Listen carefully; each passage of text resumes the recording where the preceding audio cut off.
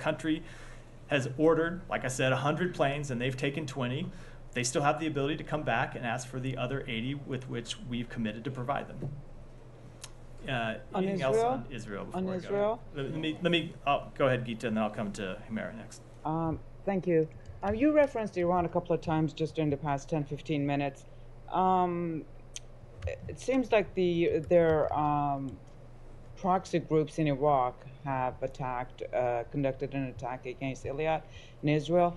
So, despite everything that the U.S. is trying to do to contain the war to just the Gaza Strip, it's Iran is doing the opposite. Now, what options are you? Could there be besides, you know, uh, diplomatic options that are really not going anywhere? So two things on that. One, we have, um, or I should say, one, I think it reinforces the point I was just making about the um, Iranian-supported proxy groups uh, who are committed to the destruction of Israel, not just um, Hezbollah, not just Hamas, but proxy groups that exist in Iraq and did uh, attempt to launch an attack against Israel over the weekend. Uh, but two, we will continue to make clear to um, those groups and to Iran that it is not in their interest to take strikes against Israel. It is not in the interest to take strikes against the United States, as we have done uh, for some time. How much confidence do you have in the Iraqi government to contain them? Because the foreign minister was here, the prime minister is supposed to be coming, and there hasn't govern the government hasn't really been able to deliver. So I would say that that is an ongoing conversation we have with our Iraqi counterparts about the need to um, take action against proxy groups that uh, launch attacks from uh, within Iraqi uh, inside Iraq. You have seen obviously a dramatic decrease in the number of those attacks over the past month or six weeks, but it is something that we continue to engage with the Iraqi government about. Can I ask Any you a more question on about Is- Iran? Humeyra, Humeyra, and then we'll we'll come. Um, just one thing uh, in your answer, Matt, to me and a few others on, on the weapons thing, you mentioned, um, you know, the threat from Hezbollah, like on Israel and all that. So, uh, were you trying to suggest that, you know, in the course of this latest authorization for the transfer, did you get any assurances from Israel that it's not going to use these, like in its offensive in Gaza, but it's only going to use these against Hezbollah? So, no, that's not what I said at all. I think you're reading quite a bit into. Okay, no, I just wanna check that. I'm reading quite a bit into my answer, but again, the recent authorizations that you're talking about were in many cases made years ago. Right. Right, But, years ago, before just to- October 7th. Yes, but just to be sure, there has been no assurances. United States has not sought any assurances from Israel, just in the wake of this or just before this uh, this transfer. Like you can use it in this place and you can't use it in that place. So There's I'm been not- no such conversation. I, I am not going to get into the private conversations we have uh, with any country. do that hold on, hold on, legally? Any country in the world, but that is not to read into that. You should not read into that that we are uh, imposing uh, uh, some kind of conditions. The, what we expect with respect to the defense articles that we supply to Israel and other countries are that they operate in compliance with international humanitarian law. Now, with respect to a campaign against Hezbollah or a potential campaign against Hezbollah, we have seen we want to see that issue resolved uh, diplomatically. We want to see um, uh, Israeli citizens able to return to their homes in northern Israel. We want to see uh, Lebanese civilians able to return to their home in southern Lebanon, but that's a um, uh, that's a path we're pursuing diplomatically. And just by law, you had the authority not to make the transfer, right? Like even if Congress had approved this years ago, even if the fulfillment takes years, United States government certainly had the has the authority not to fulfill so it today. Whether we have right? the authority or not is one question. There are always ramifications. Um, uh, if you have committed to supply a country with something and you don't, this gets very technical. No, I'm and- just wondering and- if you had and- the and- and option. interior- we- but the again, choice. We are committed to the defense of Israel. I know people want me to say some kind of different answer, but we are committed to Israel's long-term security. And Yep. again, this is something that predates October 7th and will continue to be the policy of the United States. And we will, and, and we will, in in uh, keeping with that commitment, continue to to uh, be very direct and candid with Israel about how it is in their interest to use the articles uh, of defense that we provide them, as well as weapons that they manufacture themselves, in full compliance with international humanitarian law and in a way that minimizes civilian harm. Final thing I promise. Are you expecting today's talk to feature at all the humanitarian plan that Israel is supposed to present to you? Why don't we just wait? Uh, uh, let's. Uh, I think I've probably talked enough about the, the Okay. these ongoing talks. Let's wait for what we'll have to say about them uh, at the conclusion. Uh, go ahead. Yeah, yeah. on Lebanon. You've been saying you are trying to resolve uh, the, the issue on the northern borders uh, diplomatically. You've been successful so far, but are you concerned that now it's been escalating for the last two weeks? Are, is the risk higher now?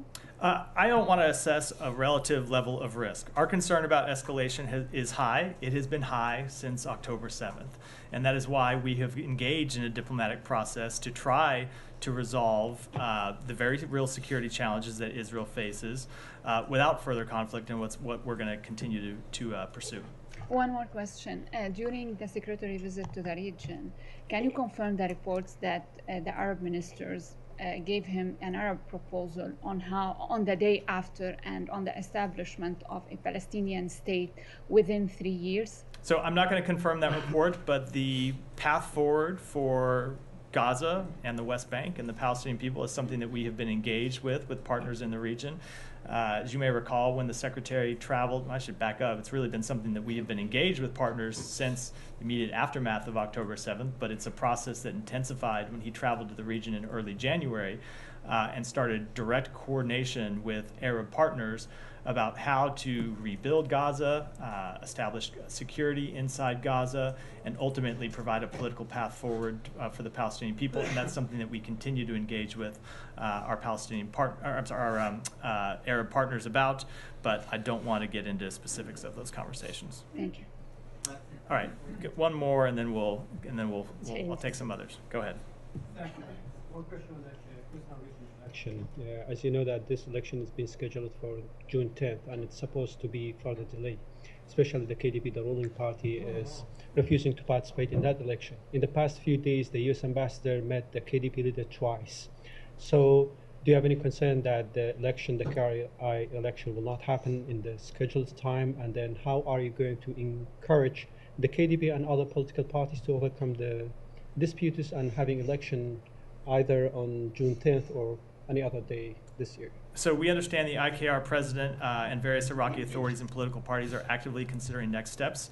We encourage efforts to schedule free, fair, and credible elections in the IKR. And I realize I forgot to come back to you about, um, yeah, I, I, you know, we could do. It seems like we could do the whole briefing on it. So let me, we'll, we'll move on for now and then come back um, if there's more time. Go ahead. I, I promise. Um, per the CBS 60 Minutes reporting that aired on Sunday, a first incident of Havana syndrome took place in Frankfurt with an employee of the US consulate.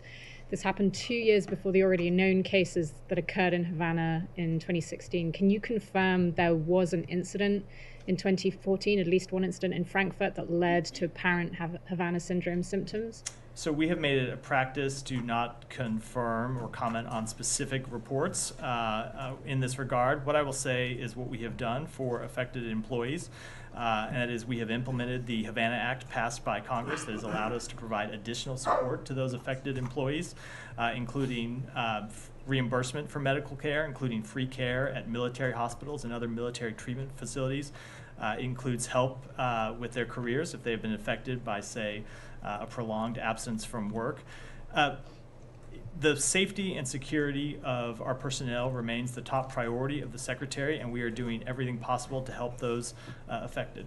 A couple more uh, on Havana still. Does the State Department's Bureau of Intelligence and Research have confidence that the, in the U.S. intelligence community's assessment that it is unlikely that a foreign adversary is causing Havana syndrome? So we do, it has been the broad uh, uh, conclusion of the intelligence community since March 20, uh, 2023 that it's unlikely a foreign adversary is responsible for these anomalous health incidents. It's something that the uh, intelligence community has investigated extensively and continues to look at. Um, we will look at the, uh, new information as it comes in and make assessments inside the State Department and with our intelligence community. But you can't confirm whether whether INR agrees with that in this building. No, I said we do. They, they do. do. share that. You do? Okay. Um, and uh, I don't know if you've seen the report uh, that aired on Sunday, but will any State Department employees who believe they are victims of Havana face consequences for publicly questioning the intel community's assessment? no, of course not. Janie, go ahead. Thank you, Matt. And let me, let me, uh, I said, let me just come back and say, um, uh, uh, of course not, and in no case um, uh, would we in any way hold employees, accountable is not even the right word. In no case would we uh, discipline employees for speaking their mind. They have the uh, ability to do, to do that. We encourage it. But that doesn't change our assessment, um, uh, and I say the, I should say our, the intelligence community's broad assessment that a foreign adversary is, is unlikely to be responsible for these incidents. Go ahead. Thank you, Thank you Matt. Uh, Russia and North Korea and China. Uh, Russia opposes extending the term of UN Security Council's panel of experts on sanctions against North Korea. How concerned is the United States about this? Uh, incredibly concerned. I spoke to this at, at detail in detail last week. It's unfortunate that uh, Russia and China decided to exercise their veto. This is a panel that has previous whose work has previously been extended unanimously, and uh, I think it's clear what happened here is that Russia made a bargain with the DPRK in return for. Uh, the DPRK arming it in its war against Ukraine, and now we're seeing Russia deliver on its end of the bargain. So, uh, how will violations of North Korea's nuclear and missile tests be sanctioned uh, in the future? So we still have a full range of uh, sanctions uh, uh, on North Korea, and we will continue to enforce those. On uh, China, uh, President Xi Jinping and uh, Russian President Putin will hold a summit meeting in China next month. What do you think about the solidarity between Russia and China? So we have made clear that we have concerns um, with the, I think, full-scale partnership. I'm going to get the words exactly wrong that we have seen between Russia and China. We have made um, uh, very clear that we don't want to see China do anything to help support Russia's aggression in Ukraine, and we will continue to make that clear. Thank you. Uh, Alex, go ahead. Thank you, Matt. Uh, Two separate topics. Let me start with the latest extension. RFERL reporter Alsu Kurmasheva's pre-trial detention today. Um, what is your reaction to the court decision? And with the American embassy officials being present for the first time, what can you tell us about her condition? So we are deeply concerned about the about her detention in Russia. We condemn in the strongest possible terms the Kremlin's continued attempts to intimidate, repress, and punish journalists and civil society voices.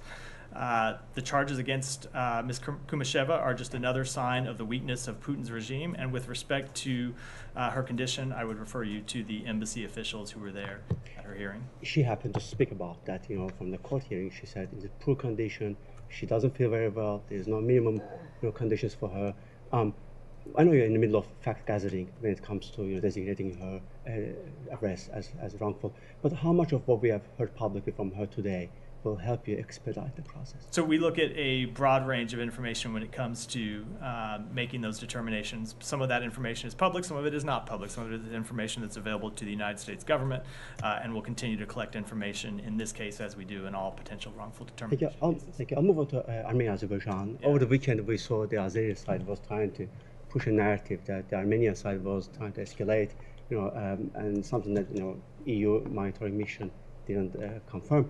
Uh, what, how much do you know what's going on, and uh, how concerned are you about potential escalation, and what kind of reaction will that invite if that happens? Presumably this week, Daisy. So we saw the statement from uh, the government of Azerbaijan over the weekend. Uh, I would note that the EU monitoring mission uh, said yesterday that the Armenia-Azerbaijan border was calm and quiet, with no unusual military troop or artillery movements, despite those those statements. We caution and will continue to caution against escalating rhetoric or hostilities along the border. We continue to encourage the creation of conditions for a just and dignified peace in the region where the rights of all are respected. And as you've heard me say from this podium many times, the only way to ensure a sustainable peace is at the negotiating table. I know Secretary has an engagement this week with Armenian side. Is there anything you're going to do in terms of reaching out to Azeris prevent the escalation? Uh, so we will continue to make clear to to um, both Armenia and Azerbaijan that escalation is in no one's interest. I don't have any uh, diplomatic conversations to preview. Have the Azeris been even invited to the meeting that will happen this week? So I think again, this meeting, remember, is about Armenia's reforms and its democracy, economy, and resilience. Um, the peace process is not the focus of this meeting. It's a meeting between the U.S., EU, and Armenia to discuss economic diversification, humanitarian assistance, uh, support for refugees, and supporting Armenia's political reforms in areas such as democracy and the rule of law. It is not a regionally focused meeting. You can find one from me, if I may, on uh, 60 Minutes uh, investigation. The reports about, you know, um, that uh, Americans living in Tbilisi also, uh, you know, talked about them being impacted.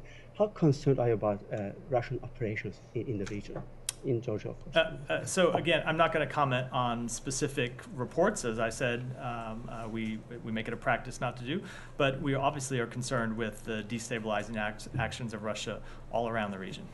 Follow up on that. go ahead. Right. so this is on the meeting between U.S., South Korea, and Japan on Friday um, to counter North Korea's cyber threats. Uh, what are some of the things that came out of that meeting that you doing to counter these cyber threats, and um, how big of a problem is it for the U.S.? Uh, let me take that back and get you uh, uh an answer. Uh, thanks, Matthew. Uh, can you confirm that next week an Israeli delegation is going to come to Washington in person? Will Secretary Blinken participate in that? Uh, no, I cannot confirm that. As I said, uh, I would not expect that the conversation today will be our last one, um, but I don't have anything else to offer. And regarding um, the likely shuttering of Al Jazeera in Israel, the, what the Israeli government has said over the years is that the channel has been known to instigate violence, and it's just, you know, obviously it's a propaganda arm of Qatar. What do you make of those um, pushbacks? Uh, I don't have anything to add to what I said uh, a moment ago, which is obviously we don't, we've made clear we don't agree with everything uh, that Al Jazeera airs, but at the same time, uh, we support the free, independent press anywhere in the world. But it's not independent. Michelle, it's owned by Qatar. Michelle, go ahead. Yeah, uh, are you concerned about the security situation in Jordan, especially that there are reports uh, stating that the regime is under threat from Iran and its proxies? Uh, no, I, uh, uh, we have a close working relationship with the, uh, the government of Jordan, and I don't, uh, I don't share that assessment. Thank you. Uh, go ahead. Yeah, go ahead, Frank. Thanks, thank you. Um, once, I want to follow up on Said's question about the reports of kill zones in Gaza. you said that, you know, you haven't seen evidence of such a thing. But, you know, we've seen, for instance, the two Palestinians who were waving white flags killed just days ago. We've seen repeated reports of Israeli snipers killing people outside of hospitals, people afraid to even walk into the streets to save people who are bleeding out. Um, so it seems understandable to say, you know, we've seen reports, Israel denied it, we'll look into it, but to outright say there's, there's not evidence of Israel establishing some form of, of this kind of practice, does, does that seem you know preliminary to, to say that kind of thing no we've not seen evidence of, of what was what was reported in this article now have we seen uh, a number of incidents of civilian harm? Of course we have. We have seen those, and that happens in, in every war. Uh, and I can tell you what we have said before, which is we take those incredibly seriously. We have engaged with the government of Israel to set to make clear that uh, those accounts need to be investigated, and if, if soldiers are found to have operated in violation of either uh, the IDF code of conduct or international humanitarian law, they need to be disciplined. Okay, and then on Al Shifa Hospital, I know you've talked at, at some length about it, but I'm just wondering, you know, we've gone from months ago the idea of Israeli forces targeting hospitals to being, you know, outlandish to now they've done this um, attack on Al Shifa and statedly and ostensibly they say that, you know, they've killed um, Hamas terrorists. Nevertheless, you know, we've seen reports of kids, women found gruesomely killed, executed, reportedly even a surgeon who was there for 172, 172 days, excuse me, treating patients killed. Um, and, you know, some victims we can't even confirm their, identity because of the, the state of their bodies. So I'm wondering, you know, given this attack, given the evident lack of care for civilians, given that we can't get an update on investigations into, for instance, the now two-month killing of Hind, um, the medic sent to save her, how can the U.S. approve, you know, any action into Rafah, a slice of land where, you know, 1.1 million Palestinians are seeking refuge? If, if, if a targeted attack on a hospital looks Yeah. like this, what would an attack So- in any form on Rafah look like? Uh, again, do not believe that this attack was on the hospital. It, the attack was on the Hamas fighters that are hiding inside a hospital. Sure, but that's- that's sort of my some, point. Some place that they should never be. But it makes you make a good point with respect to Rafah, which is why we have made clear we don't want to see a full-scale military operation. But I think the the the premise of the question I, I- shouldn't say I shouldn't say the premise of the question because I don't want to attribute this to you. But the other alternative is that Israel does nothing about the Hamas fighters that continue to exist uh, in Rafah, and we don't think that's an acceptable alternative either. So what we have said is there needs to be a targeted military operation in Rafah that targets the Hamas fighters in a way that minimizes civilian harm uh, and not a full-scale uh, operation. That's been what we what we have been making clear to them. Just one small follow-up on that, uh, if you allow. Um, I guess this just gets to a broader question about, you know, where, what does the U.S. see as sort of the path out of here? Like, is it political? Because what does it mean for Israel to defend itself ongoingly? Like, is it a matter of eradicating everyone who is associated with Hamas? Because that, I don't know, Yeah. doesn't necessarily seem like a goal that has led to the protection of civilians up to this point. So there needs they have there need to be battlefield successes and there needs to be a political path forward, and that is what we have been engaged with partners in the region uh, to develop and ultimately present to Israel, because as you have heard the secretary say, without a political path forward for the Palestinian people, Israel and the Palestinians are going to be stuck in this same cycle of violence that they have been stuck in for decades. And that's not in the Palestinian people's interest, as we have seen over the past nearly six months. It is not in Israel's interest, as we saw very clearly on October 7th. And so that is the work that we are doing inside the United States government to try to develop that political path forward that we think ultimately is in the best interests of the Palestinian people, the Israeli people, and the broader uh, region at large. Go ahead.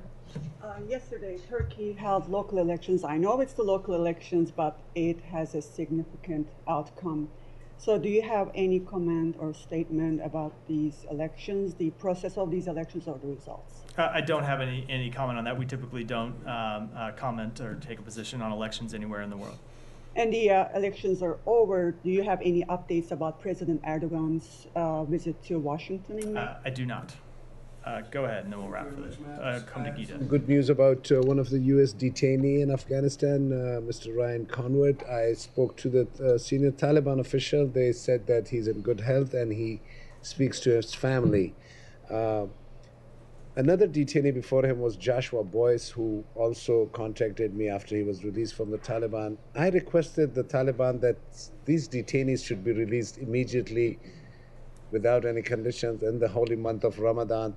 They said, We will definitely do it if you give us commitment that uh, the US will release our detainees. And I uh, am not a media group so big as Al Jazeera, I'm just a small time niche media group. Is there anything I can convey that like these detainees should be, I mean, given back to each other, or it's too much out of my. I, I, with all due respect, I think I will decline to conduct diplomacy Okay, via that's what I- th- through this podium. That's what I- Uh, but I will say two things. One, we are concerned, despite those assurances, well-meaning as they may be, we are concerned about the well-being of Americans detained in Afghanistan.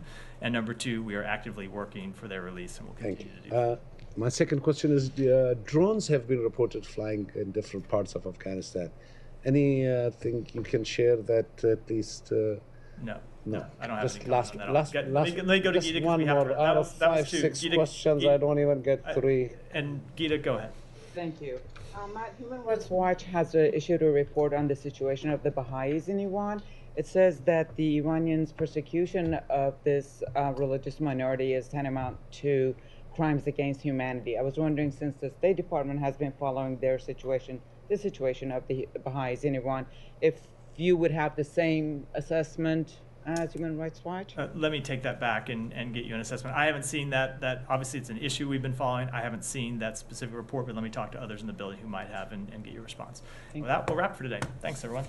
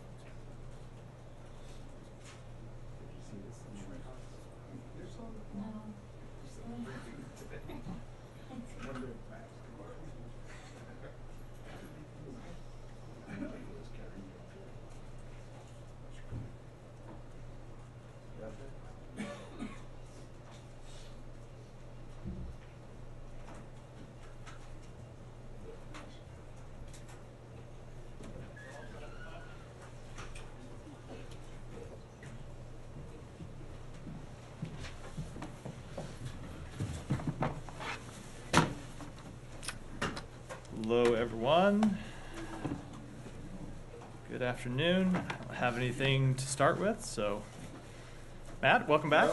Uh, Well, Welcome back for a short period. I know you're traveling with the secretary. well. Happy to have you today. I, I, I'm sure you are.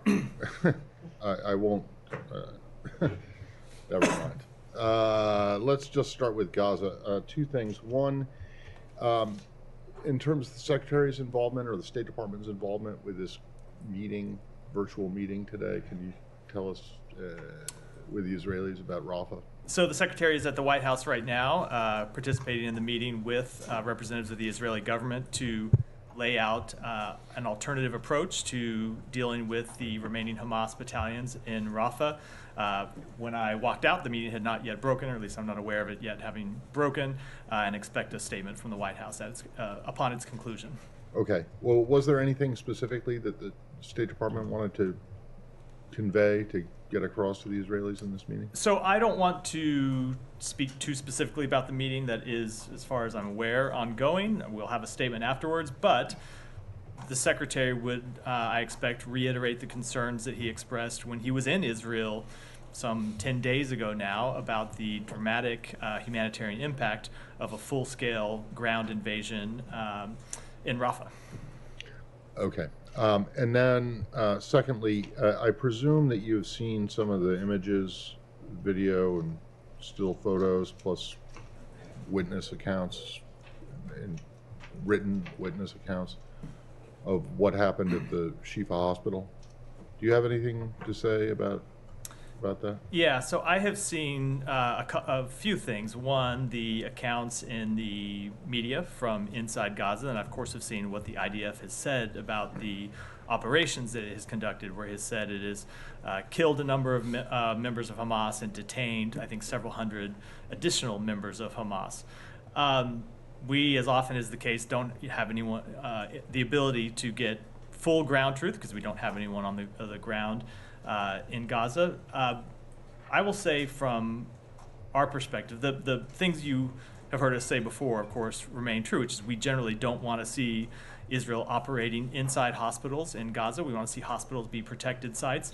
Uh, but it is concerning that after Israel had conducted an operation earlier in this campaign to clear Al Shifa, that Al Shifa again was apparently infiltrated by Hamas fighters. And so, two things about that.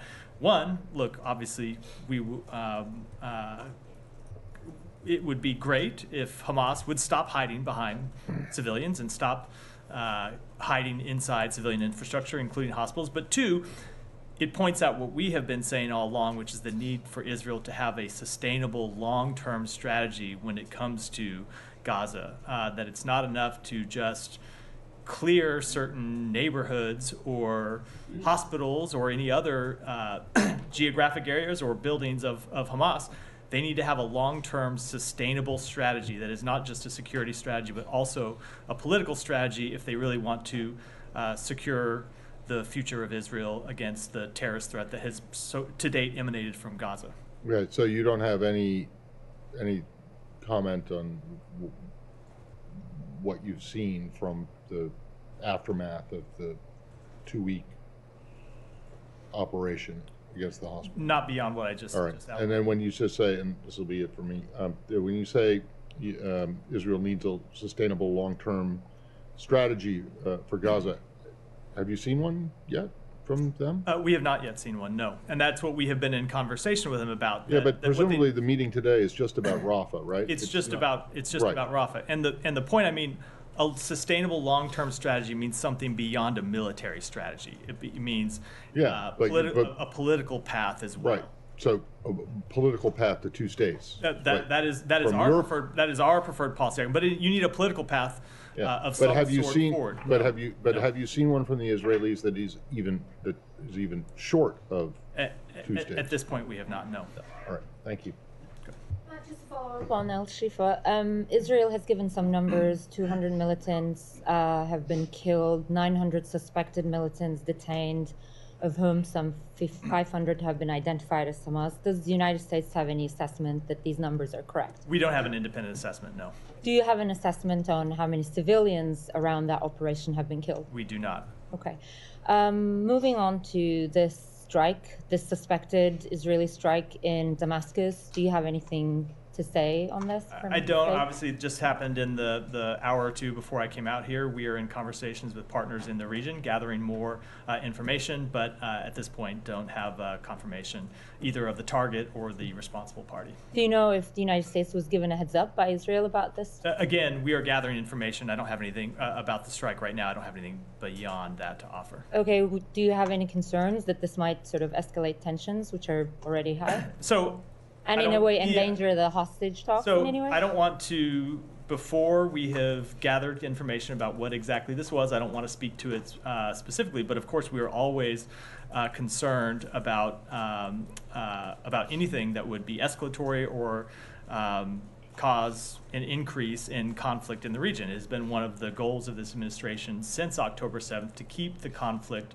from spreading, recognizing that Israel has a, uh, the right to defend itself from adversaries that are sworn to its destruction. Um, but with respect to the hostage talks, there's no reason why this incident should have any impact on, on the hostage talks. Uh, we have long believed it is uh, in the interest uh, of everyone to see these hostage talks succeed because you would not just see um, uh, a re- relief to the civilian population in Gaza that desperately needs it. Uh, it would enable the increase in humanitarian assistance into Gaza, and of course, it would get the hostages out. So, no, I, I don't know. I don't believe it should have any impact on that. Can you say how those talks are going in Cairo? I don't have any new assessment to, to offer today. Okay, two final things. This is about last. Uh, this is from last week about these um, authorizations of uh, these bombs to to Israel. They have been approved a long time ago by Congress, but looks like the Department has decided to uh, do the transfers last week, the week before. Um, why was that decision taken like recently? So let me, I think it would be helpful to step back and put this in a little context. Um, and the context is that we, the United States, has a decades-long commitment to Israel's for security. Uh, Israel is surrounded by entities that are sworn to its destruction, not just Hamas, but Iran uh, and proxy groups that Iran sponsors, uh, Hezbollah among them, who have repeatedly talked about their desire for the destruction of Israel. We believe Israel has every right to defend itself against those opponents, um, and we to that end, have a long-standing security relationship with them where we provide them more than $3 billion annually in security assistance. Now, the way that that works, um, and I know you preface this in, in, in your question, but just for, for the benefit of everyone else, the way that that works is we provide them with $3.3 billion a year in uh, security assistance. They don't always draw all of that down in any given year, but they uh, come to the United States, request certain defense articles. Um, we make assessments about whether those are appropriate or not. We notify them to Congress in the regular course of business. And oftentimes, what happens, let's say, uh, just as an example, this is a fictional example, let's say they requested 100 planes. Um, we make a decision, we notify Congress. That doesn't mean that they take 100 planes tomorrow once that notification has been given and once the approval has been given. They draw those down over time, and sometimes it takes years to fulfill those requests.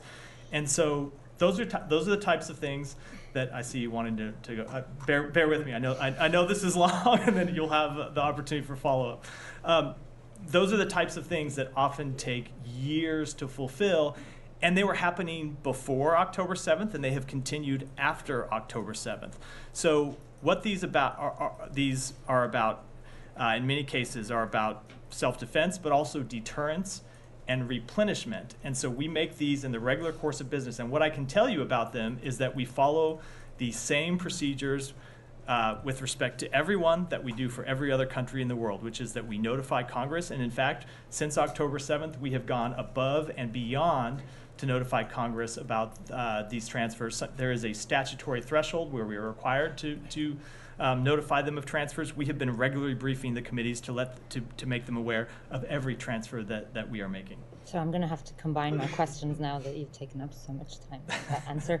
I understand. I would apologize, but I don't oh, think you'd believe know, it. I'm just joking. Of course, take your time. I understand the fulfillment can take years, but are you basically saying that the authorization of the transfer coming in these recent weeks was a coincidence?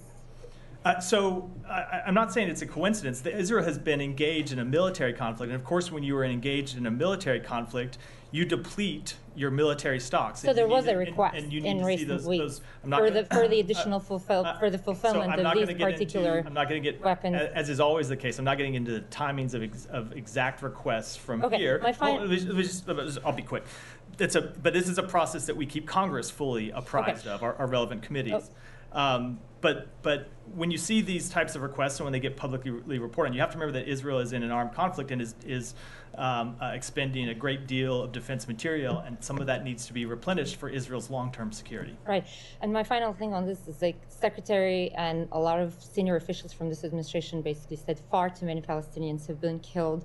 But when you go and make the, and we know that the administration's policy hasn't changed, it is not conditioning weapons to Israel, but when you go and make such an authorization of the transfer in recent weeks, even if the actual weapons transfer has been approved years ago, don't you think that is going to damage the weight of your word, the, your credibility, and basically your, your sincerity in saying that far too many Palestinians So? I, I do not agree with that at all. We have been very clear that we want to see Israel do everything it can to minimize civilian casualties. We have uh, made clear that they need to do every that they need to operate at all times in full compliance with international humanitarian law. At the same time, we are committed to Israel's right to self-defense, and this is a long-term commitment the United States has made. That it made before October 7th, and that continues uh, uh, in it continues since October 7th. So it obviously the fight in Gaza is connected to Israel's long-term security in very substantial ways. I got into some of that with, with response to Matt's question, uh, but Israel still faces, uh, on in addition to the security challenge posed with in Gaza, it still faces an Iran that is hostile to Israel. It still faces Hezbollah on its northern border that is hostile to Israel and says it is committed to the destruction of, of Israel. And so we are going to continue to support Israel's ability to defend itself against those sworn enemies that want to see it, it end as a modern state or a state at all. Just to follow up, a 2,000 pound bomb is, is self defense, in, your opinion?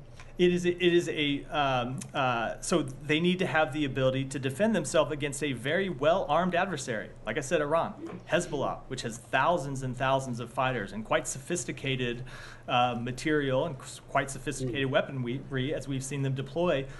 excuse me, against Israel. In the last few days, so yes, they do need the, the, the modern military equipment to defend But themselves against those using adversaries. in Gaza before, in the beginning in Gaza. And we have made clear to them that when that whatever um, whatever weapon they use in Gaza, be be it a bomb, be it a tank round, be it anything, that we expect them to use those weapons in full compliance with international humanitarian law. And we've said we have had very frank conversations with them about the fact that there far too many civilians have died through their operations and that they need to do better in taking into account uh, the need to minimize civilian harm, and we'll continue to do that. Uh, uh, just uh, on that point, um, okay, took the requests were done years ago, what have you, but this time around you're suspiciously very careful not to publicize it. Um, usually you do the notifications to Congress, you, you do a you know statement, what have you. But this time, I understand you didn't need to do it because We- it was So passed. But I just say we did notify Congress. Yeah, We- no, we I know, We followed. didn't we followed. publicize it. So it is usually not. you do on, on arms sales and all that. You you, so you publicize it. So that's not true with respect to most arms sales around the world. I know people have gotten used to our um, uh, the tempo of arms sales with respect to Ukraine, but that is very a very different situation than our arms sales to Israel or any other country with which we have a security relationship because we stood it up from nowhere right before an active war, where most of our security relationships we don't publicize uh, our ongoing sales. What we do is we notify Congress about those sales, and we have done that with respect to these sales to, to Israel, um, as we do with respect to sales anywhere in the world. Okay. Just a last question on the, back on Damas. Uh, I understand it's, it's a bit early, but uh, obviously you don't deny there was a strike uh, by Israel on the consulate in the annex in, in the, the embassy of Iran in Damascus. So we've seen the strike, but again, I want to uh, I want to let the cons- consultations that we have ongoing with partners in the region take place. Uh, But it it would- before we can before I com- comment uh, any further. But it's definitely escalatory. That's not what I said either. I said No, I I'm s- saying that. Uh, you're saying that great. I thought it was a And I'm question. asking for your reaction. Uh, so Humeyra kind of, kind of, that's that's good. Humeyra kind of did speak to this. Um, I'm not going to comment with respect to this particular strike um, because again, we just need to know more information about it before we do, and that includes drawing any conclusions from it. As a general principle, of course, we are worried about escalation. We are do, worried about anything that would cause the conflict to to expand or widen in any way. I have one on Havana, a couple, if- unless you I'll, want let more me, about let me that. come back. Let me come back to you so the room doesn't go into an uproar. Saeed, go ahead. I Uh, will definitely thank come you, back. thank you, Matt. Now you said that Hamas returned to Al Shifa Hospital. There were some 800 fighters and so on, and all these things.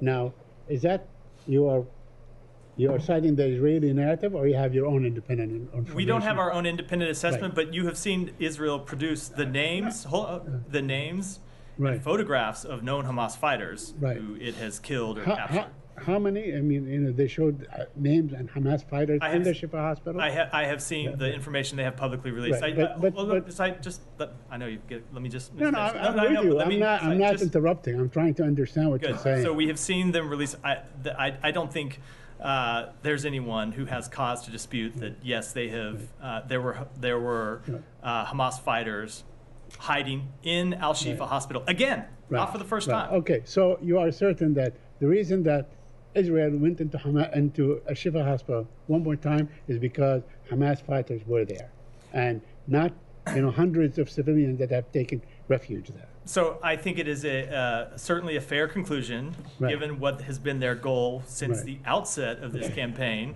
to take the fight to Hamas. Uh, that is exactly what they were doing. And you yes. believe that Israel has achieved that goal now by eliminating Hamas, or are we likely to see them go back to a Shifa hospital again? So that is, I, I answered that question somewhat in, in response to Matt. I think Right. there is a concern that you saw Hamas back inside hospitals. Right. I don't know why I don't hear more people calling on Hamas to stop going into hospitals. You shouldn't have to clear Hamas from a hospital once, let alone twice. Right. Um, but yes, we do have the the, the concern that uh, Hamas has been able to reestablish itself in a hospital um, that Israel had already cleared, and that po- points to an ongoing challenge for Israel in the way it conducts its operations. Right. Uh, yeah, just bear with me. A couple more uh, questions.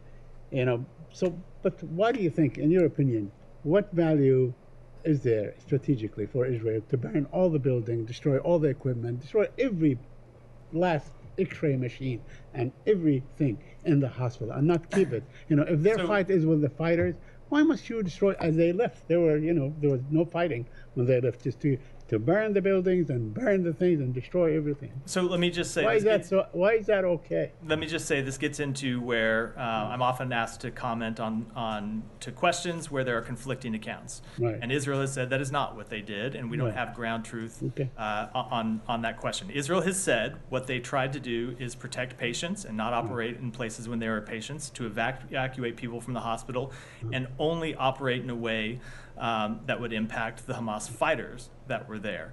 Obviously, it's an incredibly difficult situation. There shouldn't be terrorists in a hospital at all. And so it's incredibly difficult to operate there and, and uh, s- achieve a legitimate counterterrorism goal in a way that minimizes harm to the pa- to patients, which goes back to the, my first point, which is Hamas shouldn't be in a hospital at all. Okay. Well, Hamas shouldn't be, as far as you know, Israel and the United States is concerned, should not be there. Period. But I would Uh, think, Saeed, e- everyone could conclude. I, I would think, including you, I would think everyone could conclude that Hamas should not be inside Well. I don't think. no, I don't think. I hope anyway that that's not a controversial opinion. well, okay, but that's that's a different issue altogether. Now, not me- really. Okay, not really. No, it's kind of the core of what we're talking Well, about. Okay. Uh, uh, let me ask you something. You, you, you talked about the 2,000 pound bombs uh, and so on. You think that it is really wise to send it at this time? You know, when this far in this battle, you know, or this war, it has only been used in Gaza. I mean, I know you say that uh, Israel is surrounded by, uh, you know, people that wish it well and so on. But in fact, it's surrounded by Egypt with very good relations with Israel, surrounded by Jordan with good relations with Israel, surrounded by Syria that is obviously embroiled in its own civil war and cannot even defend itself against attacks as we have seen today. So, quite the contrary, is Israel is surrounding Hamas and it's using these weapons to do that. And in fact, I mean, you know, the F-35, to the best of my knowledge, I could be wrong, has only been used in combat against the people of Gaza. So how could you justify sending all these weapons when you have the most hapless people probably on earth, you know, destroyed, moving from one place to another, and so on, and you send these weapons to sort of just finish the job or continue the job? I don't know. So- what logic is there So- in sending those weapons? So the logic is exactly what I outlined a, a moment ago. Despite the fact that Israel has a relation, has diplomatic relations with Egypt uh, and Jordan, it does not change the fact that Hezbollah is parked on its northern border and is sworn to the destruction of Israel. It does not change the fact uh, that Iran, uh, uh, no, not exactly, not right on its border, but well within striking distance, is committed to the destruction of Israel and continues to fund proxies committed to the destruction of Israel. So, yes, Israel faces incredibly ser- serious threats, not just from Hamas, although Hamas is clearly one, as we saw on October 7th, but from other adversaries uh, that it needs uh, our assistance uh, to continue to defend itself against. Lastly, lastly, me- please, just one one, one, last one, if I may. Uh, are you aware of a report made or a, a conversation that Israeli officers made with, to, or an interview with Haaretz, where they say that Israel established some sort of an illusionary, you know, kill zone uh, line and so on. Are you aware of that? I and they actually kill whoever walks or moves about in that area? I, I I read that article and I noted that in it the IDF says that, that that of course is not what they have established. There are of course areas of significant combat where uh, any civilian could wander in and be the the um, uh, unfortunately be killed either by fire from Israel or by fire from Hamas. If you walk into an active conflict zone, uh, that's a possibility. I've, but I, I have noted that the IDF said they have not, of course, established kill zones. It would be incredibly inappropriate for anything uh, like that to be established, and we've not seen evidence at this point that they have. Go ahead. I'll come to you next. Uh, there, there's reporting that Israel submitted a plan to the UN that would essentially dismantle UNRWA, uh, transferring staff and funds to World Food and some other organizations. Have you seen that plan? Do you support it? Uh, I have not seen that plan. I can't speak to whether somebody inside the United States government has. We continue to support the work that UNRWA does, uh, both in Gaza and uh, uh, in the broader region. We think that they play a critical role in delivering humanitarian assistance to people who, who need it. Now, the United States cannot fund UNRWA by statute now, given the recent action by Congress. So we are exploring ways that we can direct the humanitarian assistance. We are committed to providing the Palestinian people through other organizations, uh, and we look forward to identifying ways to do that and continuing to support humanitarian assistance to Palestinian civilians. Um, but that does not mean that that um, we do not also support UNRWA's work. We want to see it continue. Uh, Matt, today the Knesset passed a law 70 to 10, voting to pave the way for the closure of all Al Jazeera offices inside Israel. I'm just wondering if you have a comment on that. So we support the independent free press anywhere in the world, and we think the work that the independent free press does is important everywhere in the world. And uh, it, much of what we know about what has happened in Gaza is because of reporters who are there doing their jobs, including reporters from Al Jazeera. Um, I'll say, just with, with respect to Al Jazeera, obviously, we, you know, I think it's well known that we've not always agreed with all of Al Jazeera's coverage, but it's a media organization that we engage with. I've done interviews with Al Jazeera. Other people from the department have done uh, interviews with Al Jazeera. So, um, what we will continue to make clear is that we support the work that the Free Press does. Our assessment with that uh, uh, passage of this law and previous incidents with, to our crew in Gaza that uh, this like enhanced our suspicion from the beginning that our crews were actually target, not by mistake or by. Do you does this trouble you that a media organization just becomes the target of of the of the Israel and become part of the targets in this war? So, with respect to targeting, uh, I mean targeting in a sense, not not through a law passed by the Knesset, but I think with respect to potential military targeting, uh, Israel has said very clearly that that's not what they have done. Uh, obviously, that would be incredibly inappropriate. Uh, you've heard the secretary speak to this that it, it is tragic how many journalists have lost their life uh, in this war.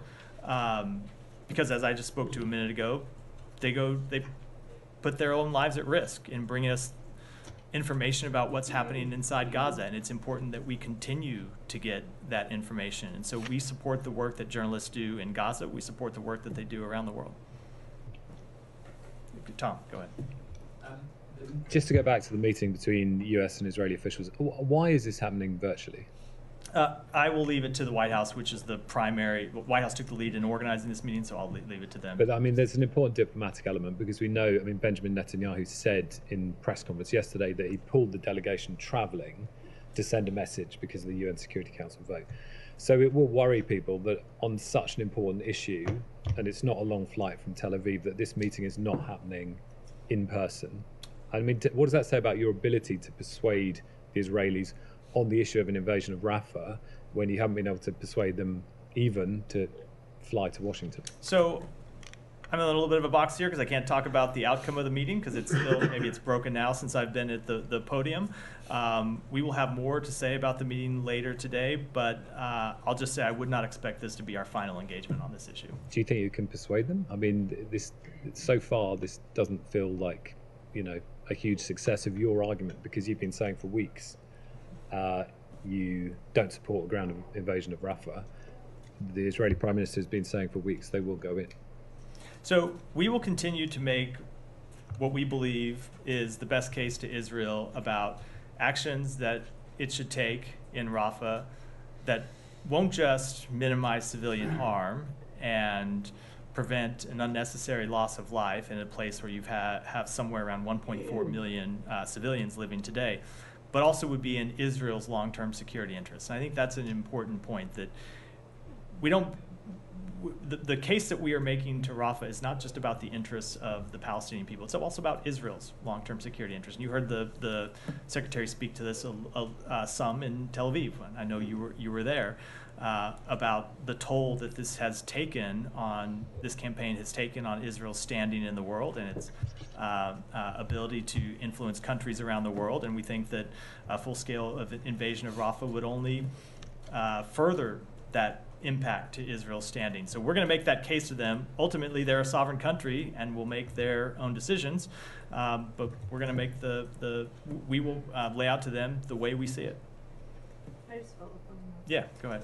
Um, and will this conversation also make clear what the U.S.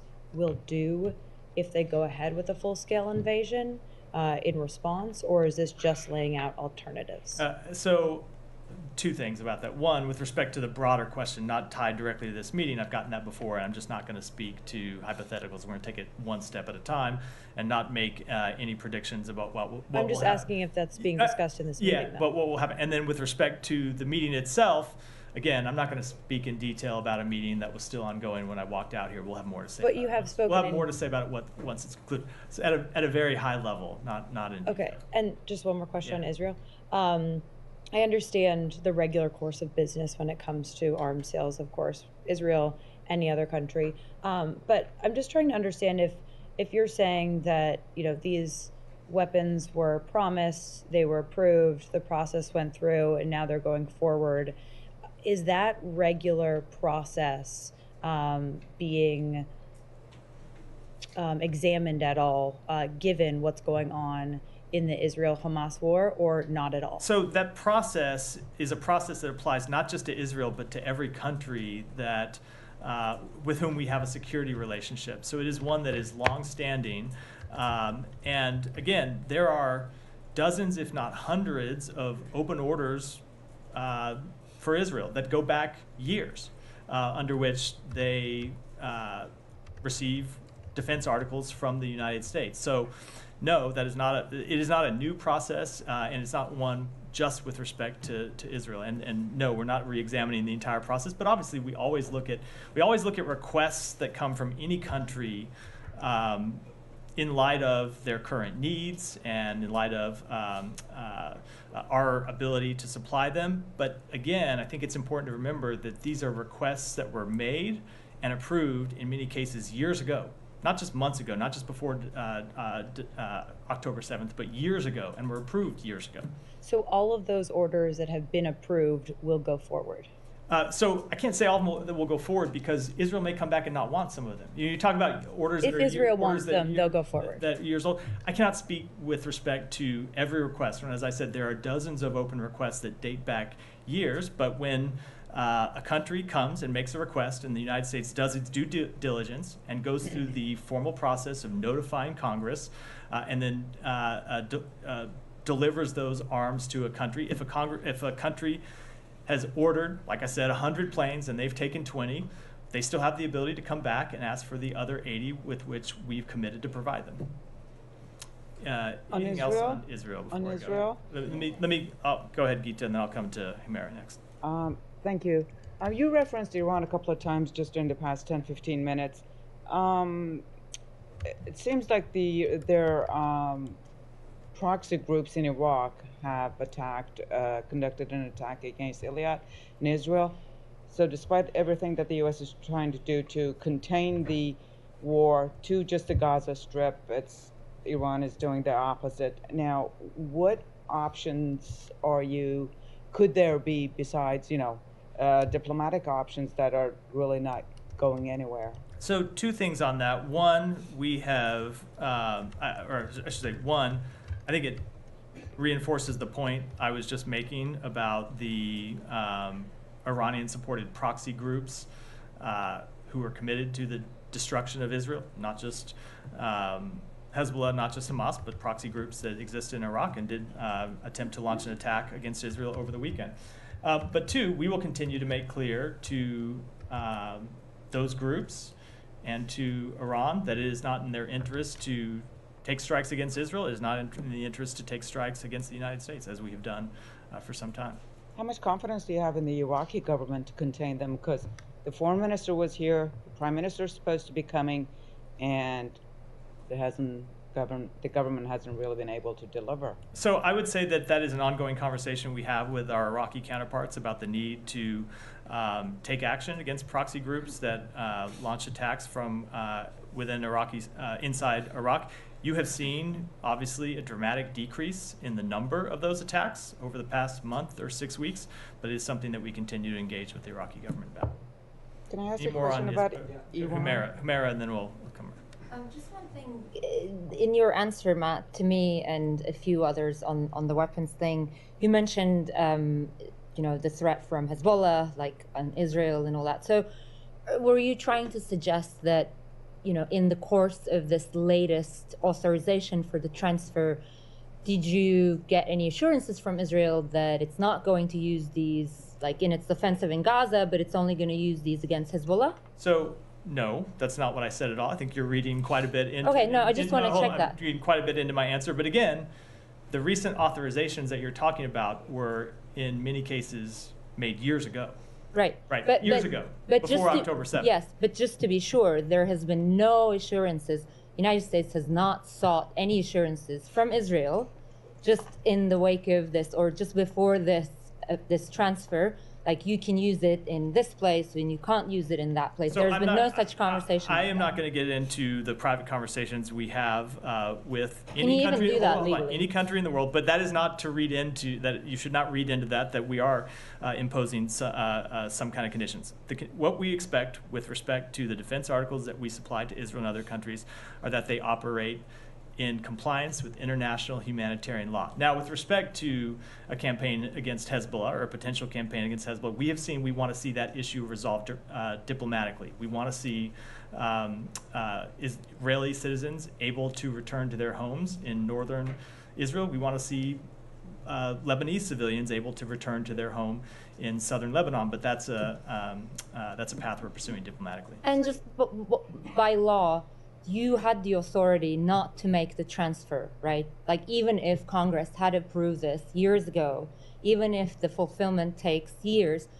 United States government certainly had the has the authority not to fulfill so it today. Whether we have right? the authority or not is one question. There are always ramifications. Um, uh, if you have committed to supply a country with something and you don't, this gets very technical. No, I'm just wondering and- if you had and- the option. and we- but the again, choice. We are committed to the defense of Israel. I know people want me to say some kind of different answer, but we are committed to Israel's long-term security. And Yep. again, this is something that predates October 7th and will continue to be the policy of the United States. And we will, and, and we will, in in uh, keeping with that commitment, continue to to uh, be very direct and candid with Israel about how it is in their interest to use the articles uh, of defense that we provide them, as well as weapons that they manufacture themselves, in full compliance with international humanitarian law and in a way that minimizes civilian harm. Final thing I promise. Are you expecting today's talk to feature at all the humanitarian plan that Israel is supposed to present to you? Why don't we just wait? Uh, uh, let's. Uh, I think I've probably talked enough about the, the Okay. these ongoing talks. Let's wait for what we'll have to say about them uh, at the conclusion. Uh, go ahead. Yeah. Yeah. Lebanon. You've been saying you are trying to resolve uh, the, the issue on the northern borders uh, diplomatically. You've been successful so far, but are you concerned that now it's been escalating for the last two weeks? Are, is the risk higher now? Uh, I don't want to assess a relative level of risk. Our concern about escalation has, is high. It has been high since October 7th. And that is why we have engaged in a diplomatic process to try to resolve uh, the very real security challenges that Israel faces uh, without further conflict and what's, what we're going to continue to, uh, pursue. One more question. Uh, during the secretary visit to the region, can you confirm the reports that uh, the Arab ministers uh, gave him an Arab proposal on how, on the day after, and on the establishment of a Palestinian state within three years? So I'm not going to confirm that report, but the path forward for Gaza and the West Bank and the Palestinian people is something that we have been engaged with with partners in the region. Uh, as you may recall, when the secretary traveled, I should back up. It's really been something that we have been engaged with partners since the immediate aftermath of October 7th, but it's a process that intensified when he traveled to the region in early January uh, and started direct coordination with Arab partners about how to rebuild Gaza, uh, establish security inside Gaza, and ultimately provide a political path forward uh, for the Palestinian people. And that's something that we continue to engage with uh, our Palestinian part, or, I'm sorry, our um, uh, Arab partners about. But I don't want to get into specifics of those conversations. Thank you. All right, get one more, and then we'll and then we'll, we'll I'll take some others. Go ahead.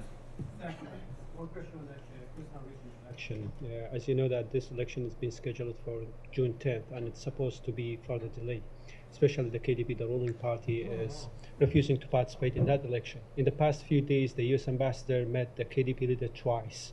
So, do you have any concern that the election, the KRI election, will not happen in the scheduled time? And then, how are you going to encourage the KDP and other political parties to overcome the disputes and having election either on June 10th or any other day this year? So we understand the IKR president uh, and various Iraqi authorities and political parties are actively considering next steps. We encourage efforts to schedule free, fair, and credible elections in the IKR. And I realize I forgot to come back to you about, um, yeah, I, I, you know, we could do. It seems like we could do the whole briefing on it. So let me, we'll, we'll move on for now and then come back um, if there's more time. Go ahead. I, I promise. Um, per the CBS 60 Minutes reporting that aired on Sunday, a first incident of Havana syndrome took place in Frankfurt with an employee of the US consulate. This happened two years before the already known cases that occurred in Havana in 2016. Can you confirm there was an incident in 2014, at least one incident in Frankfurt, that led to apparent Havana syndrome symptoms? So we have made it a practice to not confirm or comment on specific reports uh, uh, in this regard. What I will say is what we have done for affected employees, uh, and that is we have implemented the Havana Act passed by Congress that has allowed us to provide additional support to those affected employees, uh, including uh, reimbursement for medical care, including free care at military hospitals and other military treatment facilities. Uh, includes help with their careers if they have been affected by, say, a prolonged absence from work. Uh, the safety and security of our personnel remains the top priority of the Secretary, and we are doing everything possible to help those uh, affected. A couple more uh, on Havana still. Does the State Department's Bureau of Intelligence and Research have confidence that the, in the U.S. intelligence community's assessment that it is unlikely that a foreign adversary is causing Havana syndrome? So we do. It has been the broad uh, uh, conclusion of the intelligence community since March 20, uh, 2023 that it's unlikely a foreign adversary is responsible for these anomalous health incidents. It's something that the uh, intelligence community has investigated extensively and continues to look at. Um, we will look at the uh, new information as it comes in and make assessments inside the State Department and with our intelligence community. you can't confirm whether whether INR agrees with that in this building. No, I said we do, they, they You do share that. You do, okay. share that assessment. Um, and uh, I don't know if you've seen the report uh, that aired on Sunday, but will any State Department employees who believe they are victims of Havana face consequences for publicly questioning the intel community's assessment? No, of course not. Janie, go ahead. Thanks, Matt. And let me, let me, uh, I said, let me just come back and say, um, uh, uh, of course not, and in no case um, uh, would we in any way hold employees, accountable is not even the right word. In no case would we uh, discipline employees for speaking their mind. They have the uh, ability to do, to do that. We encourage it. But that doesn't change our assessment um, uh, and I say the, I should say our, the intelligence community's broad assessment that a foreign adversary is, is unlikely to be responsible for these incidents. Go ahead. Thank you. Thank you, Matt. Uh, Russia and North Korea and China. Uh, Russia opposes extending the term of UN Security Council's panel of experts on sanctions against North Korea. How concerned is the United States about this? Uh, incredibly concerned. I spoke to this at, at detail in detail last week. It's unfortunate that uh, Russia and China decided to exercise their veto. This is a panel that has previous whose work has previously been extended unanimously, and uh, I think it's clear what happened here is that Russia made a bargain with the DPRK in return for. Uh, the DPRK arming it in its war against Ukraine, and now we're seeing Russia deliver on its end of the bargain. So, uh, how will violations of North Korea's nuclear and missile tests be sanctioned uh, in the future? So we still have a full range of uh, sanctions uh, uh, on North Korea, and we will continue to enforce those. On uh, China, uh, President Xi Jinping and uh, Russian President Putin will hold a summit meeting in China next month. What do you think about the solidarity between Russia and China? So we have made clear that we have concerns um, with the, I think, full-scale partnership. I'm going to get the words exactly wrong that we have seen between Russia and China. We have made um, uh, very clear that we don't want to see China do anything to help support Russia's aggression in Ukraine, and we will continue to make that clear. Thank you. Uh, Alex, go ahead. Thank you, Matt. Uh, Two separate topics. Let me start with the latest extension. RFERL reporter Alsu Kurmasheva's pre-trial detention today. Um, what is your reaction to the court decision? And with the American embassy officials being present for the first time, what can you tell us about her condition? So we are deeply concerned about the about her detention in Russia. We condemn in the strongest possible terms the Kremlin's continued attempts to intimidate, repress, and punish journalists and civil society voices. Uh, the charges against uh, Ms. Kurmasheva are just another sign of the weakness of Putin's regime. And with respect to uh, her condition, I would refer you to the embassy officials who were there at her hearing. She happened to speak about that, you know, from the court hearing. She said it's a poor condition.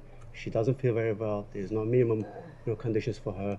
Um, I know you're in the middle of fact gathering when it comes to you know, designating her uh, arrest as, as wrongful. But how much of what we have heard publicly from her today will help you expedite the process? So we look at a broad range of information when it comes to uh, making those determinations. Some of that information is public, some of it is not public. Some of it is information that's available to the United States government, uh, and we'll continue to collect information in this case as we do in all potential wrongful Thank you. determinations. I'll, thank you. I'll move on to uh, Armenia, Azerbaijan. Over the weekend, we saw the Azeri side was trying to push a narrative that the Armenian side was trying to escalate, you know, um, and something that you know EU monitoring mission didn't uh, confirm. What, how much do you know what's going on, and uh, how concerned are you about potential escalation, and what kind of reaction will that invite if that happens? Presumably this week, say. So we saw the statement from uh, the government of Azerbaijan over the weekend. Uh, I would note that the EU monitoring mission uh, said yesterday that the Armenia-Azerbaijan border was calm and quiet, with no unusual military troop or artillery movements, despite those those statements. We caution and will continue to caution against escalating rhetoric or hostilities along the border. We continue to encourage the creation of conditions for a just and dignified peace in the region where the rights of all are respected. And as you've heard me say from this podium many times, the only way to ensure a sustainable peace is at the negotiating table. I know Secretary has an engagement this week with the Armenian side. Is there anything you're going to do in terms of reaching out to Azeris prevent the escalation? Uh, so we will continue to make clear to to um, both Armenia and Azerbaijan that escalation is in no one's interest. I don't have any uh, diplomatic conversations to preview. Have the Azeris been even invited to the meeting that will happen this week? So I think again, this meeting, remember, is about Armenia's reforms and its democracy, economy, and resilience.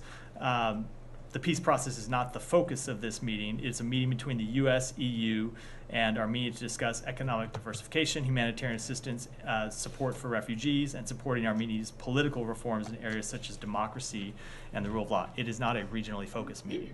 You can find one from me, if I may, on uh, 60 Minutes uh, investigation. The reports about, you know, um, that uh, Americans living in Tbilisi also, uh, you know, talked about them being impacted. How concerned are you about uh, Russian operations in, in the region?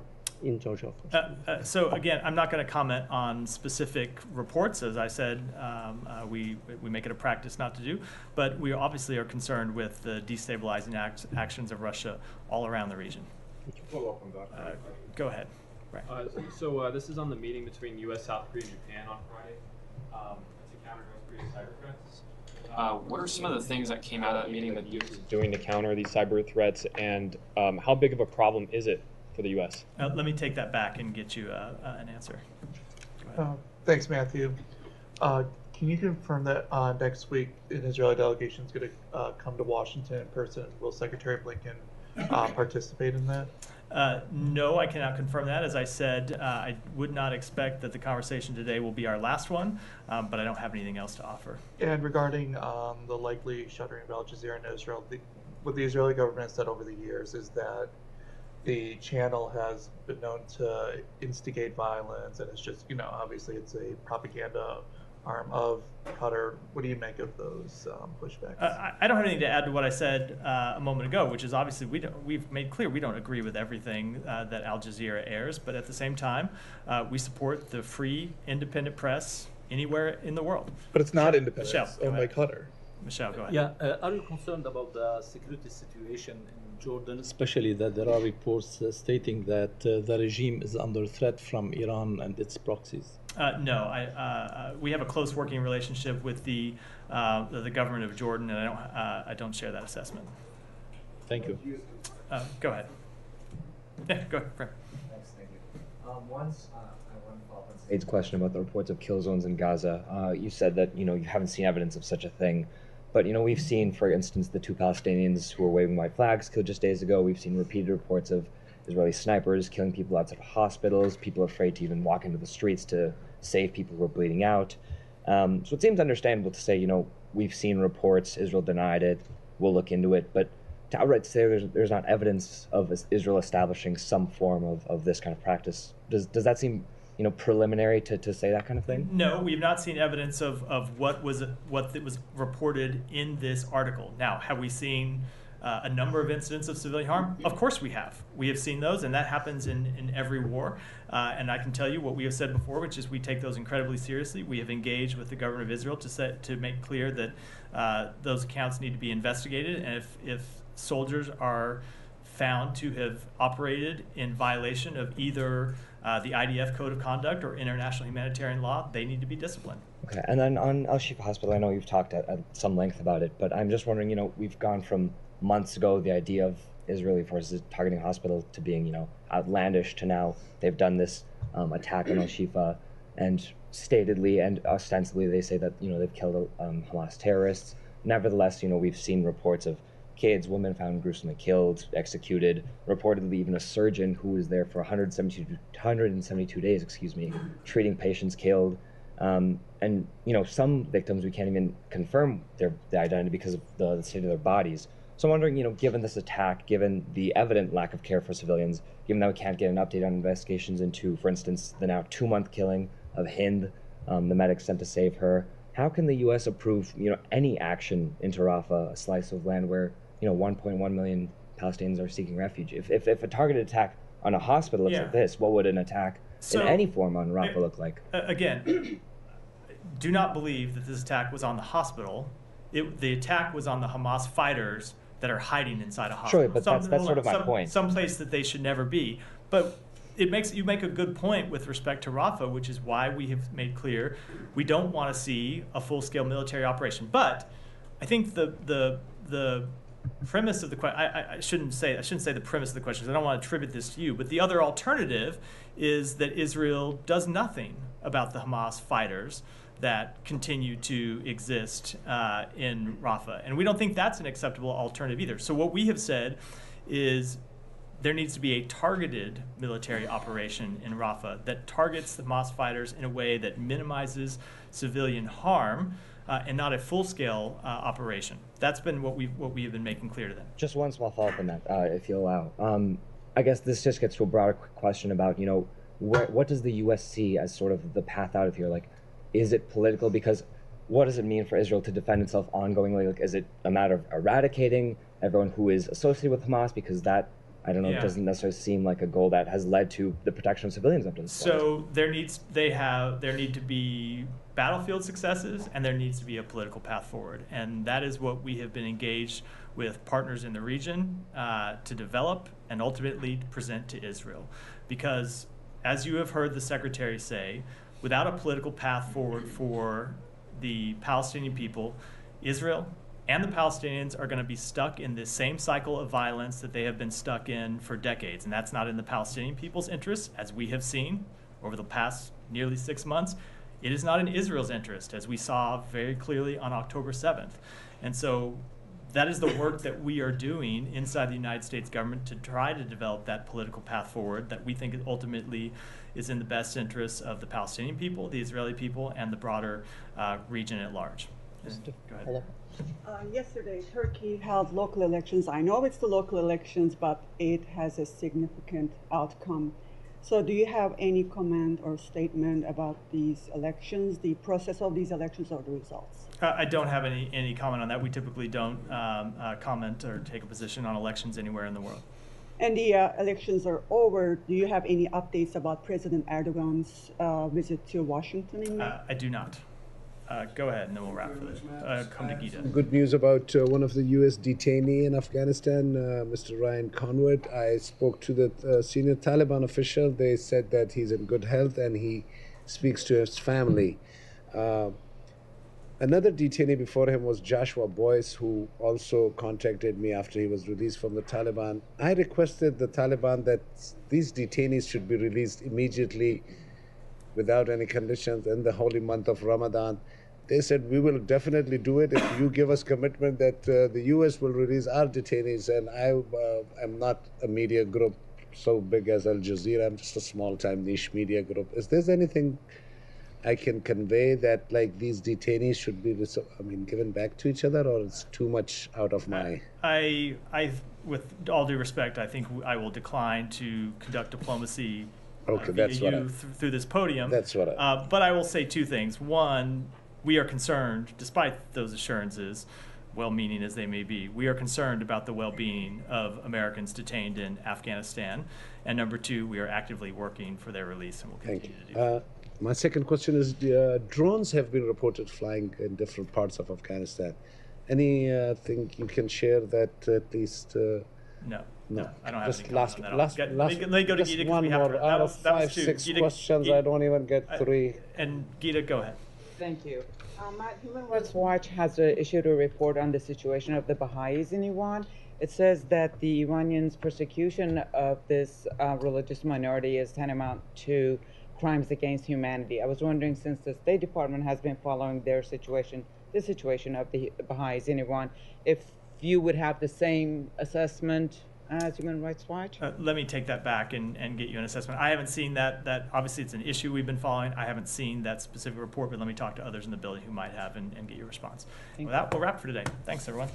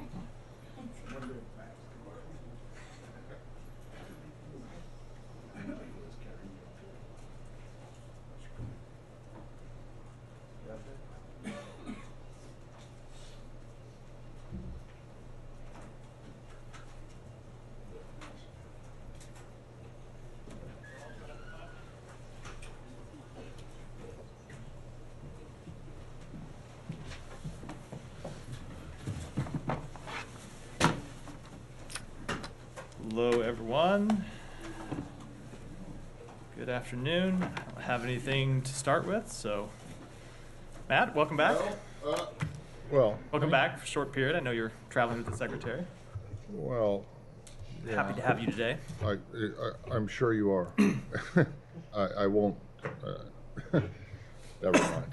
Uh, let's just start with Gaza. Uh, two things. One, um, in terms of the secretary's involvement or the State Department's involvement with this meeting, virtual meeting today, can you tell us uh, with the Israelis about Rafah? So the secretary is at the White House right now, uh, participating in the meeting with uh, representatives of the Israeli government to lay out uh, an alternative approach to dealing with the remaining Hamas battalions in Rafah. Uh, when I walked out, the meeting had not yet broken, or at least I'm not aware of it yet having broken, uh, and expect a statement from the White House at its, uh, upon its conclusion. Okay. Well, was there anything specifically that the State Department wanted to convey to get across to the Israelis in this meeting? So I don't want to speak too specifically about the meeting that is, as far as I'm aware, ongoing. We'll have a statement afterwards, but the secretary would, uh, I expect, reiterate the concerns that he expressed when he was in Israel some 10 days ago now about the dramatic uh, humanitarian impact of a full-scale ground invasion um, in Rafah. Okay. Um, and then, uh, secondly, uh, I presume that you've seen some of the images, video, and still photos, plus witness accounts and written witness accounts of what happened at the Shifa Hospital. Do you have anything to say about about that? Yeah, so I have seen uh, a, a few things. One, the accounts in the media from inside Gaza, and I, of course have seen what the IDF has said about the operations that it has conducted, where it has said it has uh, killed a number of me- uh, members of Hamas and detained, I think, several hundred additional members of Hamas. Um, we, as often is the case, don't have anyone uh, the ability to get full ground truth because we don't have anyone on the, uh, the ground in Gaza. Uh, I will say from our perspective, the, the things you have heard us say before, of course, remain true, which is we generally don't want to see Israel operating inside hospitals in Gaza. We want to see hospitals be protected sites. Uh, but it is concerning that after Israel had conducted an operation earlier in this campaign to clear Al Shifa, that Al Shifa again was apparently infiltrated by Hamas fighters. And so, two things about that. One, look, obviously, we um, uh, it would be great if Hamas would stop hiding behind civilians and stop uh, hiding inside civilian infrastructure, including hospitals. But two, it points out what we have been saying all along, which is the need for Israel to have a sustainable long term strategy when it comes to Gaza. Uh, that it's not enough to just clear certain neighborhoods or hospitals or any other uh, geographic areas or buildings of, of Hamas. They need to have a long term sustainable strategy that is not just a security strategy, but also a political strategy if they really want to uh, secure the future of Israel against the terrorist threat that has so, to date emanated from Gaza. Right. So you don't have any any comment on what you've seen from the aftermath of the two week operation against the hospital. Not beyond what I just, All right. just And outlined. then when you just say, and this will be it for me, um, when you say um, Israel needs a sustainable long term strategy uh, for Gaza, have you seen one yet from them? Uh, we have not yet seen one, no. And that's what we have been in conversation with them about. Yeah, but that what they- presumably the meeting today is just about Rafah, right? It's just not- about it's just Right. about Rafah. And the and the point I mean, a sustainable long-term strategy means something beyond a military strategy. It, be, it means Yeah, uh, but- politi- but- a political path as well. Right. So a political path to two states. That, that, Right. that is that is From our your- preferred that is our preferred policy. But it, you need a political path Yeah. uh, of but some have you sort seen? forward. But No. have you? But No. have you seen one from the Israelis that is even that is even short of At, two at- states? at this point, we have not. No. All right. Thank you. Just to follow up on Al Shifa, um, Israel has given some numbers. 200 militants uh, have been killed, 900 suspected militants detained, of whom some 500 have been identified as Hamas. Does the United States have any assessment that these numbers are correct? We don't have an independent assessment. No, Do you have an assessment on how many civilians around that operation have been killed? we do not. Okay. Um, moving on to this strike, this suspected Israeli strike in Damascus. Do you have anything to say on this? I don't. Faith? Obviously, it just happened in the, the hour or two before I came out here. We are in conversations with partners in the region, gathering more uh, information, but uh, at this point, don't have uh, confirmation either of the target or the responsible party. Do you know if the United States was given a heads up by Israel about this? Again, we are gathering information. I don't have anything uh, about the strike right now. I don't have anything beyond that to offer. Okay, do you have any concerns that this might sort of escalate tensions, which are already high? So, And I in a way yeah. endanger the hostage talks So in any way? I don't want to, before we have gathered information about what exactly this was, I don't want to speak to it uh, specifically, but of course, we are always uh, concerned about, um, uh, about anything that would be escalatory or um, cause an increase in conflict in the region. It has been one of the goals of this administration since October 7th to keep the conflict from spreading, recognizing that Israel has a, uh, the right to defend itself from adversaries that are sworn to its destruction. Um, but with respect to the hostage talks, there's no reason why this incident should have any impact on, on the hostage talks. Uh, we have long believed it is uh, in the interest uh, of everyone to see these hostage talks succeed because you would not just see um, uh, a re- relief to the civilian population in Gaza that desperately needs it. Uh, it would enable the increase in humanitarian assistance into Gaza, and of course, it would get the hostages out. So, no, I, I don't know. I don't believe it should have any impact on that. Can you say how those talks are going in Cairo? I don't have any new assessment to, to offer today. Okay, two final things. This is about last. Uh, this is from last week about these um, authorizations of uh, these bombs to to Israel. They have been approved a long time ago by Congress, but looks like the Department has decided to uh, do the transfers last week, the week before. Um, why was that decision taken? Like recently? So let me, I think it would be helpful to step back and put this in a little context. Um, and the context is that we, the United States, has a decades long commitment to Israel's for security. Uh, Israel is surrounded by entities that are sworn to its destruction, not just Hamas, but Iran uh, and proxy groups that Iran sponsors, uh, Hezbollah among them, who have repeatedly talked about their desire for the destruction of Israel. We believe Israel has every right to defend itself against those opponents, um, and we to that end, have a long-standing security relationship with them where we provide them more than $3 billion annually in security assistance. Now, the way that that works, um, and I know you preface this in, in, in your question, but just for, for the benefit of everyone else, the way that that works is we provide them with $3.3 billion a year in uh, security assistance. They don't always draw all of that down in any given year, but they uh, come to the United States, request certain defense articles. Um, we make assessments about whether those are appropriate or not. We notify them to Congress in the regular course of business. And oftentimes, what happens, let's say, uh, just as an example, this is a fictional example, let's say they requested 100 planes. Um, we make a decision, we notify Congress. That doesn't mean that they take 100 planes tomorrow once that notification has been given and once the approval has been given. They draw those down over time, and sometimes it takes years to fulfill those requests. And so those are, those are the types of things that I see you wanting to, to go. Uh, bear, bear with me. I know, I, I know this is long, and then you'll have the opportunity for follow up. Um, those are the types of things that often take years to fulfill and they were happening before October 7th, and they have continued after October 7th. So what these about are, are these are about, uh, in many cases, are about self-defense, but also deterrence and replenishment. And so we make these in the regular course of business. And what I can tell you about them is that we follow the same procedures uh, with respect to everyone that we do for every other country in the world, which is that we notify Congress. And in fact, since October 7th, we have gone above and beyond to notify Congress about uh, these transfers. There is a statutory threshold where we are required to, to um, notify them of transfers. We have been regularly briefing the committees to let to, to make them aware of every transfer that, that we are making. So I'm going to have to combine my questions now that you've taken up so much time with that answer. I understand. I would apologize, but I don't oh, think you'd believe no, it. I'm just joking. Course, take your time. I understand the fulfillment can take years, but are you basically saying that the authorization of the transfer coming in these recent weeks was a coincidence? Uh, so I, I'm not saying it's a coincidence that Israel has been engaged in a military conflict, and of course, when you are engaged in a military conflict, you deplete your military stocks. So there was a to- and- request and you need in to see recent those- weeks those- I'm not for gonna- the for the additional fulfill for the fulfillment I'm of these going to get particular. into. I'm not going to get weapons. as is always the case. I'm not getting into the timings of ex, of exact requests from Okay, here. my fin- Well, just- let me just- let me just- I'll be quick.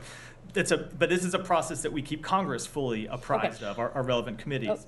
Um, but but when you see these types of requests and when they get publicly reported, you have to remember that Israel is in an armed conflict and is is um, uh, expending a great deal of defense material, and some of that needs to be replenished for Israel's long-term security. Right. And my final thing on this is like Secretary and a lot of senior officials from this administration basically said far too many Palestinians have been killed. But when you go and make the, and we know that the administration's policy hasn't changed, it is not conditioning weapons to Israel, but when you go and make such an authorization of the transfer in recent weeks, even if the actual weapons transfer has been approved years ago, don't you think that is going to damage the weight of your word, the, your credibility, and basically your, your sincerity in saying that far too many Palestinians have been So killed? I, I do not agree with that at all. We have been very clear that we want to see Israel do everything it can to minimize civilian casualties. We have uh, made clear that they need to do every that they need to operate at all times in full compliance with international humanitarian law.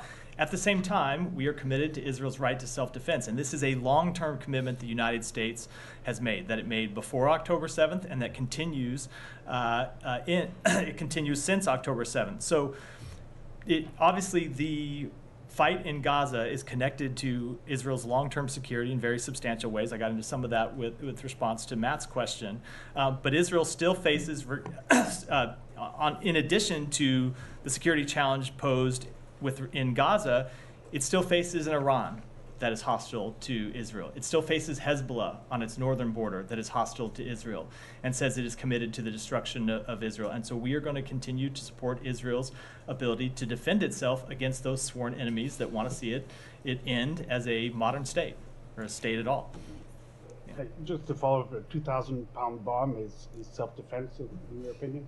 It is. It is a. Um, uh, so they need to have the ability to defend themselves against a very well armed adversary. Like I said, Iran, Hezbollah, which has thousands and thousands of fighters and quite sophisticated uh, material and quite sophisticated weaponry, as we've seen them deploy.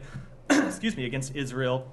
In the last few days, so yes, they do need the, the, the modern military equipment to defend But themselves against using those adversaries. in Gaza before, in the beginning in Gaza. And we have made clear to them that when that whatever um, whatever weapon they use in Gaza, be it a bomb, be it a tank round, be it anything, that we expect them to use those weapons in full compliance with international humanitarian law. And we have said we have had very frank conversations with them about the fact that there far too many civilians have died through their operations and that they need to do better in taking into account uh, the need to minimize civilian harm, and we'll continue to do that. Uh, uh, just uh, on that point, um, okay, took the requests were done years ago, what have you, but this time around you're suspiciously very careful not to publicize it. Um, usually you do the notifications to Congress, you, you do a you know statement, what have you. But this time, I understand you didn't need to do it because We- it So passed. I just say we did notify Congress. No, We- no, we I know, We but followed. we followed. publicize it. So it is Usually not. you do on, on arms sales and all that. You you, so, you publicize it. So that's not true with respect to most arms sales around the world. I know people have gotten used to our um, uh, the tempo of arms sales with respect to Ukraine, but that is very a very different situation than our arms sales to Israel or any other country with which we have a security relationship because we stood it up from nowhere right before an active war, where most of our security relationships we don't publicize uh, our ongoing sales. What we do is we notify Congress about those sales, and we have done that with respect to these sales f- to, to Israel, um, as we do with respect to sales anywhere in the world. Okay. Just a last question on the, back on Damas. Uh, I understand it's, it's a bit early, but obviously you don't deny there was a strike uh, by Israel on the consulate in the annex in, in the, the embassy of Iran in Damascus. So we've seen the strike, but again, I want to uh, I want to let the cons- consultations that we have ongoing with partners in the region take place. Uh, But if we- if we- before we can before I com- comment uh, any further. But it's definitely escalatory. That's not what I said either. I said No, I I'm said- saying that. Uh, you're saying that great. I thought it was a And I'm question. asking for your reaction. Uh, so Humeyra kind of, kind of, that's that's good. Humeyra kind of did speak to this. Um, I'm not going to comment with respect to this particular strike um, because again, we just need to know more information about it before we do, and that includes drawing any conclusions from it. As a general principle, of course, we were worried about escalation. We were do, worried about anything that would cause the conflict to to expand or widen in any way. I have one on Havana, a couple, if- unless I'll- you want let, more me, about let me that. come back. Let me come back to you so the room doesn't go into an uproar. Saeed, go ahead. I Uh, will definitely Thank come you, back. thank you, Matt. Now, you said that Hamas returned to Al Shifa Hospital, there were some 800 fighters and so on and all these things. Now, is that, you are, you are citing the Israeli narrative or you have your own independent in- information? We don't have our own independent assessment, but you have seen Israel produce the names, hol- uh, the names, Right. photographs of known Hamas fighters Right. who it has killed or How, captured. how, how many, I mean, you know, they showed uh, names and Hamas fighters I in have- the Shifa Hospital? I have I have seen the information they have publicly released. Right, I, but- I- but- well, look, I just let, I know you get. Let me just. No, no, I'm, finish. I'm I with know, you. I'm me- not, I'm not just- interrupting. I'm trying to understand what Good. you're saying. So we have seen them release. I, th- I, I don't think uh, there's anyone who has cause to dispute that. Yes, they have. Uh, there were there were uh, Hamas fighters hiding in Al Shifa Right. Hospital again, not for the first right. time. Okay, so you are certain that the reason that Israel went into Hamas, into Al Shifa hospital one more time is because Hamas fighters were there, and not you know hundreds of civilians that have taken refuge there. So I think it is a uh, certainly a fair conclusion, Right. given what has been their goal since Right. the outset of this campaign to take the fight to Hamas. Uh, that is exactly what they were doing. And you yes. believe that Israel has achieved that goal now by eliminating Hamas, or are we likely to see them go back to a Shifa hospital again? So that is, I, I answered that question somewhat in, in response to Matt. I think Right. there is a concern that you saw Hamas back inside hospitals. Right. I don't know why I don't hear more people calling on Hamas to stop going into hospitals. You shouldn't have to clear Hamas from a hospital once, let alone twice. Right. Um, but yes, we do have the the, the concern that uh, Hamas has been able to reestablish itself in a hospital um, that Israel had already cleared, and that po- points to an ongoing challenge for Israel in the way it conducts its operations. Right. Uh, yeah, just bear with me. A couple more uh, questions. You know, so, but why do you think, in your opinion, what value is there strategically for Israel to burn all the building, destroy all the equipment, destroy every last X-ray machine and everything in the hospital, and not keep it? You know, if their So- fight is with the fighters, why must you destroy as they left? There were, you know, there was no fighting when they left. Just to to burn the buildings and burn the things and destroy everything. So let me just say, Why is that gets- so? Why is that okay? let me just say this gets into where uh, I'm often asked to comment on on to questions where there are conflicting accounts. Right. And Israel has said that is not what they did, and we don't Right. have ground truth Okay. uh, on on that question. Israel has said what they tried to do is protect patients and not operate in places when there are patients, to evac- evacuate people from the hospital, and only operate in a way um, that would impact the Hamas fighters that were there. Obviously, it's an incredibly difficult situation. There shouldn't be terrorists in a hospital at all. And so it's incredibly difficult to operate there and, and uh, s- achieve a legitimate counterterrorism goal in a way that minimizes harm to the pa- to patients, which goes back to the, my first point, which is Hamas shouldn't be in a hospital at all. Okay. Well, Hamas shouldn't be, as far as you know, Israel and the United States is concerned, should not be there. Period. But I would Uh, think, Saeed, e- e- everyone could conclude. I, I would think, including you, I would think everyone could conclude that Hamas should not be inside Well. I I'm- don't think. no, well, I don't think. I hope anyway that that's not a controversial opinion. well, okay, but that's that's a different issue altogether. Now, not me- really. n- not really. No, it's kind of the core of what we're talking Well, about. Okay. Uh, uh, let me ask you something. You, you, you talked about the 2,000 pound bombs uh, and so on. You think that it is really wise to send it at this time? You know, when this far in this battle, you know, or this war, it has only been used in Gaza. I mean, I know you say that uh, Israel is surrounded by, uh, you know, people that wish it well and so on. But in fact, it's surrounded by Egypt with very good relations with Israel, surrounded by Jordan with good relations with Israel, surrounded by Syria that is obviously embroiled in its own civil war and cannot even defend itself against attacks as we have seen today. So, quite the contrary, is Israel is surrounding Hamas and it's using these weapons to do that. And in fact, I mean, you know, the F-35, to the best of my knowledge, I could be wrong, has only been used in combat against the people of Gaza. So how could you justify sending all these weapons when you have the most hapless people probably on earth, you know, destroyed, moving from one place to another, and so on, and you send these weapons to sort of just finish the job or continue the job? I don't know. So- what logic is there So- in sending those weapons? So the logic is exactly what I outlined a, a moment ago. Despite the fact that Israel has a relation, has diplomatic relations with Egypt uh, and Jordan, it does not change the fact that Hezbollah is parked on its northern border and is sworn to the destruction of Israel. It does not change the fact uh, that Iran, uh, uh, no, not exactly, not right on its border, but well within striking distance, is committed to the destruction of Israel and continues to fund proxies committed to the destruction of Israel. So, yes, Israel faces incredibly ser- serious threats, not just from Hamas, although Hamas is clearly one, as we saw on October 7th, but from other adversaries uh, that it needs uh, our assistance uh, to continue to defend itself against. Lastly, lastly, me- please, just one one, one, last one, if I may.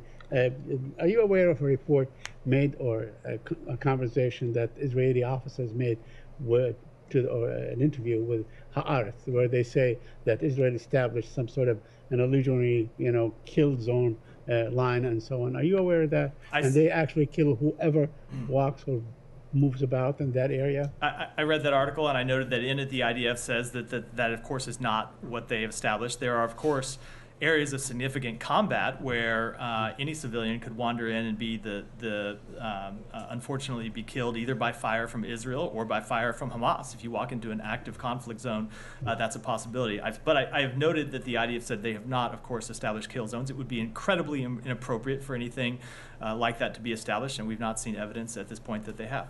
Go ahead. I'll come to you next. Uh, there, there's reporting that Israel submitted a plan to the UN that would essentially dismantle UNRWA, uh, transferring staff and funds to World Food and some other organizations. Have you seen that plan? Do you support it? Uh, I have not seen that plan. I can't speak to whether somebody inside the United States government has.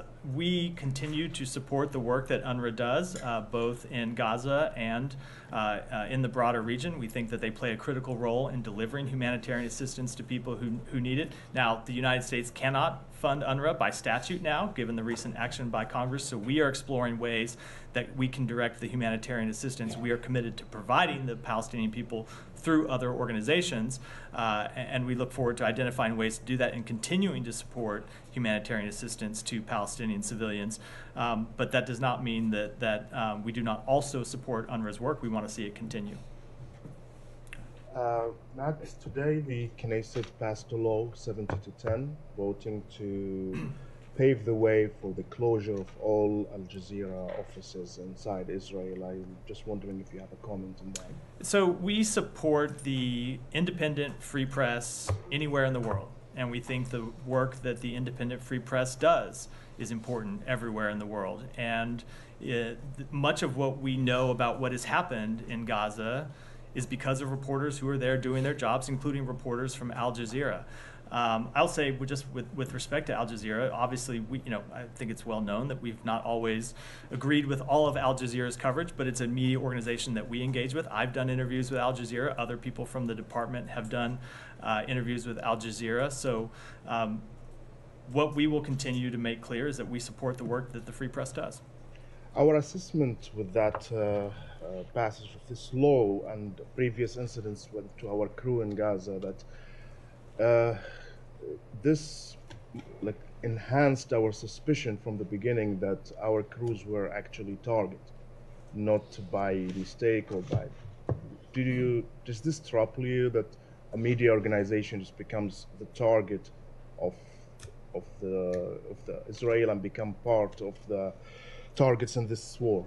So, with respect to targeting, uh, I mean targeting in a sense, not not through a law passed by the Knesset, but I think with respect to potential military targeting, uh, Israel has said very clearly that that's not what they have done. Uh, obviously, that would be incredibly inappropriate. Uh, you've heard the secretary speak to this that it, it is tragic how many journalists have lost their life uh, in this war. Um, because as I just spoke to a minute ago, they go they put their own lives at risk in bringing us information about what's happening inside Gaza, and it's important that we continue to get that information. And so we support the work that journalists do in Gaza. We support the work that they do around the world. Tom, go ahead. Just to go back to the meeting between US and Israeli officials, why is this happening virtually? Uh, I will leave it to the White House, which is the primary. White House took the lead in organizing this meeting, so I'll leave it to them. But I mean, there's an important diplomatic element because we know, I mean, Benjamin Netanyahu said in press conference yesterday that he pulled the delegation traveling to send a message because of the UN Security Council vote. So it will worry people that on such an important issue, and it's not a long flight from Tel Aviv, that this meeting is not happening in person. I mean, what does that say about your ability to persuade the Israelis on the issue of an invasion of Rafah when you haven't been able to persuade them even to fly to Washington? So I'm in a little bit of a box here because I can't talk about the outcome of the meeting because it's still maybe it's broken now since I've been at the the podium. Um, we will have more to say about the meeting later today, but uh, I'll just say I would not expect this to be our final engagement on this issue. Do you think you can persuade them? I mean, this so far this doesn't feel like you know a huge success of your argument because you've been saying for weeks uh, you don't support a ground invasion of Rafah. The Israeli Prime Minister has been saying for weeks they will go in. So we will continue to make what we believe is the best case to Israel about actions that it should take in Rafah that won't just minimize civilian harm and prevent an unnecessary loss of life in a place where ha- have somewhere around 1.4 million uh, civilians living today, but also would be in Israel's long-term security interests. And I think that's an important point that we don't the, the case that we are making to Rafah is not just about the interests of the Palestinian people. It's also about Israel's long-term security interests. And you heard the, the secretary speak to this a, a, uh, some in Tel Aviv. I know you were you were there uh, about the toll that this has taken on this campaign has taken on Israel's standing in the world and its uh, uh, ability to influence countries around the world. And we think that a full scale of invasion of Rafah would only uh, further that impact to Israel's standing. So we're going to make that case to them. Ultimately, they're a sovereign country and will make their own decisions. Um, but we're going to make the, the we will uh, lay out to them the way we see it. Yeah, go ahead. Um, and will this conversation also make clear what the U.S. will do if they go ahead with a full-scale invasion uh, in response, or is this just laying out alternatives? Uh, so, two things about that. One, with respect to the broader question, not tied directly to this meeting, I've gotten that before, and I'm just not going to speak to hypotheticals. We're going to take it one step at a time and not make uh, any predictions about what, will- what I'm just happen. asking if that's being Uh, discussed in this Yeah, meeting. though. but what will happen, and then with respect to the meeting itself, again, I'm not going to speak in detail about a meeting that was still ongoing when I walked out here. We'll have more to say. But you have once- spoken We'll have more to say about it what, once it's concluded, so at a, at a very high level, not, not in. Okay, and just one more question on Israel.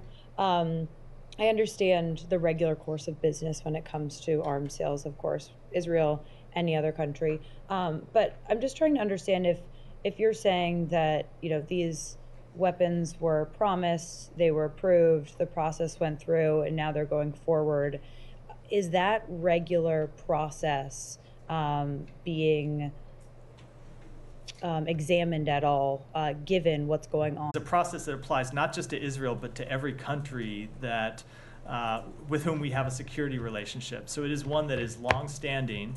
Um, and again, there are dozens, if not hundreds, of open orders uh, for Israel that go back years, uh, under which they uh, receive defense articles from the United States. So, no, that is not a. It is not a new process, uh, and it's not one just with respect to, to Israel. And and no, we're not re-examining the entire process. But obviously, we always look at we always look at requests that come from any country.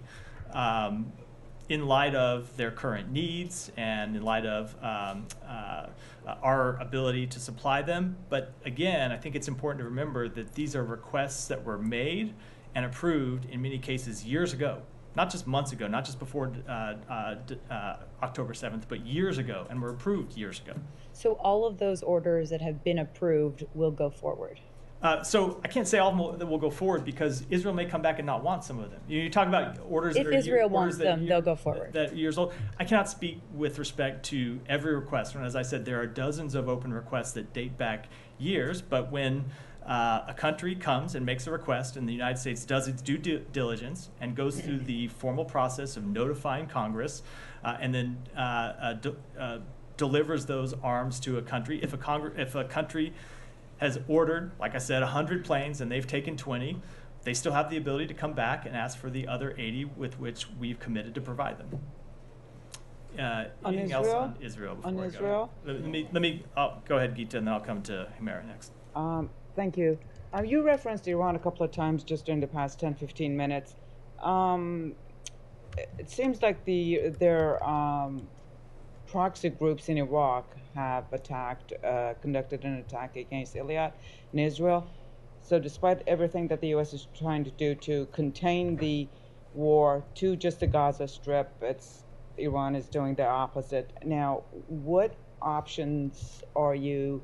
Could there be besides, you know, uh, diplomatic options that are really not going anywhere? So two things on that. One, we have, um, or I should say, one, I think it reinforces the point I was just making about the um, Iranian-supported proxy groups uh, who are committed to the destruction of Israel, not just um, Hezbollah, not just Hamas, but proxy groups that exist in Iraq and did uh, attempt to launch an attack against Israel over the weekend. Uh, but two, we will continue to make clear to um, those groups and to Iran that it is not in their interest to take strikes against Israel. It is not in the interest to take strikes against the United States, as we have done uh, for some time. How much confidence do you have in the Iraqi government to contain them? Because the foreign minister was here, the prime minister is supposed to be coming, and there hasn't govern the government hasn't really been able to deliver. So I would say that that is an ongoing conversation we have with our Iraqi counterparts about the need to um, take action against proxy groups that uh, launch attacks from uh, within Iraqi uh, inside Iraq. You have seen obviously a dramatic decrease in the number of those attacks over the past month or six weeks, but it is something that we continue to engage with the Iraqi government about. Can I ask Any you a more question on about Is- Iran? Humeyra, Humeyra, and then we'll we'll come. Um, just one thing uh, in your answer, Matt, to me and a few others on, on the weapons thing, you mentioned, um, you know, the threat from Hezbollah, like on Israel and all that. So, uh, were you trying to suggest that, you know, in the course of this latest authorization for the transfer, did you get any assurances from Israel that it's not going to use these, like in its offensive in Gaza, but it's only going to use these against Hezbollah? So no, that's not what I said at all. I think you're reading quite a bit into. Okay, no, I just in- wanna hold check that. I'm reading quite a bit into my answer, but again, the recent authorizations that you're talking about were in many cases made years ago. Right. Right, But, years but- ago, but before just to- October 7th. Yes, but just to be sure, there has been no assurances. United States has not sought any assurances from Israel, just in the wake of this or just before this uh, this transfer. Like you can use it in this place and you can't use it in that place. So There's I'm been not- no such conversation. I am not going to get into the private conversations we have uh, with Can any country, do that hold any country in the world. But that is not to read into that. You should not read into that that we are uh, imposing so- uh, uh, some kind of conditions. The, what we expect with respect to the defense articles that we supply to Israel and other countries are that they operate in compliance with international humanitarian law. Now, with respect to a campaign against Hezbollah or a potential campaign against Hezbollah, we have seen we want to see that issue resolved uh, diplomatically. We want to see um, uh, Israeli citizens able to return to their homes in northern Israel. We want to see uh, Lebanese civilians able to return to their home in southern Lebanon, but that's a um, uh, that's a path we're pursuing diplomatically. And just by law, you had the authority not to make the transfer, right? Like even if Congress had approved this years ago, even if the fulfillment takes years, United States government certainly had the has the authority not to fulfill so it today. Whether we have right? the authority or not is one question. There are always ramifications. Um, uh, if you have committed to supply a country with something and you don't, this gets very technical. No, I'm and- just wondering and- if you had and- the option. entirely- we- but the again, choice. We are committed to the defense of Israel. I know people want me to say some kind of different answer, but we are committed to Israel's long-term security. And Yep. again, this is something that predates October 7th and will continue to be the policy of the United States. And we will, and, and we will, in in uh, keeping with that commitment, continue to to uh, be very direct and candid with Israel about how it is in their interests to use the articles uh, of defense that we provide them, as well as weapons that they manufacture themselves, in full compliance with international humanitarian law and in a way that minimizes civilian harm. Final thing I promise. Are you expecting today's talk to feature at all the humanitarian plan that Israel is supposed to present to you? Why don't we just wait? Uh, let's. Uh, I think I've probably talked enough about the, the these ongoing talks. Let's wait for what we'll have to say about them uh, at the conclusion. Uh, go ahead. Yeah. Yeah. Lebanon, you've been saying you are trying to resolve uh, the the issue on the northern borders diplomatically you've been successful so far, but are you concerned that now it's been escalating for the last two weeks? Are, is the risk higher now? Uh, I don't want to assess a relative level of risk. Our concern about escalation has, is high. It has been high since October 7th. And that is why we have engaged in a diplomatic process to try to resolve uh, the very real security challenges that Israel faces uh, without further conflict and what's, what we're going to continue to, to uh, pursue. One more question. Uh, during the secretary visit to the region, can you confirm the reports that uh, the Arab ministers uh, gave him an Arab proposal on how, on the day after, and on the establishment of a Palestinian state within three years? So I'm not going to confirm that report, but the path forward for Gaza and the West Bank and the Palestinian people is something that we have been engaged with with partners in the region.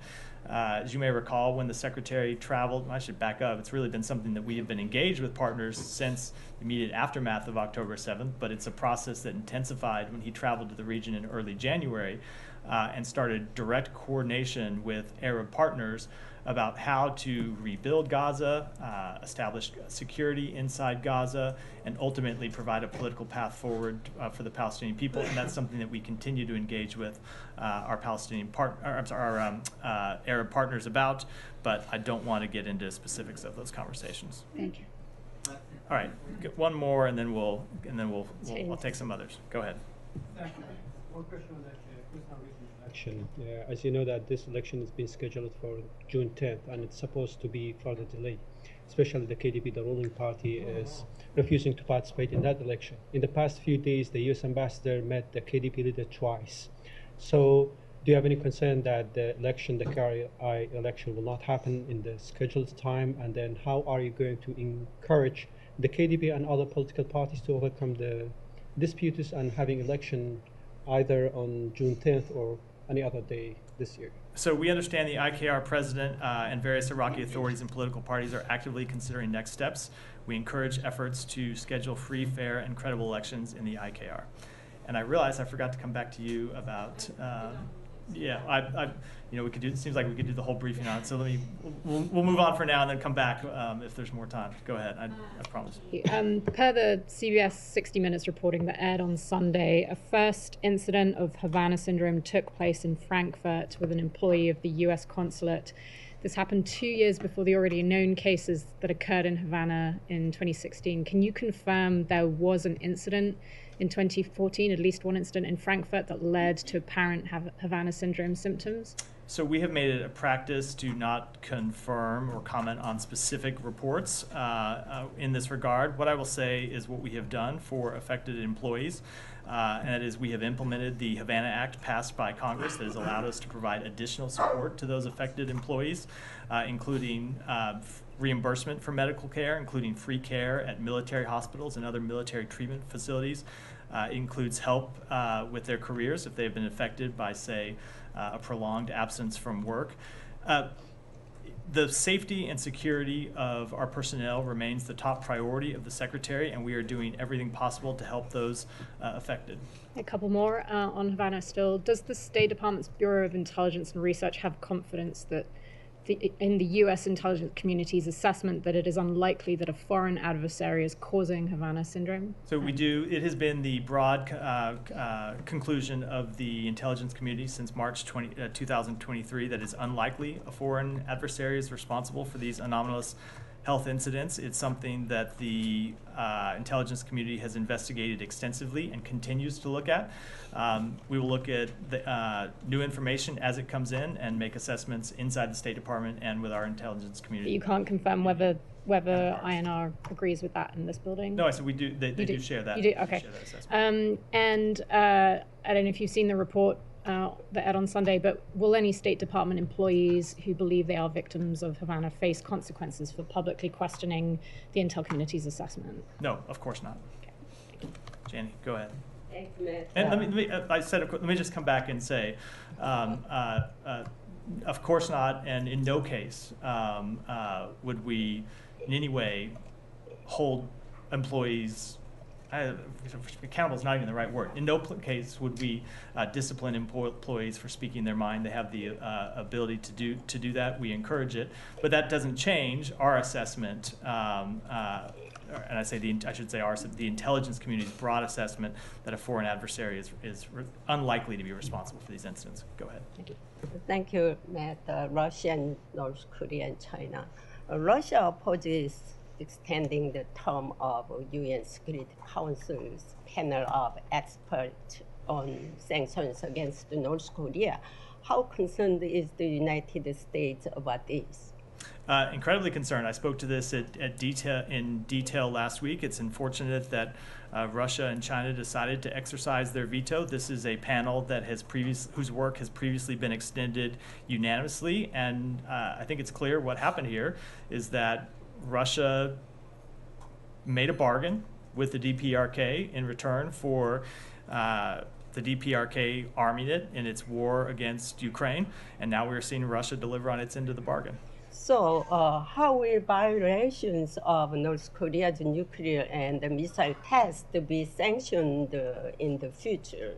So we still have a full range of uh, sanctions uh, uh, on North Korea, and we will continue to enforce those. On uh, China, uh, President Xi Jinping and uh, Russian President Putin will hold a summit meeting in China next month.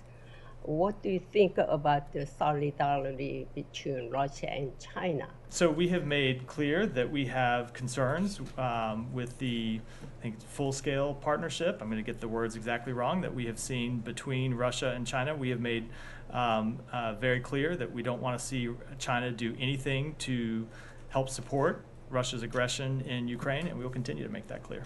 Thank you. Uh, Alex, go ahead. Thank you, Matt. Uh, Two separate topics. Let me start with the latest extension. RFERL reporter Alsu Kurmasheva's pre-trial detention today. Um, what is your reaction to the court decision? And with the American embassy officials being present for the first time, what can you tell us about her condition? So we are deeply concerned about the about her detention in Russia. We condemn in the strongest possible terms the Kremlin's continued attempts to intimidate, repress, and punish journalists and civil society voices. Uh, the charges against uh, Ms. Kurmasheva are just another sign of the weakness of Putin's regime. And with respect to uh, her condition, I would refer you to the embassy officials who were there at her hearing. She happened to speak about that, you know, from the court hearing. She said it's a poor condition. She doesn't feel very well. There's no minimum you know, conditions for her.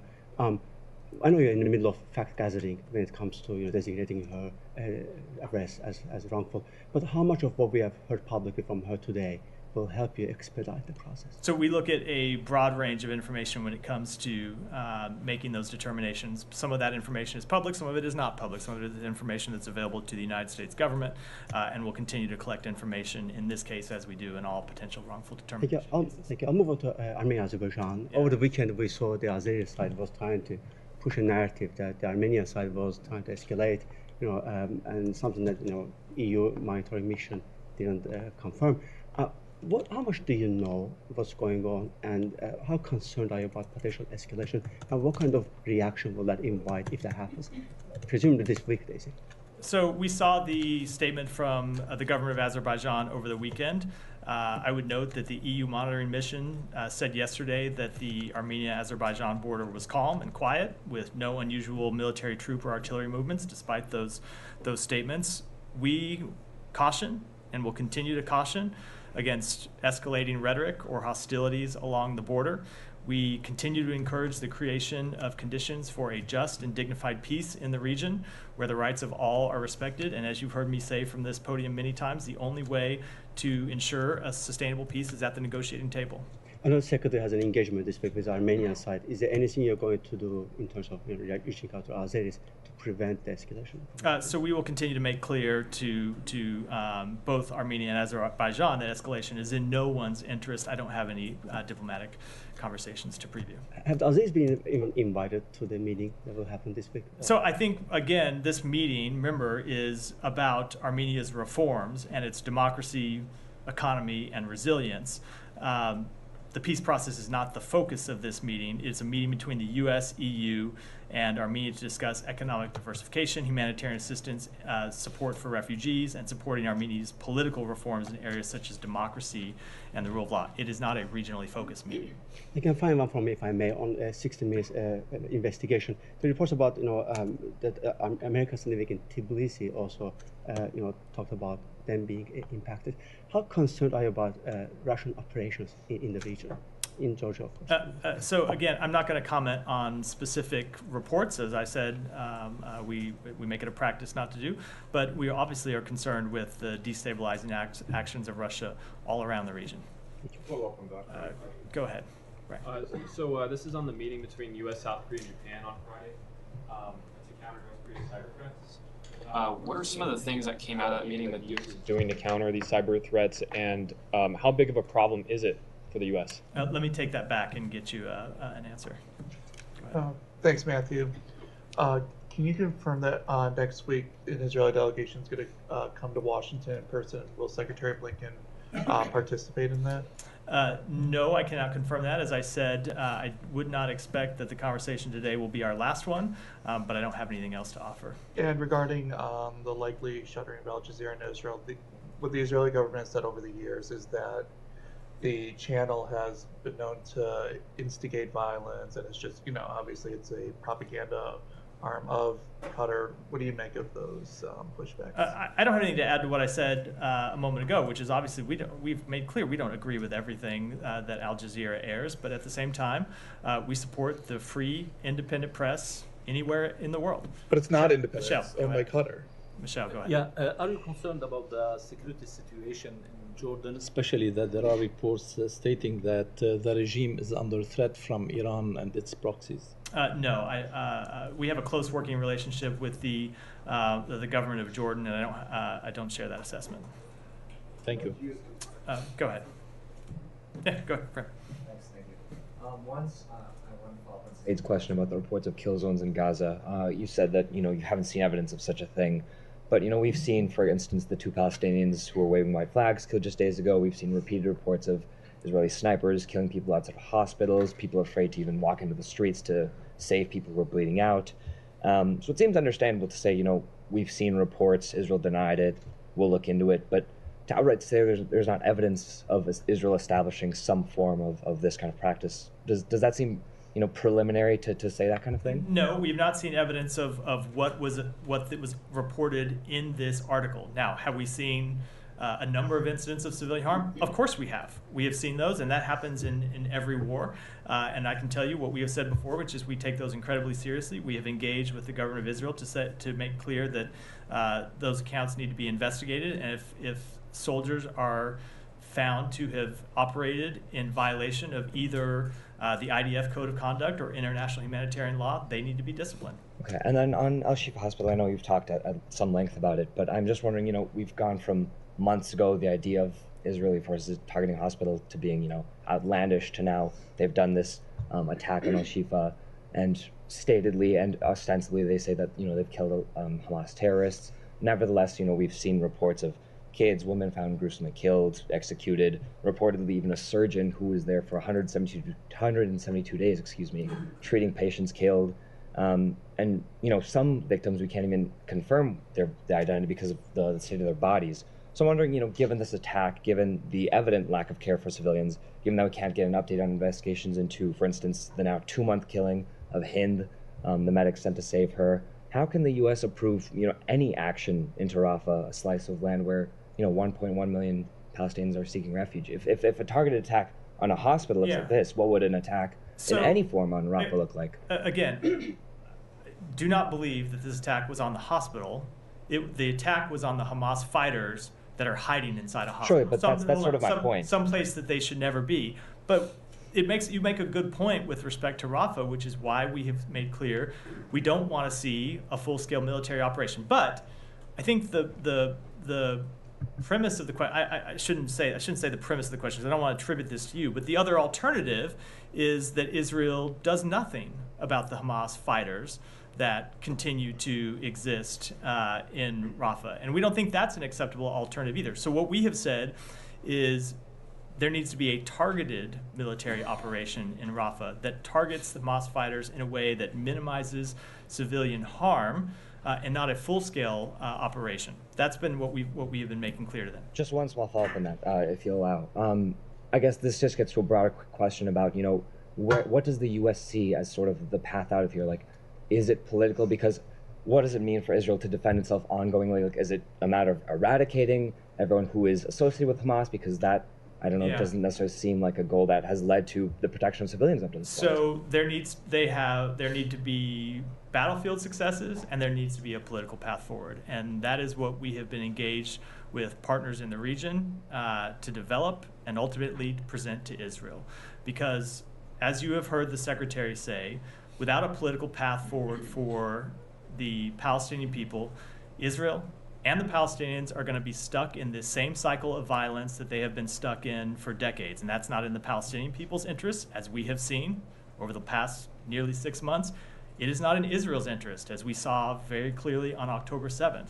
And so that is the work that we are doing inside the United States government to try to develop that political path forward that we think ultimately is in the best interests of the Palestinian people, the Israeli people, and the broader uh, region at large. Go ahead. Uh, yesterday, Turkey held local elections. I know it's the local elections, but it has a significant outcome. So, do you have any comment or statement about these elections, the process of these elections, or the results? Uh, I don't have any, any comment on that. We typically don't um, uh, comment or take a position on elections anywhere in the world. And the uh, elections are over. Do you have any updates about President Erdogan's uh, visit to Washington in May? Uh, I do not. Uh, go ahead, and then we'll wrap for this. Uh, come to Gita. Good news about uh, one of the U.S. detainee in Afghanistan, uh, Mr. Ryan Corbett. I spoke to the uh, senior Taliban official. They said that he's in good health and he speaks to his family. Another detainee before him was Joshua Boyce, who also contacted me after he was released from the Taliban. I requested the Taliban that these detainees should be released immediately without any conditions in the holy month of Ramadan. They said, We will definitely do it if you give us commitment that uh, the US will release our detainees. And I uh, am not a media group so big as Al Jazeera, I'm just a small time niche media group. Is there anything I can convey that like these detainees should be, I mean, given back to each other, or it's too much out of my. I, I, with all due respect, I think I will decline to conduct diplomacy uh, Okay, via that's what I- th- through this podium. That's what I- Uh, but I will say two things. One, we are concerned, despite those assurances, well-meaning as they may be, we are concerned about the well-being of Americans detained in Afghanistan. And number two, we are actively working for their release, and will Thank continue you. to do. Uh, my second question is uh, drones have been reported flying in different parts of Afghanistan. Anything you can share that at least? Uh, No. No. I don't have Just any last, on that. Last, get- last, let me- go to just Gita 'cause one we have more. to- that Out was- of that five, two. six Gita- questions, Gita- I don't even get I- three. And Gita, go ahead. Thank you. Um, Matt, Human Rights Watch has uh, issued a report on the situation of the Baha'is in Iran. It says that the Iranians' persecution of this uh, religious minority is tantamount to crimes against humanity. I was wondering, since the State Department has been following their situation, the situation of the Baha'is in Iran, if you would have the same assessment as Human Rights Watch? Uh, let me take that back and, and get you an assessment. I haven't seen that, that, obviously it's an issue we've been following. I haven't seen that specific report, but let me talk to others in the building who might have and, and get your response. With that, we'll wrap for today. Thanks, everyone.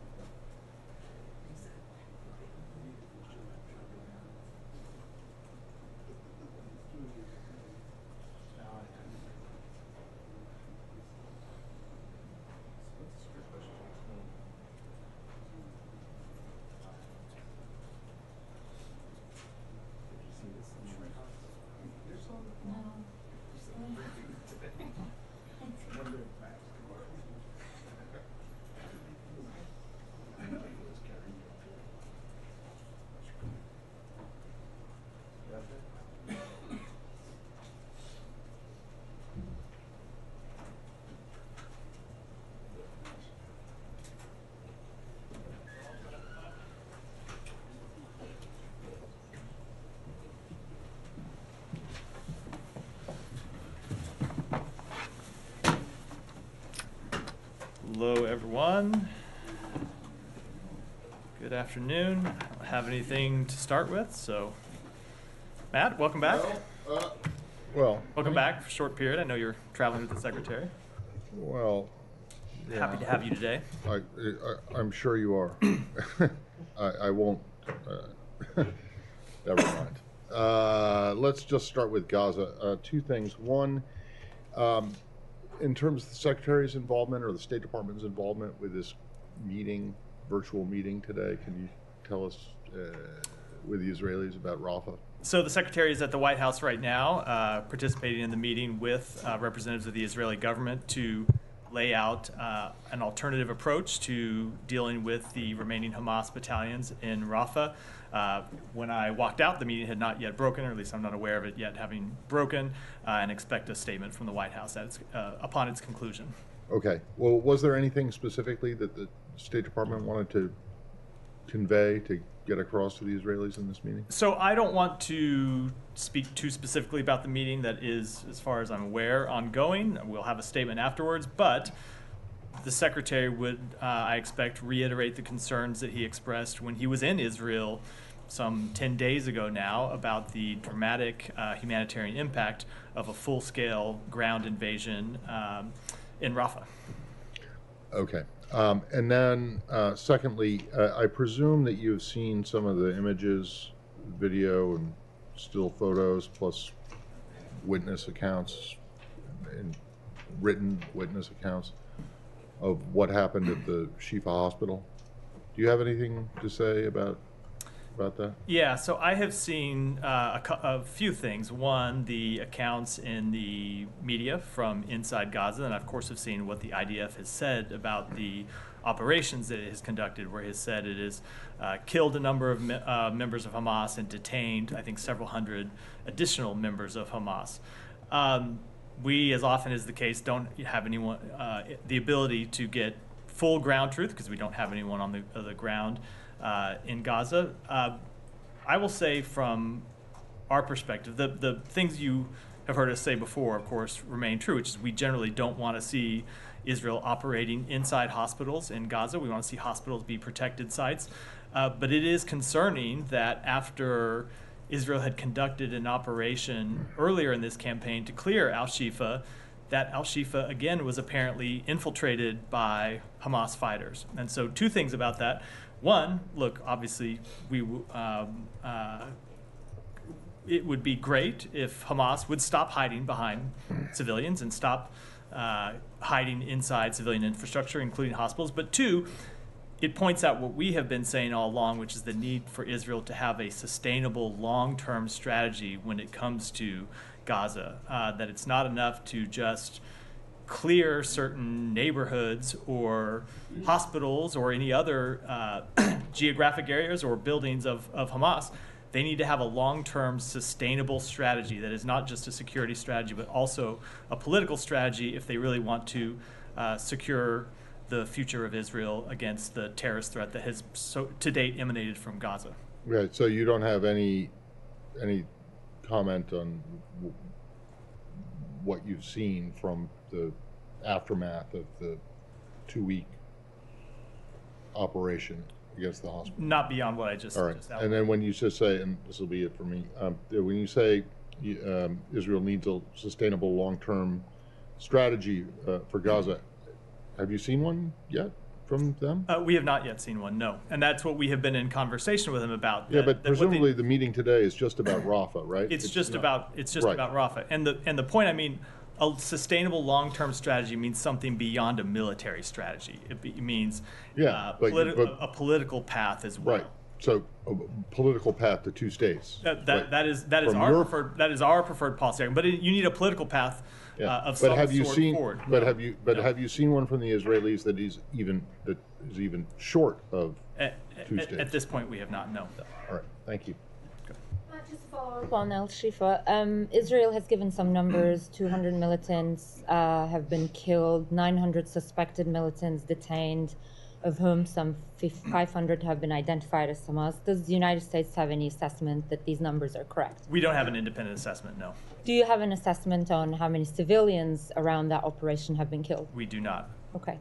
Um, moving on to this strike, this suspected Israeli strike in Damascus. Do you have anything to say on this? from I don't. Obviously, it just happened in the, the hour or two before I came out here. We are in conversations with partners in the region, gathering more uh, information, but uh, at this point, don't have uh, confirmation either of the target or the responsible party. Do you know if the United States was given a heads up by Israel about this? Uh, again, we are gathering information. I don't have anything uh, about the strike right now. I don't have anything beyond that to offer. Okay, do you have any concerns that this might sort of escalate tensions, which are already high? So, And I in a don't- way yeah. endanger the hostage talks So in any way? I don't want to, before we have gathered information about what exactly this was, I don't want to speak to it uh, specifically, but of course, we are always uh, concerned about, um, uh, about anything that would be escalatory or um, cause an increase in conflict in the region. It has been one of the goals of this administration since October 7th to keep the conflict from spreading, recognizing that Israel has a, uh, the right to defend itself from adversaries that are sworn to its destruction. Um, but with respect to the hostage talks, there's no reason why this incident should have any impact on, on the hostage talks. Uh, we have long believed it is uh, in the interest uh, of everyone to see these hostage talks succeed because you would not just see um, uh, a re- relief to the civilian population in Gaza that desperately needs it. Uh, it would enable the increase in humanitarian assistance into Gaza, and of course, it would get the hostages out. So, no, I, I don't know. I don't believe it should have any impact on that. Can you say how those talks are going in Cairo? I don't have any new assessment to, to offer today. Okay, two final things. This is about last, uh, this is from last week about these um, authorizations of uh, these bombs to, to Israel. They have been approved a long time ago by Congress, but looks like the department has decided to uh, do the transfers last week, the week before. Um, why was that decision taken like recently? So let me, I think it would be helpful to step back and put this in a little context. Um, and the context is that we, the United States, has a decades long commitment to Israel's for security. Uh, Israel is surrounded by entities that are sworn to its destruction, not just Hamas, but Iran uh, and proxy groups that Iran sponsors, uh, Hezbollah among them, who have repeatedly talked about their desire for the destruction of Israel. We believe Israel has every right to defend itself against those opponents, um, and we to that end, have a long-standing security relationship with them where we provide them more than $3 billion annually in security assistance. Now, the way that that works, um, and I know you preface this in, in, in your question, but just for, for the benefit of everyone else, the way that that works is we provide them with $3.3 billion a year in uh, security assistance. They don't always draw all of that down in any given year, but they uh, come to the United States, request certain defense articles. Um, we make assessments about whether those are appropriate or not. We notify them to Congress in the regular course of business. And oftentimes, what happens, let's say, uh, just as an example, this is a fictional example, let's say they requested 100 planes. Um, we make a decision, we notify Congress. That doesn't mean that they take 100 planes tomorrow once that notification has been given and once the approval has been given. They draw those down over time, and sometimes it takes years to fulfill those requests. And so those are, those are the types of things that I see you wanting to, to go. Uh, bear, bear with me. I know, I, I know this is long, and then you'll have the opportunity for follow up. Um, those are the types of things that often take years to fulfill and they were happening before October 7th, and they have continued after October 7th.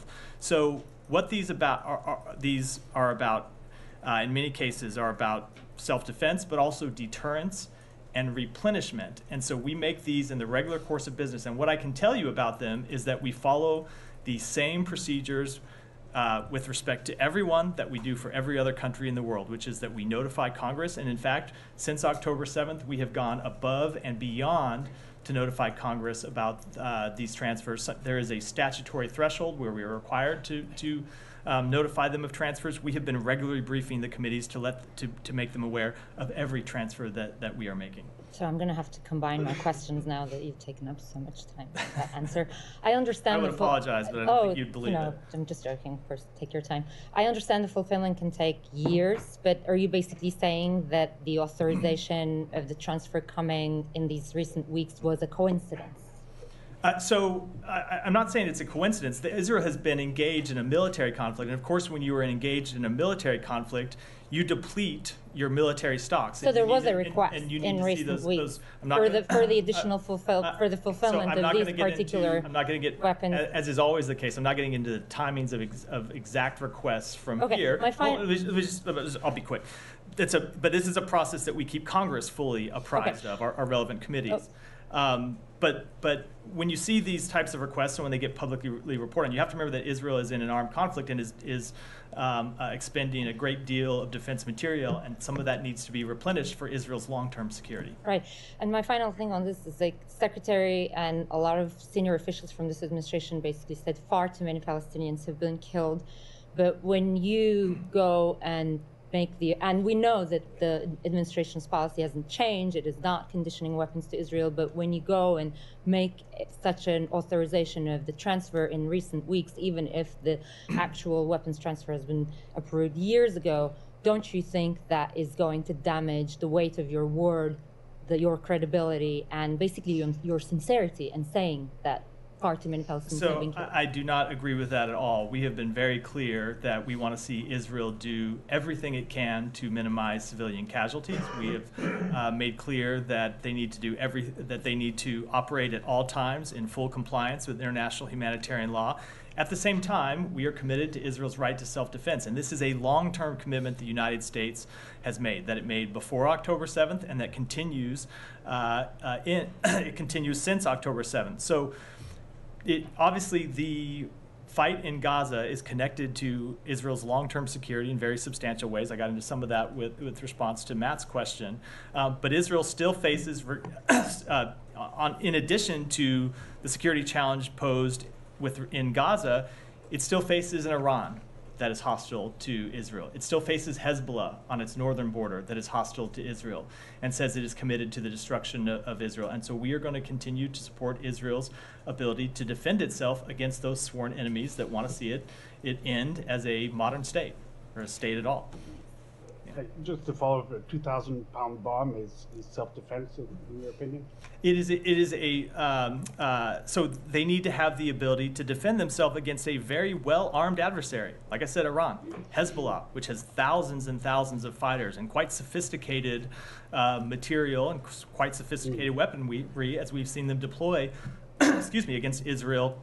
In the last few days, so yes, they do need the, the, the modern military equipment to defend But themselves against those adversaries. in Gaza before, in the beginning in Gaza. And we have made clear to them that when that whatever um, whatever weapon they use in Gaza, be be it a bomb, be it a tank round, be it anything, that we expect them to use those weapons in full compliance with international humanitarian law. And we've said we have had very frank conversations with them about the fact that there far too many civilians have died through their operations and that they need to do better in taking into account uh, the need to minimize civilian harm, and we'll continue to do that.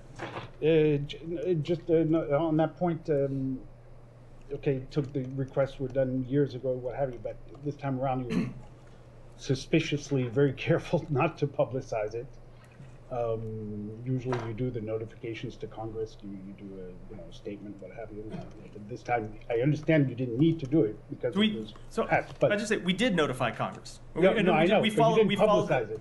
So it is usually not. you do on, on arms sales and all that. You you, so you publicize it. So that's not true with respect to most arms sales around the world. I know people have gotten used to our um, uh, the tempo of arms sales with respect to Ukraine, but that is very a very different situation than our arms sales to Israel or any other country with which we have a security relationship because we stood it up from nowhere right before an active war, where most of our security relationships we don't publicize uh, our ongoing sales. What we do is we notify Congress about those sales, and we have done that with respect to these sales to, to Israel, um, as we do with respect to sales anywhere in the world.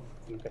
Just a last question on the, back on Damas. Uh, okay, I understand it's, it's a bit early, but uh, obviously you don't deny there was a strike uh, by Israel on the consulate in the annex in, in the, the embassy of Iran in Damascus. So we've seen the strike, but again, I want to uh, I want to let the cons- consultations that we have ongoing with partners in the region take place uh, But allow if we- if we- before we can before I com- comment uh, any further. But it's definitely escalatory. That's not what I said either. I said No, I I'm s- saying that. Uh, you're saying that great. I thought it was a I'm question. asking for your reaction. Uh, so Humeyra kind of, kind of, that's that's good. Humeyra kind of did speak to this. Um, I'm not going to comment with respect to this particular strike um, because again, we just need to know more information about it before we do, and that includes drawing any conclusions from it. As a general principle, of course, we are worried about escalation. We are do, worried about anything that would cause the conflict to to expand or widen in any way. I have one on Havana, a couple, unless you I'll, want let me, about let me come back. Let me come back to you so the room doesn't go into an uproar. Saeed, go ahead. I Uh, will definitely Thank come you, back. thank you, Matt. Now, you said that Hamas returned to Al Shifa Hospital, there were some 800 fighters and so on and all these things. Now, is that, you are, you are citing the Israeli narrative or you have your own independent in- information? We don't have our own independent assessment, but you have seen Israel produce the names, hol- uh, the names, Right. photographs of known Hamas fighters Right. who it has killed or How, captured. how, how many, I mean, you know, they showed uh, names and Hamas fighters I in have- the Shifa Hospital? I have I have seen the information they have publicly released. Right, I, but- uh, but- well, but- just, I just let, I know you get. Let me just. No, no, I'm, finish. I'm I with know, you. I'm me- not, I'm not just- interrupting. I'm trying to understand what you're saying. So we have seen them release. I, the, I, I don't think uh, there's anyone who has cause to dispute that. Yes, they have. Uh, there were there were uh, Hamas fighters hiding in Al Shifa Right. Hospital again, not for the first right. time. Okay, so you are certain that the reason that Israel went into Hamas, into Al Shifa hospital one more time is because Hamas fighters were there, and not you know hundreds of civilians that have taken refuge there. So I think it is a uh, certainly a fair conclusion, Right. given what has been their goal since Right. the outset of this campaign to take the fight to Hamas. Uh, that is exactly what they were doing. And you yes. believe that Israel has achieved that goal now by eliminating Hamas, or are we likely to see them go back to a Shifa hospital again? So that is, I, I answered that question somewhat in, in response to Matt. I think Right. there is a concern that you saw Hamas back inside hospitals. Right. I don't know why I don't hear more people calling on Hamas to stop going into hospitals. You shouldn't have to clear Hamas from a hospital once, let alone twice. Right. Um, but yes, we do have the the, the concern that uh, Hamas has been able to reestablish itself in a hospital uh, that Israel had already cleared, and that po- points to an ongoing challenge for Israel in the way it conducts its operations. Right. Uh, yeah, just bear with me. A couple more uh, questions.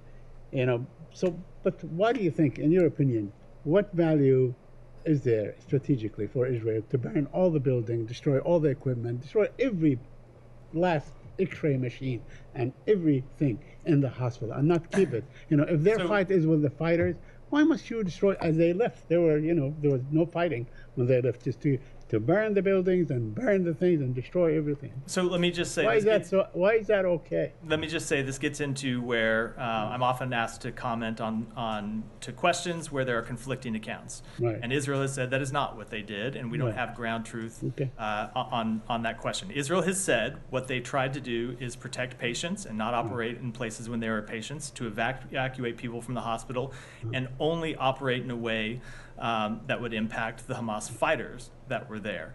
Obviously, it's an incredibly difficult situation. There shouldn't be terrorists in a hospital at all. And so it's incredibly difficult to operate there and, and uh, s- achieve a legitimate counterterrorism goal in a way that minimizes harm to the pa- to patients, which goes back to the, my first point, which is Hamas shouldn't be in a hospital at all. Okay. Well, Hamas shouldn't be, as far as you know, Israel and the United States is concerned, should not be there. Period. But I would Uh, think, Saeed, e- everyone could conclude. I, I would think, including you, I would think everyone could conclude that Hamas should not be inside Well, hospital. I don't I'm- think. no, I don't think. I hope anyway that that's not a controversial opinion. well, okay, but that's that's a different issue altogether. Now, not me- really. n- not really. No, it's kind of the core of what we're talking Well, about. Okay. Uh, uh, let me ask you something. You, you, you talked about the 2,000 pound bombs uh, and so on. You think that it is really wise to send it at this time? You know, when this far in this battle, you know, or this war, it has only been used in Gaza. I mean, I know you say that uh, Israel is surrounded by, uh, you know, people that wish it well and so on. But in fact, it's surrounded by Egypt with very good relations with Israel, surrounded by Jordan with good relations with Israel, surrounded by Syria that is obviously embroiled in its own civil war and cannot even defend itself against attacks as we have seen today. So, quite the contrary, is Israel is surrounding Hamas and it's using these weapons to do that. And in fact, I mean, you know, the F-35, to the best of my knowledge, I could be wrong, has only been used in combat against the people of Gaza. So how could you justify sending all these weapons when you have the most hapless people probably on earth, you know, destroyed, moving from one place to another,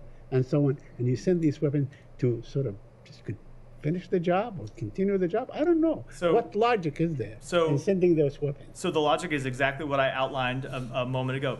Despite the fact that Israel has a relation, has diplomatic relations with Egypt uh, and Jordan, it does not change the fact that Hezbollah is parked on its northern border and is sworn to the destruction of Israel. It does not change the fact uh, that Iran, uh, uh, no, not exactly, not right on its border, but well within striking distance, is committed to the destruction of Israel and continues to fund proxies committed to the destruction of Israel. So, yes, Israel faces incredibly ser- serious threats, not just from Hamas, although Hamas is clearly one, as we saw on October 7th, but from other adversaries uh, that it needs uh, our assistance uh, to continue to defend itself against. Lastly, lastly, me- please, just one one, one, last one, if I may.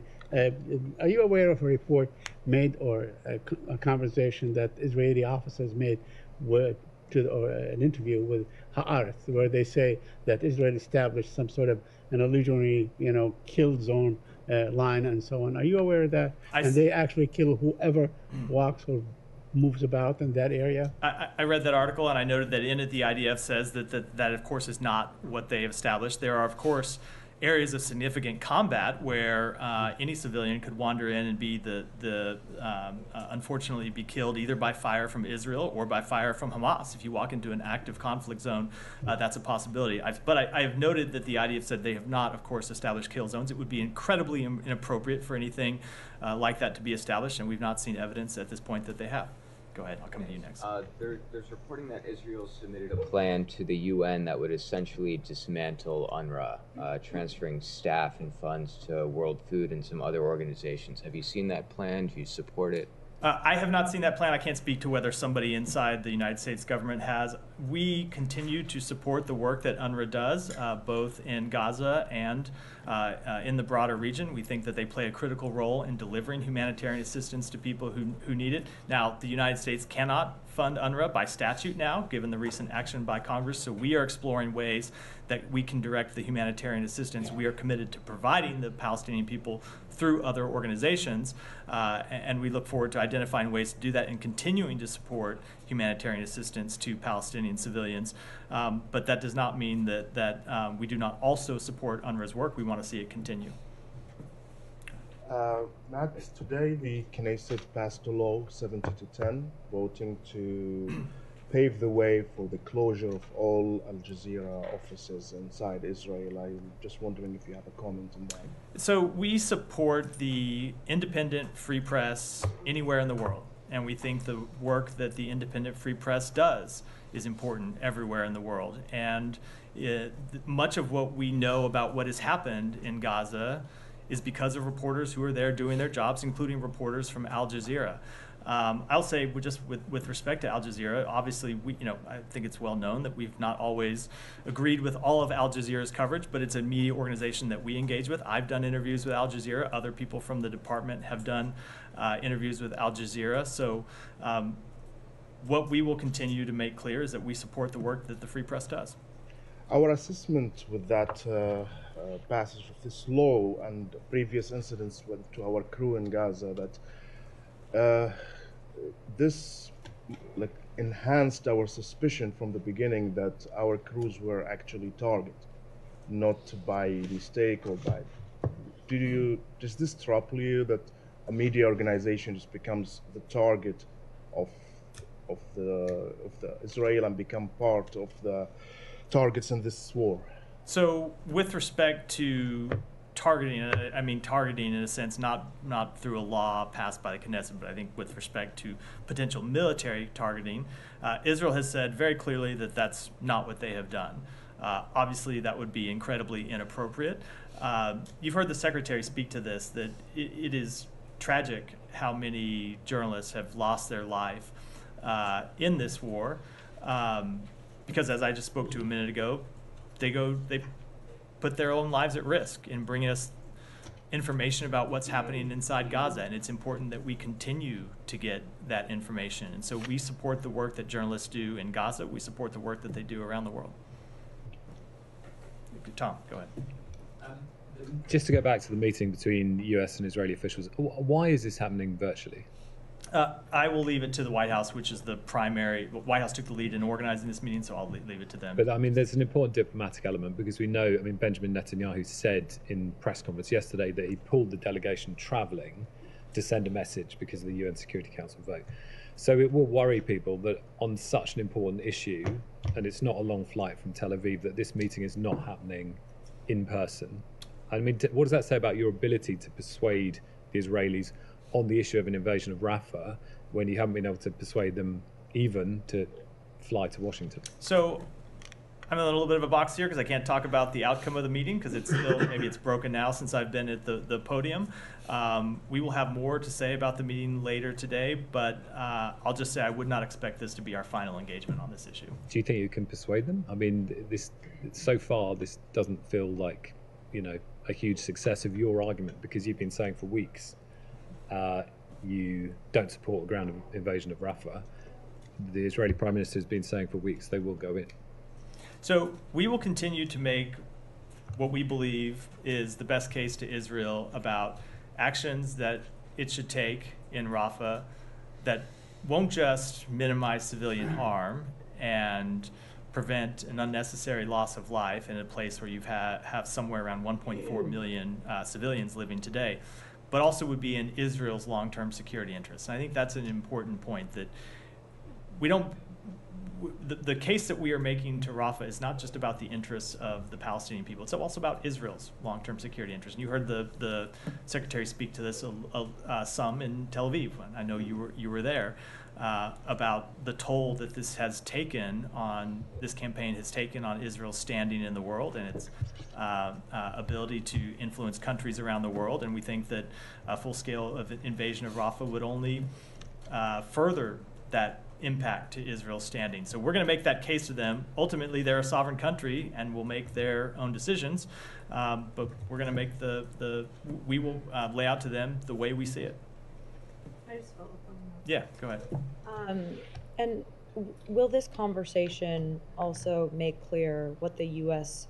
will do if they go ahead with a full-scale invasion uh, in response, or is this just laying out alternatives? Uh, so two things about that. One, with respect to the broader question, not tied directly to this meeting, I've gotten that before, and I'm just not going to speak to hypotheticals. We're going to take it one step at a time and not make uh, any predictions about what, what I'm just asking if that's being Uh, discussed in this yeah, meeting. Yeah, but what will happen? And then with respect to the meeting itself, again, I'm not going to speak in detail about a meeting that was still ongoing when I walked out here. We'll have more to say. But you it. have spoken We'll have more to say about it what, once it's concluded. So at a, at a very high level, not not in. Okay, and just one more question on Israel.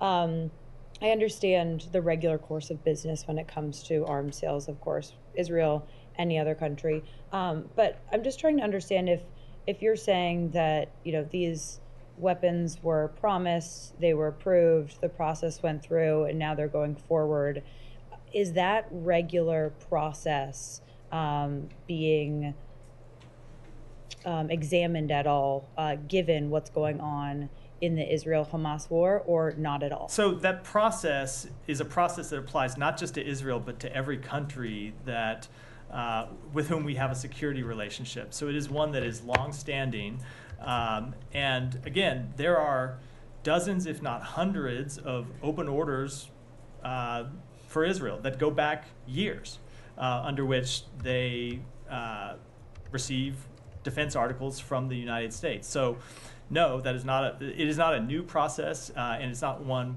just with respect to, to Israel. And and no, we're not re-examining the entire process. But obviously, we always look at we always look at requests that come from any country. Um, in light of their current needs and in light of um, uh, our ability to supply them. But again, I think it's important to remember that these are requests that were made and approved in many cases years ago, not just months ago, not just before uh, uh, uh, October 7th, but years ago, and were approved years ago. So all of those orders that have been approved will go forward. Uh, so I can't say all of them will, that will go forward because Israel may come back and not want some of them. You, you talk about orders. If that are, Israel orders wants them, you- they'll go forward. That, that years old. I cannot speak with respect to every request. And as I said, there are dozens of open requests that date back years. But when uh, a country comes and makes a request, and the United States does its due diligence and goes through the formal process of notifying Congress, uh, and then uh, uh, de- uh, delivers those arms to a country. If a congr- if a country has ordered, like I said, 100 planes and they've taken 20, they still have the ability to come back and ask for the other 80 with which we've committed to provide them.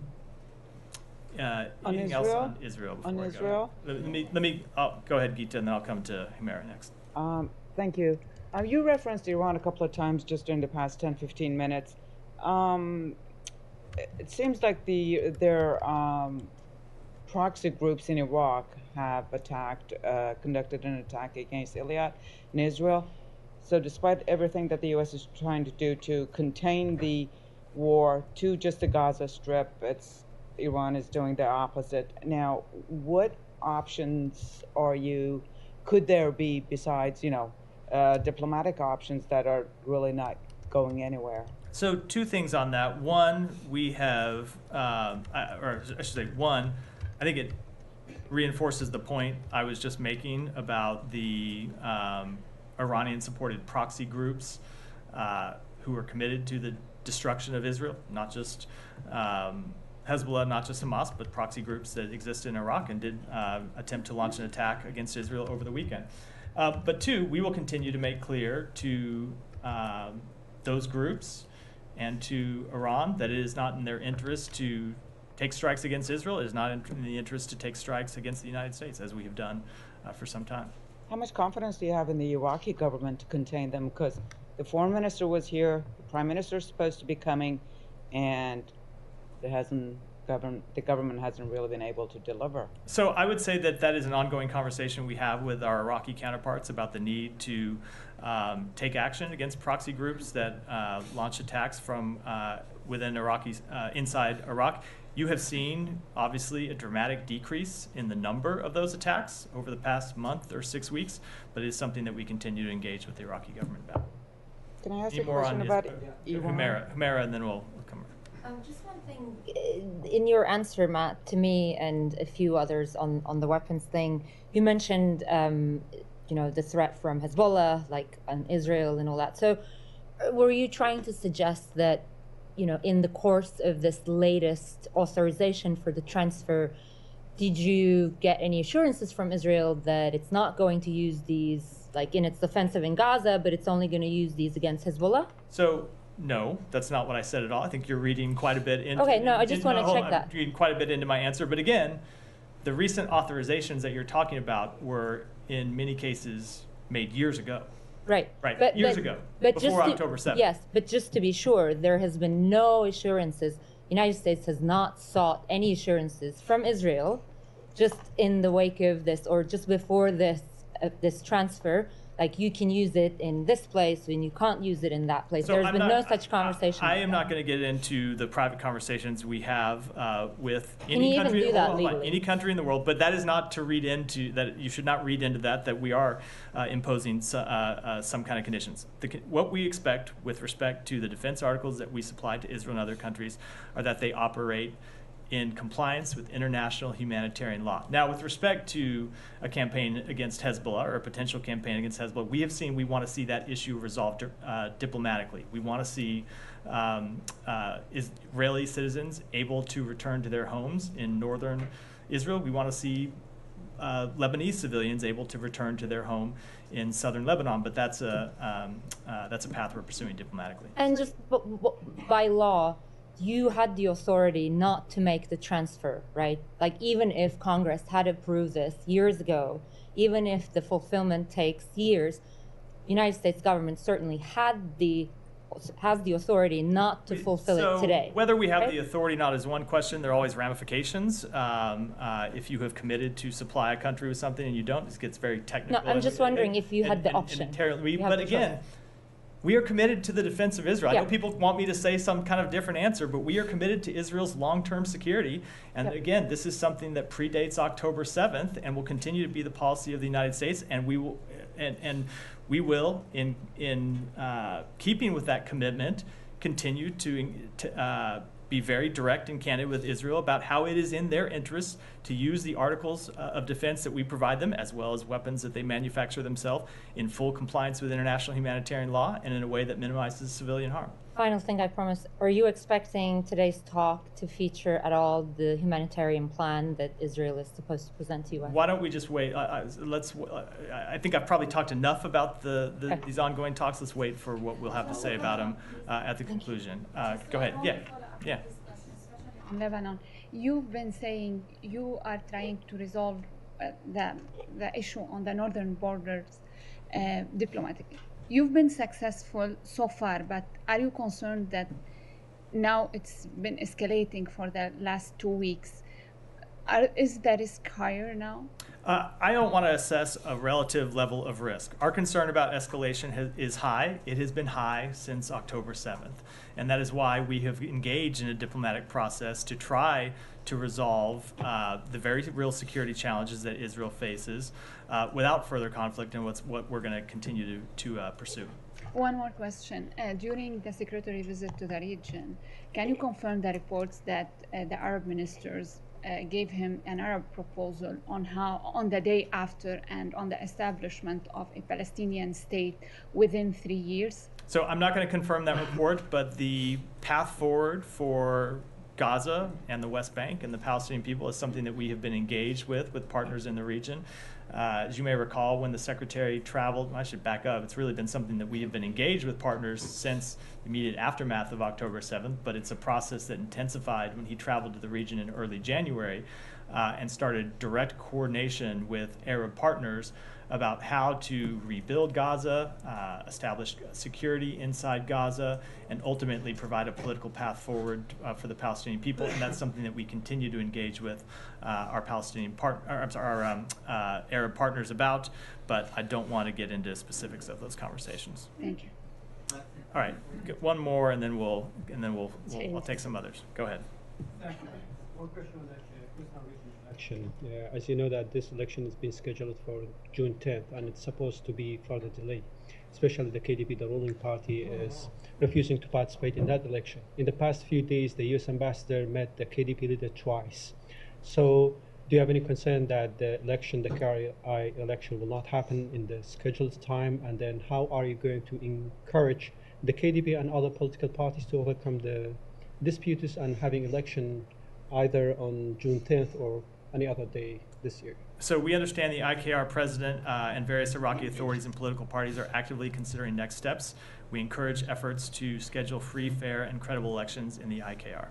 And I realize I forgot to come back to you about, um, yeah, I, I, you know, we could do. It seems like we could do the whole briefing on it. So let me, we'll, we'll move on for now and then come back um, if there's more time. Go ahead. I, I promise. Um, per the CBS 60 Minutes reporting that aired on Sunday, a first incident of Havana syndrome took place in Frankfurt with an employee of the US consulate. This happened two years before the already known cases that occurred in Havana in 2016. Can you confirm there was an incident in 2014, at least one incident in Frankfurt, that led to apparent Havana syndrome symptoms? So we have made it a practice to not confirm or comment on specific reports uh, uh, in this regard. What I will say is what we have done for affected employees, uh, and that is we have implemented the Havana Act passed by Congress that has allowed us to provide additional support to those affected employees, uh, including uh, reimbursement for medical care, including free care at military hospitals and other military treatment facilities. Uh, includes help with their careers if they've been affected by, say, a prolonged absence from work. Uh, the safety and security of our personnel remains the top priority of the Secretary, and we are doing everything possible to help those uh, affected. A couple more uh, on Havana still. Does the State Department's Bureau of Intelligence and Research have confidence that the, in the U.S. intelligence community's assessment that it is unlikely that a foreign adversary is causing Havana syndrome? So we do. It has been the broad uh, uh, conclusion of the intelligence community since March 20, uh, 2023 that it's unlikely a foreign adversary is responsible for these anomalous health incidents. It's something that the uh, intelligence community has investigated extensively and continues to look at. Um, we will look at the uh, new information as it comes in and make assessments inside the State Department and with our intelligence But community. you can't confirm whether whether INR agrees with that in this building. No, I said we do. They, they You do, share that. You do. Okay. share that assessment. Um, and uh, I don't know if you've seen the report uh, that aired on Sunday, but will any State Department employees who believe they are victims of Havana face consequences for publicly questioning the intel community's assessment? No, of course not. Janie, go ahead. Thanks, Matt. And let me, let me, uh, I said, let me just come back and say, um, uh, uh, of course not, and in no case um, uh, would we in any way hold employees, accountable is not even the right word. In no case would we uh, discipline employees for speaking their mind. They have the uh, ability to do, to do that. We encourage it. But that doesn't change our assessment um, uh, and I say the, I should say our the intelligence community's broad assessment that a foreign adversary is, is unlikely to be responsible for these incidents. Go ahead. Thank you, Thank you, Matt. Uh, Russia and North Korea and China. Uh, Russia opposes extending the term of UN Security Council's panel of experts on sanctions against North Korea. How concerned is the United States about this? Uh, incredibly concerned. I spoke to this at, at detail in detail last week. It's unfortunate that uh, Russia and China decided to exercise their veto. This is a panel that has previous whose work has previously been extended unanimously, and uh, I think it's clear what happened here is that Russia made a bargain with the DPRK in return for.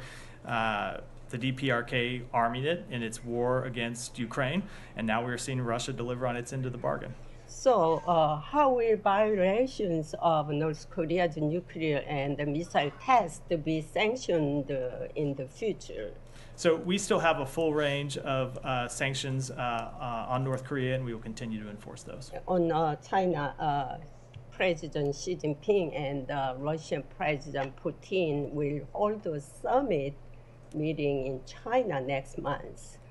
What do you think about the solidarity between Russia and China? So we have made clear that we have concerns um, with the, I think, full-scale partnership. I'm going to get the words exactly wrong that we have seen between Russia and China. We have made um, uh, very clear that we don't want to see China do anything to help support Russia's aggression in Ukraine, and we will continue to make that clear.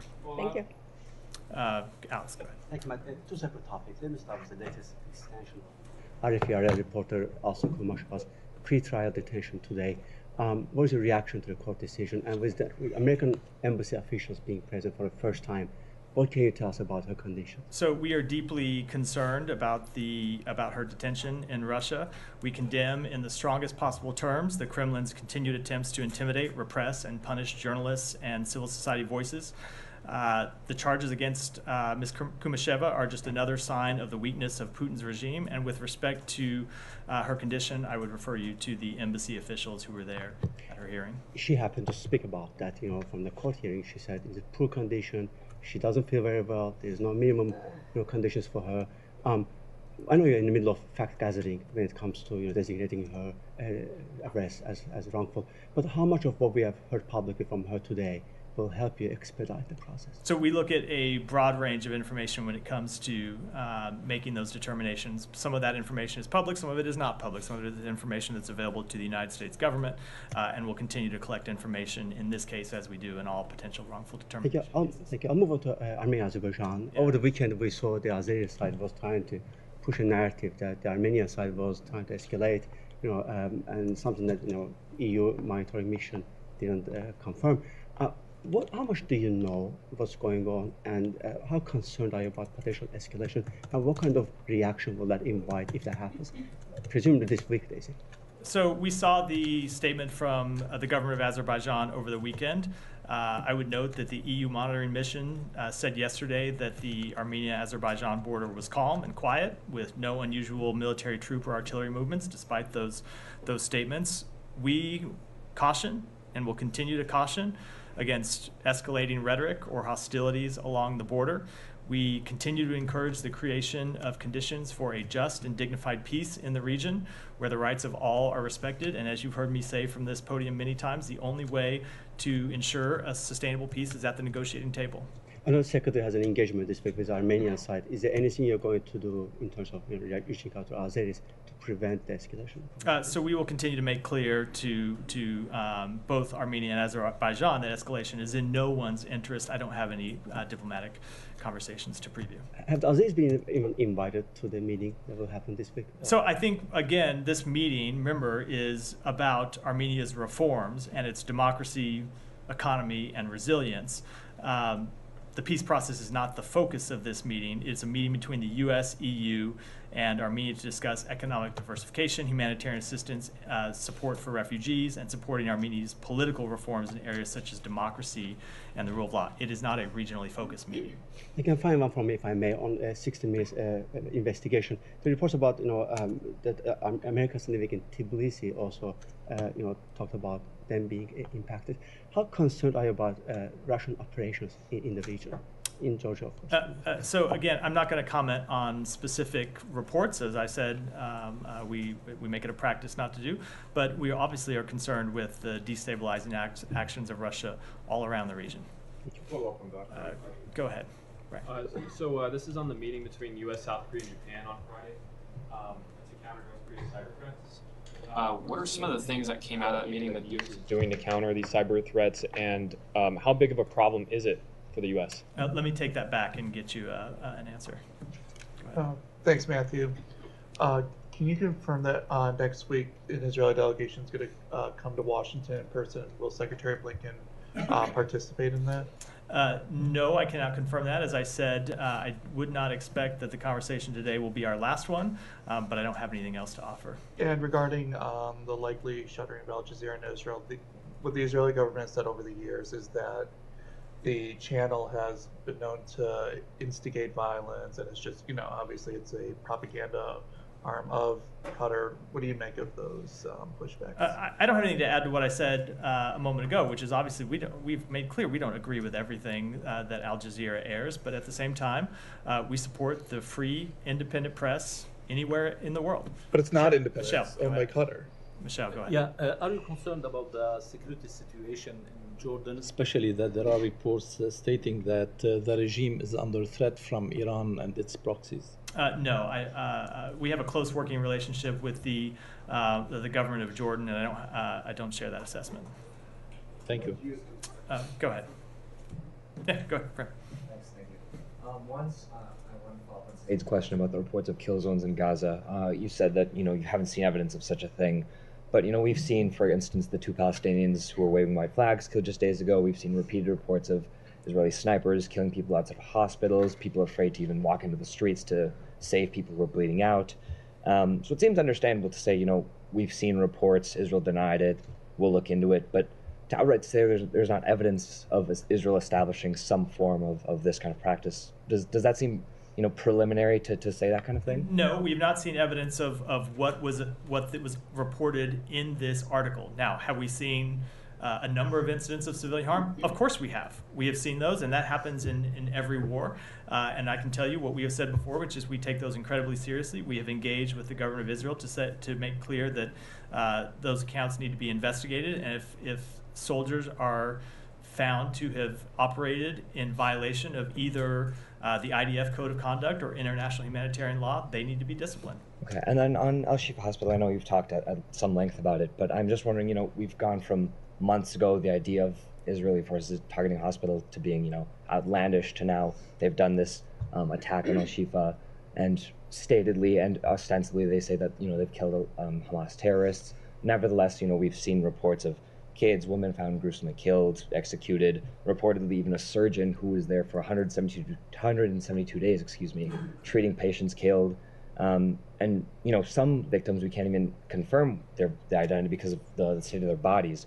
So I'm wondering, you know, given this attack, given the evident lack of care for civilians, given that we can't get an update on investigations into, for instance, the now two-month killing of Hind, um, the medic sent to save her, how can the U.S. approve, you know, any action into Rafah, a slice of land where, you know, 1.1 million Palestinians are seeking refuge? If, if, if a targeted attack on a hospital looks Yeah. like this, what would an attack So- in any form on Rafah look like? Uh, again, do not believe that this attack was on the hospital. It, the attack was on the Hamas fighters that are hiding inside a hospital. but that's- that's sort of my some, point. Some place that they should never be. But it makes you make a good point with respect to Rafah, which is why we have made clear we don't want to see a full-scale military operation. But I think the the the premise of the question I, I, shouldn't say I shouldn't say the premise of the question I don't want to attribute this to you. But the other alternative is that Israel does nothing about the Hamas fighters that continue to exist uh, in Rafah, and we don't think that's an acceptable alternative either. So what we have said is there needs to be a targeted military operation in Rafah that targets Hamas fighters in a way that minimizes civilian harm uh, and not a full-scale uh, operation. That's been what we what we have been making clear to them. Just one small follow-up on that, uh, if you allow. Um, I guess this just gets to a broader question about, you know, what does the U.S. see as sort of the path out of here? Like, is it political? Because what does it mean for Israel to defend itself ongoingly? Like, is it a matter of eradicating everyone who is associated with Hamas? Because that, I don't know, Yeah. doesn't necessarily seem like a goal that has led to the protection of civilians up to this point. So there needs they have there need to be battlefield successes and there needs to be a political path forward, and that is what we have been engaged with partners in the region uh, to develop and ultimately present to Israel, because as you have heard the secretary say, without a political path forward for the Palestinian people, Israel and the Palestinians are going to be stuck in this same cycle of violence that they have been stuck in for decades. And that's not in the Palestinian people's interest, as we have seen over the past nearly six months. It is not in Israel's interest, as we saw very clearly on October 7th. And so that is the work that we are doing inside the United States government to try to develop that political path forward that we think ultimately is in the best interests of the Palestinian people, the Israeli people, and the broader uh, region at large. Go ahead. Uh, yesterday, Turkey held local elections. I know it's the local elections, but it has a significant outcome. So, do you have any comment or statement about these elections, the process of these elections, or the results? Uh, I don't have any, any comment on that. We typically don't um, uh, comment or take a position on elections anywhere in the world. And the uh, elections are over. Do you have any updates about President Erdogan's uh, visit to Washington in May? Uh, I do not. Uh, go ahead, and then we'll wrap for this. Uh, come to Gita. Good news about uh, one of the U.S. detainees in Afghanistan, uh, Mr. Ryan Conway. I spoke to the uh, senior Taliban official. They said that he's in good health and he speaks to his family. Uh, another detainee before him was Joshua Boyce, who also contacted me after he was released from the Taliban. I requested the Taliban that these detainees should be released immediately without any conditions in the holy month of Ramadan. They said, We will definitely do it if you give us commitment that uh, the US will release our detainees. And I uh, am not a media group so big as Al Jazeera, I'm just a small time niche media group. Is there anything I can convey that like these detainees should be, res- I mean, given back to each other, or it's too much out of my. I, I, with all due respect, I think I will decline to conduct diplomacy uh, Okay, via that's what you I- th- through this podium. That's what I- Uh, but I will say two things. One, we are concerned, despite those assurances, well-meaning as they may be, we are concerned about the well-being of Americans detained in Afghanistan. And number two, we are actively working for their release, and will Thank continue you. to do. Uh, my second question is uh, drones have been reported flying in different parts of Afghanistan. Anything you can share that at least? Uh, No. No. I don't have Just any last, on that. last, Get- last, let me- go to Gita one we have more. to- that Out of that five, six Gita- questions, Gita- I don't even get I- three. And Gita, go ahead. Thank you. Um, Human Rights Watch has uh, issued a report on the situation of the Baha'is in Iran. It says that the Iranians' persecution of this uh, religious minority is tantamount to crimes against humanity. I was wondering, since the State Department has been following their situation, the situation of the Baha'is in Iran, if you would have the same assessment as Human Rights Watch? Uh, let me take that back and, and get you an assessment. I haven't seen that, that, obviously it's an issue we've been following. I haven't seen that specific report, but let me talk to others in the building who might have and, and get your response. Thank With that, we'll wrap for today. Thanks, everyone.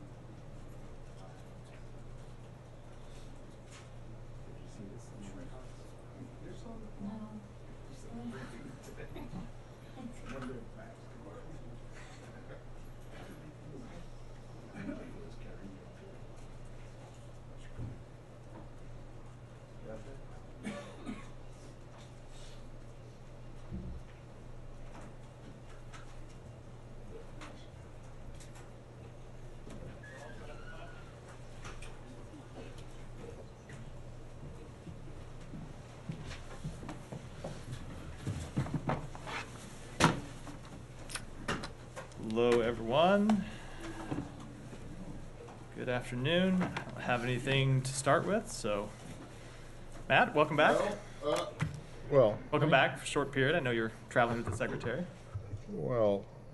Happy to have you today. I, I, I'm sure you are. I, I won't, uh, never mind.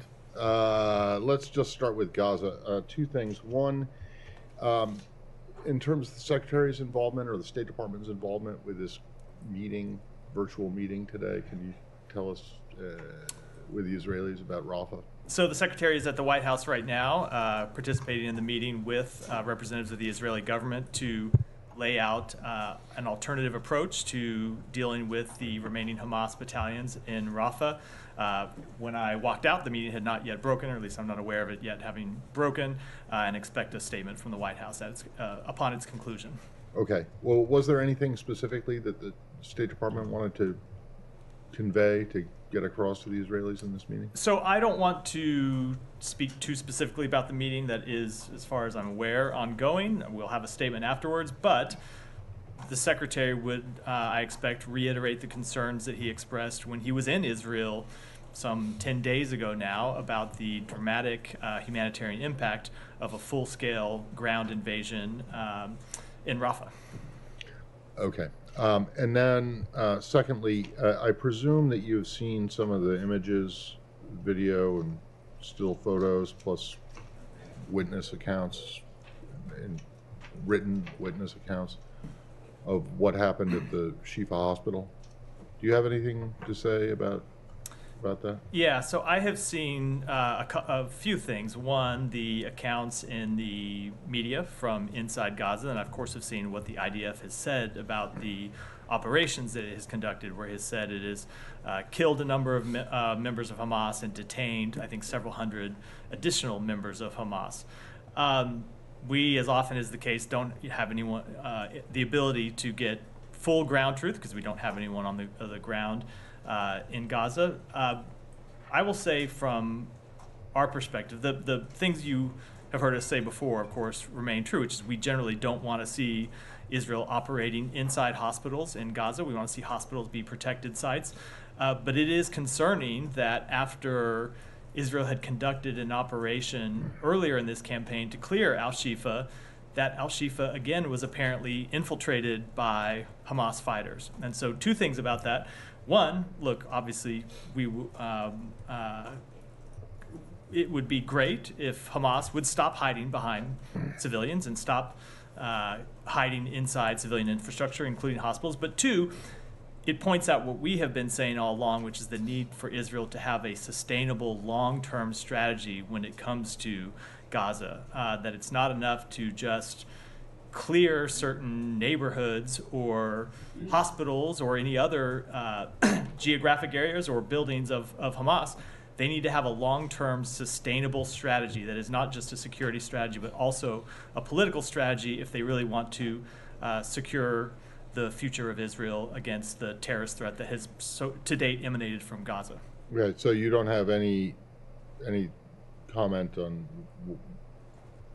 what you've seen from the aftermath of the two week operation against the hospital. Not beyond what I just, All right. just And then when you just say, and this will be it for me, um, when you say um, Israel needs a sustainable long term strategy uh, for Gaza, have you seen one yet from them? Uh, we have not yet seen one, no. And that's what we have been in conversation with them about. Yeah, that- but that what they- presumably the meeting today is just about Rafah, right? It's just not- about it's just Right. about Rafah. And the and the point I mean, a sustainable long-term strategy means something beyond a military strategy. It, be, it means Yeah, uh, but- politi- but- a political path as well. Right. So a political path to two states. That, that, Right. that is that is From our your- preferred that is our preferred policy. But it, you need a political path Yeah. uh, of but some have you sort seen? forward. But No. have you? But No. have you seen one from the Israelis that is even that is even short of At, two at- states? at this point, we have not. No. All right. Thank you. Just to follow up on Al Shifa, um, Israel has given some numbers. 200 militants uh, have been killed, 900 suspected militants detained, of whom some fif- 500 have been identified as Hamas. Does the United States have any assessment that these numbers are correct? We don't have an independent assessment. No, Do you have an assessment on how many civilians around that operation have been killed? we do not. Okay. Um, moving on to this strike, this suspected Israeli strike in Damascus. Do you have anything to say on this? I don't. Obviously, it just happened in the, the hour or two before I came out here. We are in conversations with partners in the region, gathering more uh, information, but uh, at this point, don't have uh, confirmation either of the target or the responsible party. Do you know if the United States was given a heads up by Israel about this? Uh, again, we are gathering information. I don't have anything uh, about the strike right now. I don't have anything beyond that to offer. Okay, do you have any concerns that this might sort of escalate tensions, which are already high? So, And I in a way, yeah. endanger the hostage talks So in any way? I don't want to, before we have gathered information about what exactly this was, I don't want to speak to it uh, specifically, but of course, we are always uh, concerned about, um, uh, about anything that would be escalatory or um, cause an increase in conflict in the region. It has been one of the goals of this administration since October 7th to keep the conflict from spreading, recognizing that Israel has a, uh, the right to defend itself from adversaries that are sworn to its destruction. Um, but with respect to the hostage talks, there's no reason why this incident should have any impact on, on the hostage talks. Uh, we have long believed it is uh, in the interest uh, of everyone to see these hostage talks succeed because you would not just see um, uh, a re- relief to the civilian population in Gaza that desperately needs it. Uh, it would enable the increase in humanitarian assistance into Gaza, and of course, it would get the hostages out. So, no, I, I don't know. I don't believe it should have any impact on that. Can you say how those talks are going Cairo? I don't have any new assessment to, to offer today. Okay, two final things. This is about last. Uh, this is from last week about these um, authorizations of uh, these bombs to to Israel. They have been approved a long time ago by Congress, but looks like the Department has decided to uh, do the transfers last week, the week before. Um, why was that decision taken like recently? So let me, I think it would be helpful to step back and put this in a little context. Um, and the context is that we, the United States, has a decades long commitment to Israel's for security.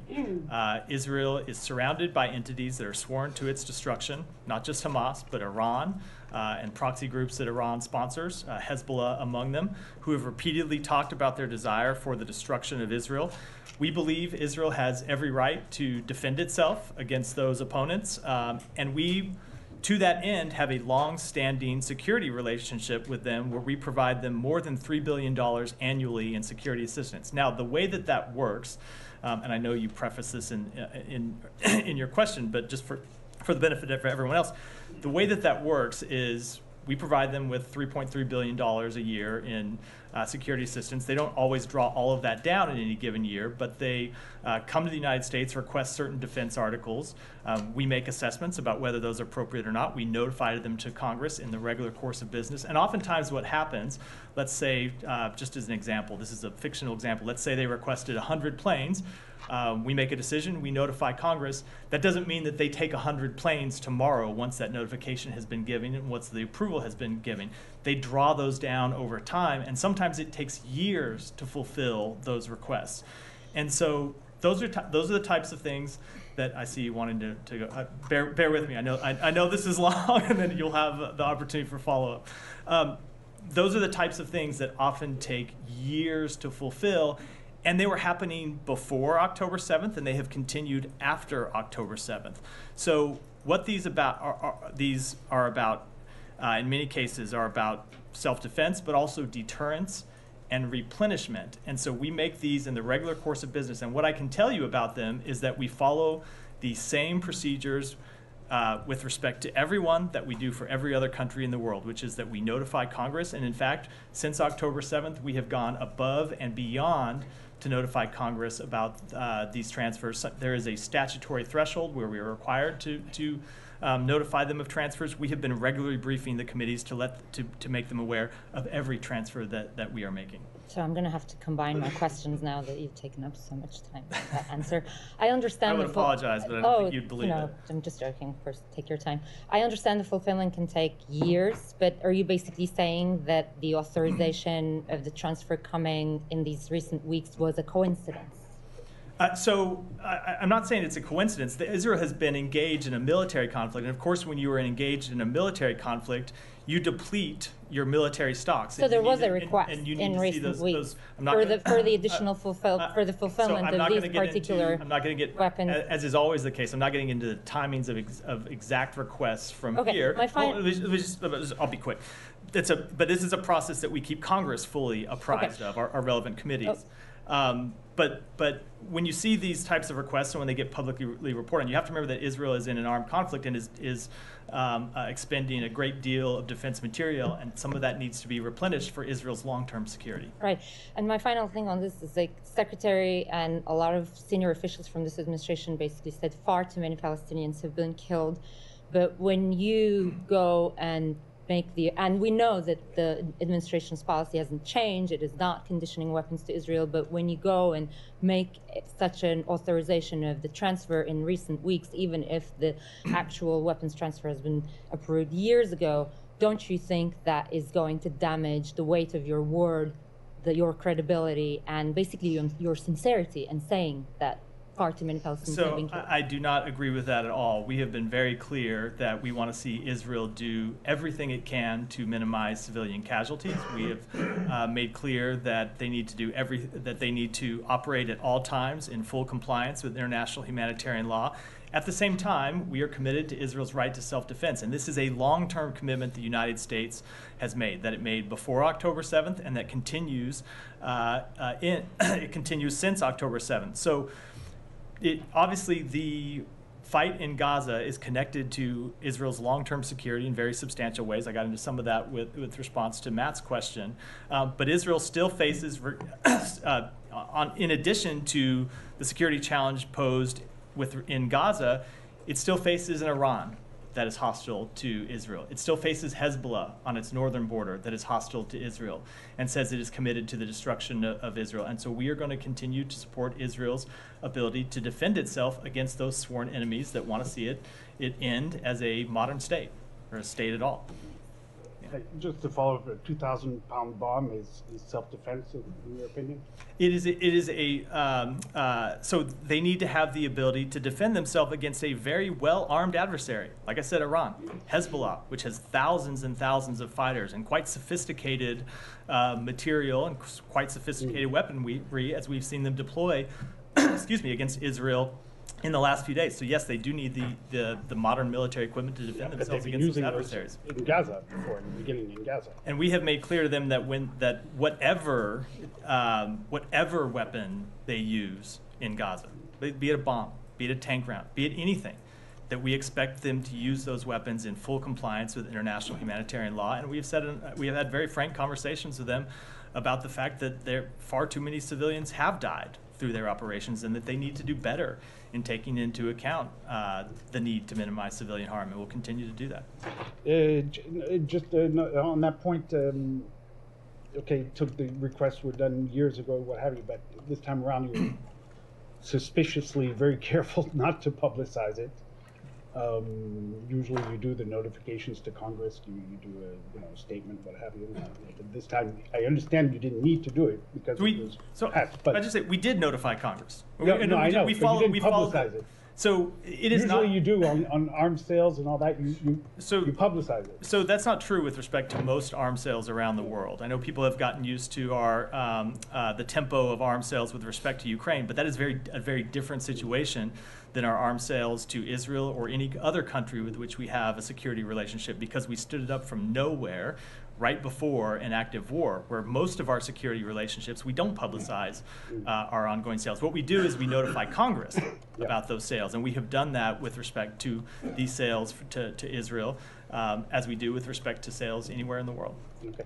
Just a last question on the, back on Damas. Uh, I understand it's, it's a bit early, but obviously you don't deny there was a strike uh, by Israel on the consulate in the annex in, in the, the embassy of Iran in Damascus. So we've seen the strike, but again, I want to uh, I want to let the cons- consultations that we have ongoing with partners in the region take place uh, But allow- if we- if before we can before I com- comment uh, any further. But it's definitely escalatory. That's not what I said either. I said No, I I'm said- saying that. Uh, you sure saying that great. I thought it was a And I'm question. asking for your reaction. Uh, so Humeyra kind of, kind of, that's that's good. Humeyra kind of did speak to this.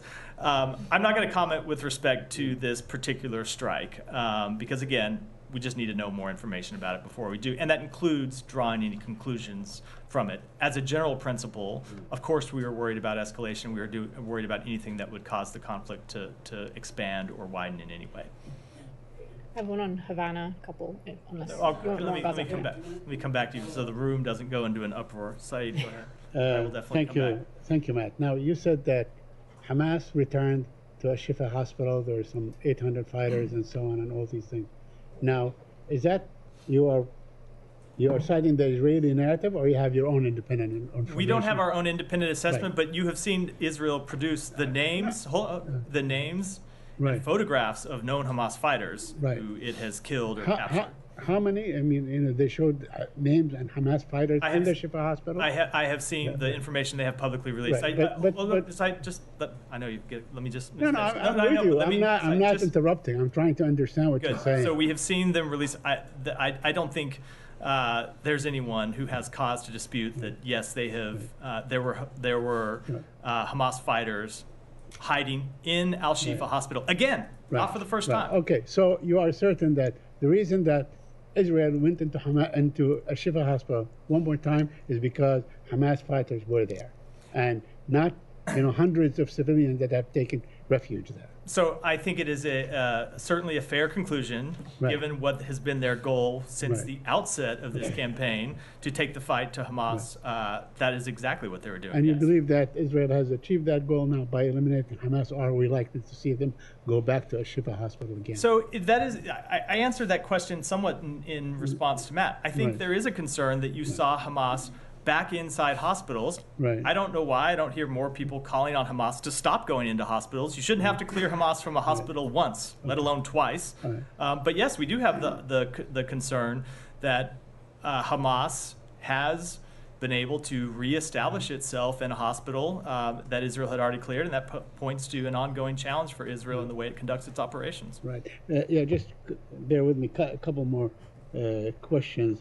You know, so, but why do you think, in your opinion, what value is there strategically for Israel to burn all the building, destroy all the equipment, destroy every last X-ray machine and everything in the hospital, and not keep it? You know, if their fight is with the fighters, why must you destroy as they left? There were, you know, there was no fighting when they left. Just to to burn the buildings and burn the things and destroy everything. So let me just say, Why is that gets- so? Why is that okay? let me just say this gets into where uh, I'm often asked to comment on on to questions where there are conflicting accounts. Right. And Israel has said that is not what they did, and we don't Right. have ground truth Okay. uh, on on that question. Israel has said what they tried to do is protect patients and not operate in places when there are patients, to evac- evacuate people from the hospital, and only operate in a way um, that would impact the Hamas fighters that were there. Obviously, it's an incredibly difficult situation. There shouldn't be terrorists in a hospital at all. And so it's incredibly difficult to operate there and, and uh, s- achieve a legitimate counterterrorism goal in a way that minimizes harm to the pa- to patients, which goes back to the, my first point, which is Hamas shouldn't be in a hospital at all. Okay. Well, Hamas shouldn't be, as far as you know, Israel and the United States is concerned, should not be there. Period. But I would Uh, think, Saeed, e- everyone could conclude. I, I would think, including you, I would think everyone could conclude that Hamas should not be inside Well, hospital. I'm- don't I'm- think. no, well, I don't think. I hope anyway that that's not a controversial opinion. well, okay, but that's that's a different issue altogether. Now, not me- really. n- not okay, really. No, it's kind of the core of what we're talking Well, about. Okay. Uh, uh, let me ask you something. You, you, you talked about the 2,000 pound bombs uh, and so on. You think that it is really wise to send it at this time? You know, when this far in this battle, you know, or this war, it has only been used in Gaza. I mean, I know you say that uh, Israel is surrounded by, uh, you know, people that wish it well and so on. But in fact, it's surrounded by Egypt with very good relations with Israel, surrounded by Jordan with good relations with Israel, surrounded by Syria that is obviously embroiled in its own civil war and cannot even defend itself against attacks as we have seen today. So, quite the contrary, is Israel is surrounding Hamas and it's using these weapons to do that. And in fact, I mean, you know, the F-35, to the best of my knowledge, I could be wrong, has only been used in combat against the people of Gaza. So how could you justify sending all these weapons when you have the most hapless people probably on earth, you know, destroyed, moving from one place to another, and so on, and you send these weapons to sort of just finish the job or continue the job? I don't know. So- what logic is there So- in sending those weapons? So the logic is exactly what I outlined a, a moment ago. Despite the fact that Israel has a relation, has diplomatic relations with Egypt uh, and Jordan, it does not change the fact that Hezbollah is parked on its northern border and is sworn to the destruction of Israel. It does not change the fact uh, that Iran, uh, uh, no, not exactly, not right on its border, but well within striking distance, is committed to the destruction of Israel and continues to fund proxies committed to the destruction of Israel. So, yes, Israel faces incredibly ser- serious threats, not just from Hamas, although Hamas is clearly one, as we saw on October 7th, but from other adversaries uh, that it needs uh, our assistance uh, to continue to defend itself against. Lastly, lastly, me- please, just one one, one, last one, if I may. Uh, are you aware of a report made or a, a conversation that Israeli officers made with, to, or an interview with Haaretz, where they say that Israel established some sort of an illusionary, you know, kill zone uh, line and so on? Are you aware of that? I and they actually kill whoever walks or moves about in that area? I, I I read that article and I noted that in it the IDF says that, that that of course is not what they have established. There are of course areas of significant combat where uh, any civilian could wander in and be the the um, uh, unfortunately be killed either by fire from Israel or by fire from Hamas. If you walk into an active conflict zone, uh, that's a possibility. I've, but I, I have noted that the IDF said they have not, of course, established kill zones. It would be incredibly inappropriate for anything uh, like that to be established, and we've not seen evidence at this point that they have. Go ahead. I'll come to you next. Uh, there, there's reporting that Israel submitted a plan to the UN that would essentially dismantle UNRWA, uh, transferring staff and funds to World Food and some other organizations. Have you seen that plan? Do you support it? Uh, I have not seen that plan. I can't speak to whether somebody inside the United States government has. We continue to support the work that UNRWA does, uh, both in Gaza and uh, uh, in the broader region. We think that they play a critical role in delivering humanitarian assistance to people who, who need it. Now, the United States cannot fund UNRWA by statute now, given the recent action by Congress. So we are exploring ways that we can direct the humanitarian assistance. We are committed to providing the Palestinian people through other organizations, uh, and we look forward to identifying ways to do that and continuing to support humanitarian assistance to Palestinian civilians. Um, but that does not mean that that um, we do not also support UNRWA's work. We want to see it continue. Uh, today the Knesset passed a law 70 to 10, voting to pave the way for the closure of all Al Jazeera offices inside Israel. I'm just wondering if you have a comment on that. So we support the independent free press anywhere in the world, and we think the work that the independent free press does is important everywhere in the world. And uh, it, much of what we know about what has happened in Gaza is because of reporters who are there doing their jobs, including reporters from Al Jazeera.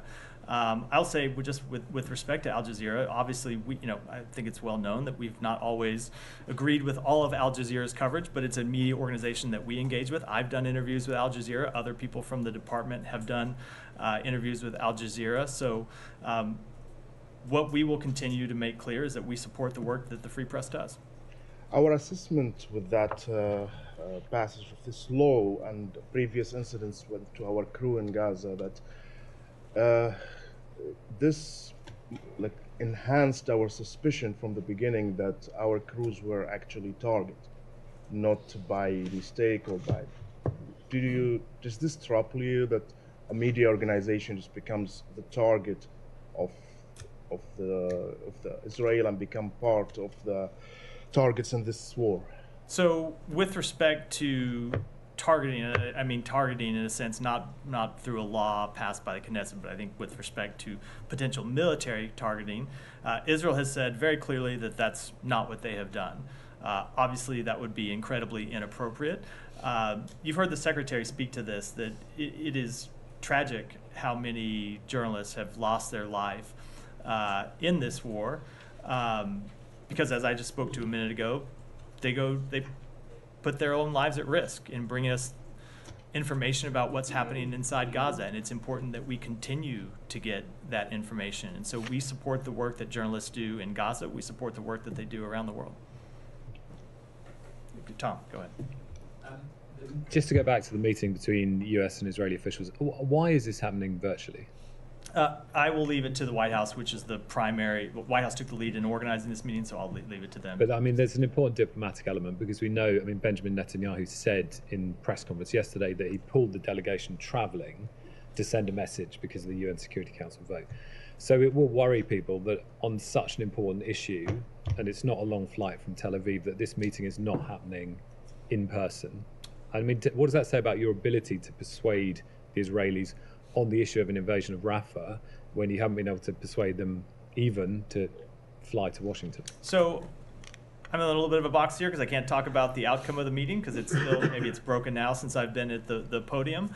Um, we will have more to say about the meeting later today, but uh, I'll just say I would not expect this to be our final engagement on this issue. Do you think you can persuade them? I mean, this so far this doesn't feel like you know a huge success of your argument because you've been saying for weeks uh, you don't support a ground invasion of Rafah. The Israeli Prime Minister has been saying for weeks they will go in.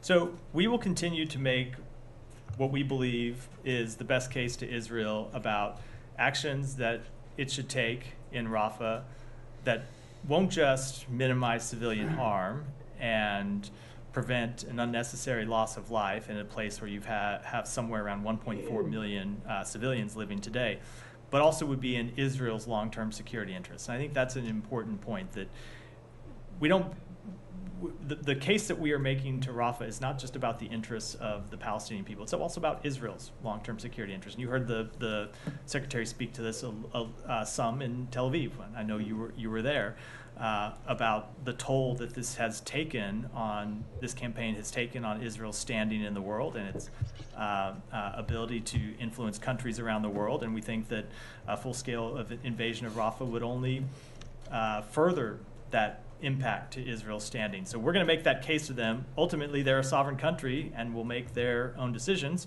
Um, but we're going to make the, the we will uh, lay out to them the way we see it. Yeah, go ahead. Um, and will this conversation also make clear what the U.S. will do if they go ahead with a full-scale invasion uh, in response, or is this just laying out alternatives? Uh, so, two things about that. One, with respect to the broader question, not tied directly to this meeting, I've gotten that before, and I'm just not going to speak to hypotheticals. We're going to take it one step at a time and not make uh, any predictions about what, will- what I'm just happen. asking if that's being Uh, discussed in this yeah, meeting. though. but what will happen? And then with respect to the meeting itself, again, I'm not going to speak in detail about a meeting that was still ongoing when I walked out here. We'll have more to say. But you have once- spoken We'll have more to say about it what, once it's concluded. So at a, at a very high level, not not in. Okay, and just one more question on Israel.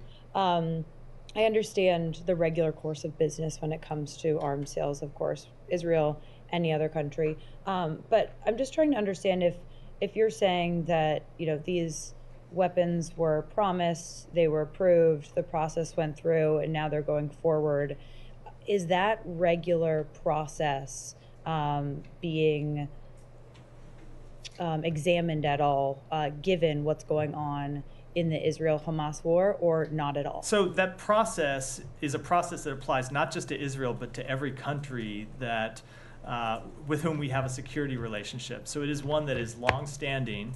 Um, and again, there are dozens, if not hundreds, of open orders uh, for Israel that go back years, uh, under which they uh, receive defense articles from the United States. So, no, that is not a. It is not a new process, uh, and it's not one just with respect to, to Israel. And and no, we're not re-examining the entire process. But obviously, we always look at we always look at requests that come from any country. Um, in light of their current needs and in light of um, uh, our ability to supply them. But again, I think it's important to remember that these are requests that were made and approved in many cases years ago, not just months ago, not just before uh, uh, uh, October 7th, but years ago, and were approved years ago. So all of those orders that have been approved will go forward. Uh, so I can't say all of them will, that will go forward because Israel may come back and not want some of them. You, you talk about orders. If that are, Israel orders wants that them, you- they'll go forward. That years old. I cannot speak with respect to every request. And as I said, there are dozens of open requests that date back years. But when uh, a country comes and makes a request, and the United States does its due diligence and goes through the formal process of notifying Congress, uh, and then uh, uh, de- uh, delivers those arms to a country. If a Congre- if a country has ordered, like I said, 100 planes and they've taken 20, they still have the ability to come back and ask for the other 80 with which we've committed to provide them. Uh, On anything else Israel? on Israel? On? Israel? Let me, let me, oh, go ahead, Gita, and then I'll come to Humeyra next. Um, thank you. Uh, you referenced Iran a couple of times just in the past 10, 15 minutes. Um, it- seems like the their um, proxy groups in Iraq have attacked, uh, conducted an attack against Eilat in Israel. So, despite everything that the U.S. is trying to do to contain the war to just the Gaza Strip, it's Iran is doing the opposite. Now, what options are you? Could there be besides, you know, uh, diplomatic options that are really not going anywhere? So two things on that. One, we have, um, or I should say, one, I think it reinforces the point I was just making about the um, Iranian-supported proxy groups uh, who are committed to the destruction of Israel, not just um, Hezbollah, not just Hamas, but proxy groups that exist in Iraq and did uh, attempt to launch an attack against Israel over the weekend. Uh, but two, we will continue to make clear to um, those groups and to Iran that it is not in their interest to take strikes against Israel. It is not in, the interest to take strikes against the United States, as we have done uh, for some time.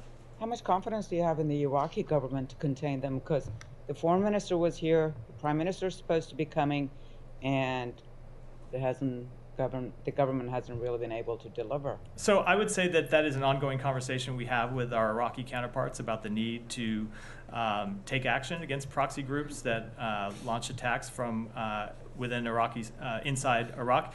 You have seen obviously a dramatic decrease in the number of those attacks over the past month or six weeks, but it is something that we continue to engage with the Iraqi government about. Can I ask Any you a question on about Is- Iran? Humeyra, Humeyra, and then we'll we'll come. Um, just one thing uh, in your answer, Matt, to me and a few others on, on the weapons thing, you mentioned, um, you know, the threat from Hezbollah, like on Israel and all that. So, uh, were you trying to suggest that, you know, in the course of this latest authorization for the transfer, did you get any assurances from Israel that it's not going to use these, like in its offensive in Gaza, but it's only going to use these against Hezbollah? So no, that's not what I said at all. I think you're reading quite a bit into. Okay, no, I just in- wanna hold check on, that. I'm reading quite a bit into my answer, but again, the recent authorizations that you're talking about were in many cases made years ago. Right. Right, But, years ago, but before just October 7th. Yes, but just to be sure, there has been no assurances. United States has not sought any assurances from Israel, just in the wake of this or just before this uh, this transfer.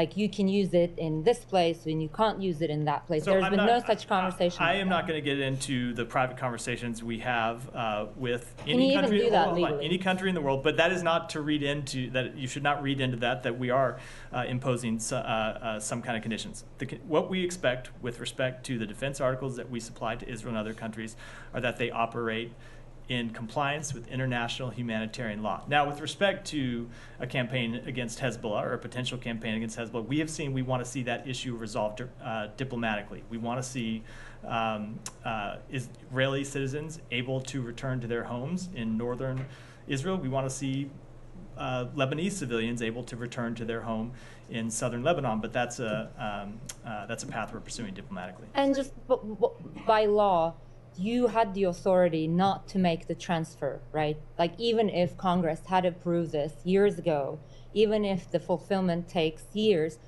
United States government certainly had the has the authority not to fulfill so it today. Whether we have right? the authority or not is one question. There are always ramifications. Um, uh, if you have committed to supply a country with something and you don't, this gets very technical. No, I'm just wondering and- if you had and- the and- option. we- but again, choice.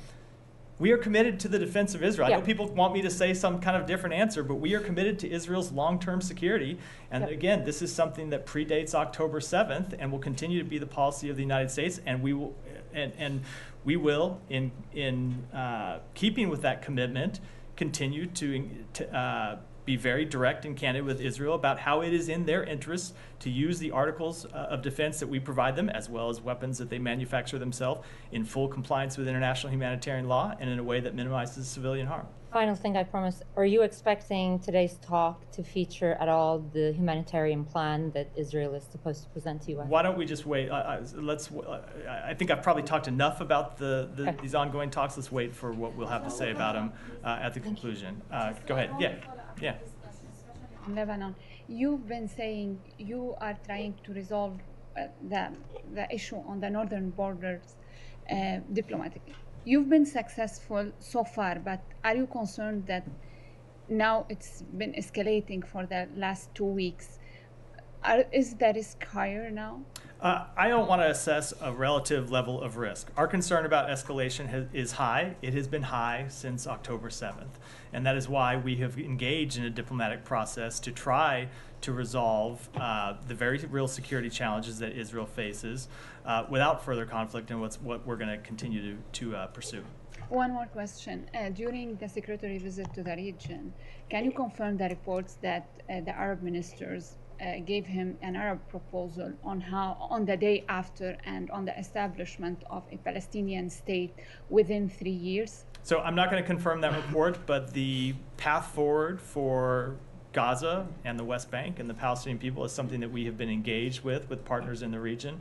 Uh, as you may recall, when the secretary traveled, I should back up, it's really been something that we have been engaged with partners since the immediate aftermath of October 7th, but it's a process that intensified when he traveled to the region in early January uh, and started direct coordination with Arab partners about how to rebuild Gaza, uh, establish security inside Gaza, and ultimately provide a political path forward uh, for the Palestinian people. And that's something that we continue to engage with uh, our Palestinian part, or, I'm sorry, our um, uh, Arab partners about. But I don't want to get into specifics of those conversations. Thank you. All right, one more, and then we'll and then we'll, we'll, we'll take some others. Go ahead. Thank you. One question on that Uh, as you know that this election has been scheduled for June 10th and it's supposed to be further delayed.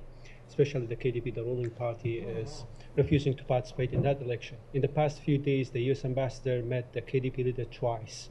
So, do you have any concern that the election, the KRI election, will not happen in the scheduled time? And then, how are you going to encourage the KDP and other political parties to overcome the disputes and having election either on June 10th or any other day this year. So we understand the IKR president uh, and various Iraqi authorities and political parties are actively considering next steps. We encourage efforts to schedule free, fair, and credible elections in the IKR. And I realize I forgot to come back to you about uh, yeah, I, I, you know, we could do. It seems like we could do the whole briefing on it. So let me, we'll, we'll move on for now and then come back um, if there's more time. Go ahead. I, I promise. Um, per the CBS 60 Minutes reporting that aired on Sunday, a first incident of Havana syndrome took place in Frankfurt with an employee of the U.S. consulate. This happened two years before the already known cases that occurred in Havana in 2016. Can you confirm there was an incident? In 2014, at least one incident in Frankfurt that led to apparent Havana syndrome symptoms? So we have made it a practice to not confirm or comment on specific reports uh, uh, in this regard. What I will say is what we have done for affected employees, uh, and that is we have implemented the Havana Act passed by Congress that has allowed us to provide additional support to those affected employees, uh, including uh, reimbursement for medical care, including free care at military hospitals and other military treatment facilities. Uh, includes help uh, with their careers if they've been affected by, say, uh, a prolonged absence from work. Uh, the safety and security of our personnel remains the top priority of the Secretary, and we are doing everything possible to help those uh, affected. A couple more uh, on Havana still. Does the State Department's Bureau of Intelligence and Research have confidence that the, in the US intelligence community's assessment that it is unlikely that a foreign adversary is causing Havana syndrome? So we do, it has been the broad uh, uh, conclusion of the intelligence community since March 20, uh, 2023 that it's unlikely a foreign adversary is responsible for these anomalous health incidents. It's something that the uh, intelligence community has investigated extensively and continues to look at. Um, we will look at the uh, new information as it comes in and make assessments inside the State Department and with our intelligence But community. you can't confirm whether whether INR agrees with that in this building. No, I said we do. They, they You do. share that. You do. Okay. share that assessment. Um, and uh, I don't know if you've seen the report uh, that aired on Sunday, but will any State Department employees who believe they are victims of Havana face consequences for publicly questioning the intel community's assessment? No, of course not. Janie, go ahead. Thank you, Matt. And let me, let me, uh, I said, let me just come back and say, um, uh, uh, of course not, and in no case um, uh, would we in any way hold employees, accountable is not even the right word. In no case would we uh, discipline employees for speaking their mind. They have the uh, ability to do, to do that. We encourage it. But that doesn't change our assessment um, uh, and I say the, I should say our the intelligence community's broad assessment that a foreign adversary is, is unlikely to be responsible for these incidents. Go ahead. Thank you, Thank you Matt. Uh, Russia and North Korea and China. Uh, Russia opposes extending the term of UN Security Council's panel of experts on sanctions against North Korea. How concerned is the United States about this? Uh, incredibly concerned. I spoke to this at, at detail in detail last week. It's unfortunate that uh, Russia and China decided to exercise their veto. This is a panel that has previous whose work has previously been extended unanimously, and uh, I think it's clear what happened here is that Russia made a bargain with the DPRK in return for. Uh, the DPRK arming it in its war against Ukraine, and now we're seeing Russia deliver on its end of the bargain. So, uh, how will violations of North Korea's nuclear and missile tests be sanctioned uh, in the future? So we still have a full range of uh, sanctions uh, uh, on North Korea, and we will continue to enforce those. On uh, China, uh, President Xi Jinping and uh, Russian President Putin will hold a summit meeting in China next month. What do you think about the solidarity between Russia and China? So we have made clear that we have concerns um, with the, I think, full-scale partnership. I'm going to get the words exactly wrong that we have seen between Russia and China. We have made um, uh, very clear that we don't want to see China do anything to help support Russia's aggression in Ukraine, and we will continue to make that clear. Thank you. Uh, Alex, go ahead. Thank you, Matt. Uh, Two separate topics. Let me start with the latest extension. RFE/RL reporter Alsu Kurmasheva's pre-trial detention today. Um, what is your reaction to the court decision? And with the American embassy officials being present for the first time, what can you tell us about her condition? So we are deeply concerned about the about her detention in Russia. We condemn in the strongest possible terms the Kremlin's continued attempts to intimidate, repress, and punish journalists and civil society voices. Uh, the charges against uh, Ms. Kurmasheva are just another sign of the weakness of Putin's regime. And with respect to uh, her condition, I would refer you to the embassy officials who were there at her hearing. She happened to speak about that, you know, from the court hearing. She said it's a poor condition. She doesn't feel very well. There's no minimum, you know, conditions for her. Um, I know you're in the middle of fact gathering when it comes to you know, designating her uh, arrest as, as wrongful. But how much of what we have heard publicly from her today will help you expedite the process? So we look at a broad range of information when it comes to uh, making those determinations. Some of that information is public, some of it is not public. Some of it is information that's available to the United States government, uh, and we'll continue to collect information in this case as we do in all potential wrongful determinations. I'll, thank you. I'll move on to uh, Armenia, Azerbaijan. Over the weekend, we saw the Azeri side was trying to push a narrative that the Armenian side was trying to escalate, you know, um, and something that you know EU monitoring mission didn't uh, confirm. What, how much do you know what's going on, and uh, how concerned are you about potential escalation, and what kind of reaction will that invite if that happens? Presumably this week, they say. So we saw the statement from uh, the government of Azerbaijan over the weekend. Uh, I would note that the EU monitoring mission uh, said yesterday that the Armenia-Azerbaijan border was calm and quiet, with no unusual military troop or artillery movements, despite those those statements.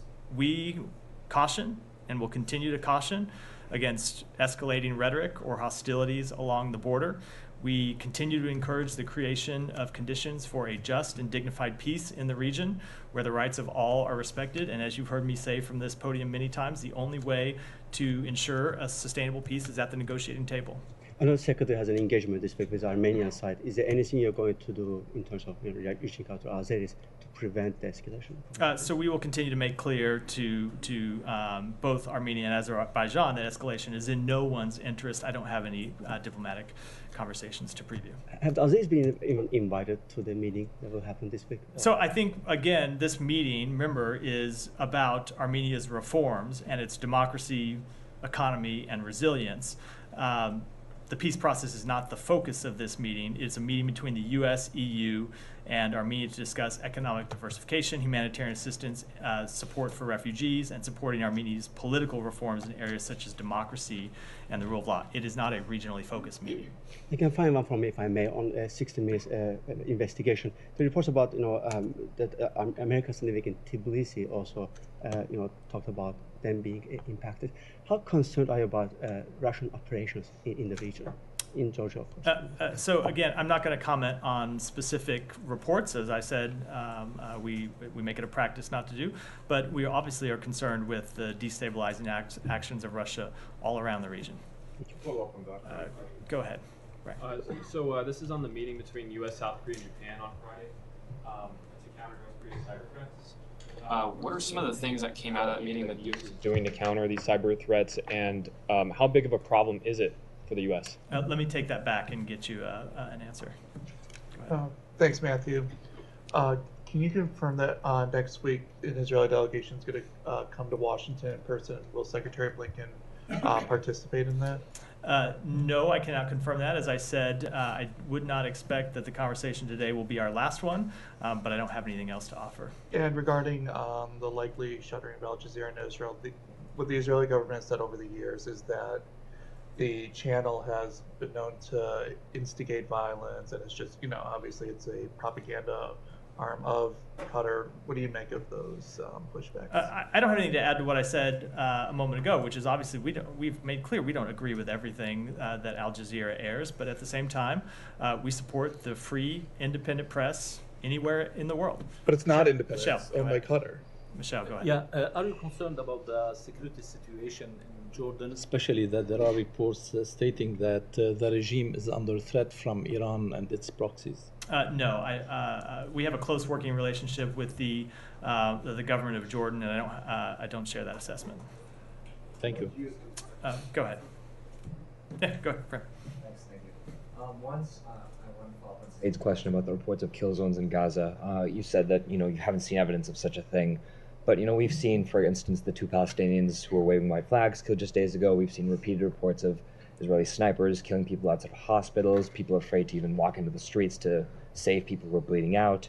Um, so it seems understandable to say, you know, we've seen reports, Israel denied it, we'll look into it, but to outright say there's, there's not evidence of Israel establishing some form of, of this kind of practice, does, does that seem you know preliminary to, to say that kind of thing? No, we've not seen evidence of, of what was what was reported in this article. Now, have we seen uh, a number of incidents of civilian harm? Of course we have. We have seen those, and that happens in, in every war.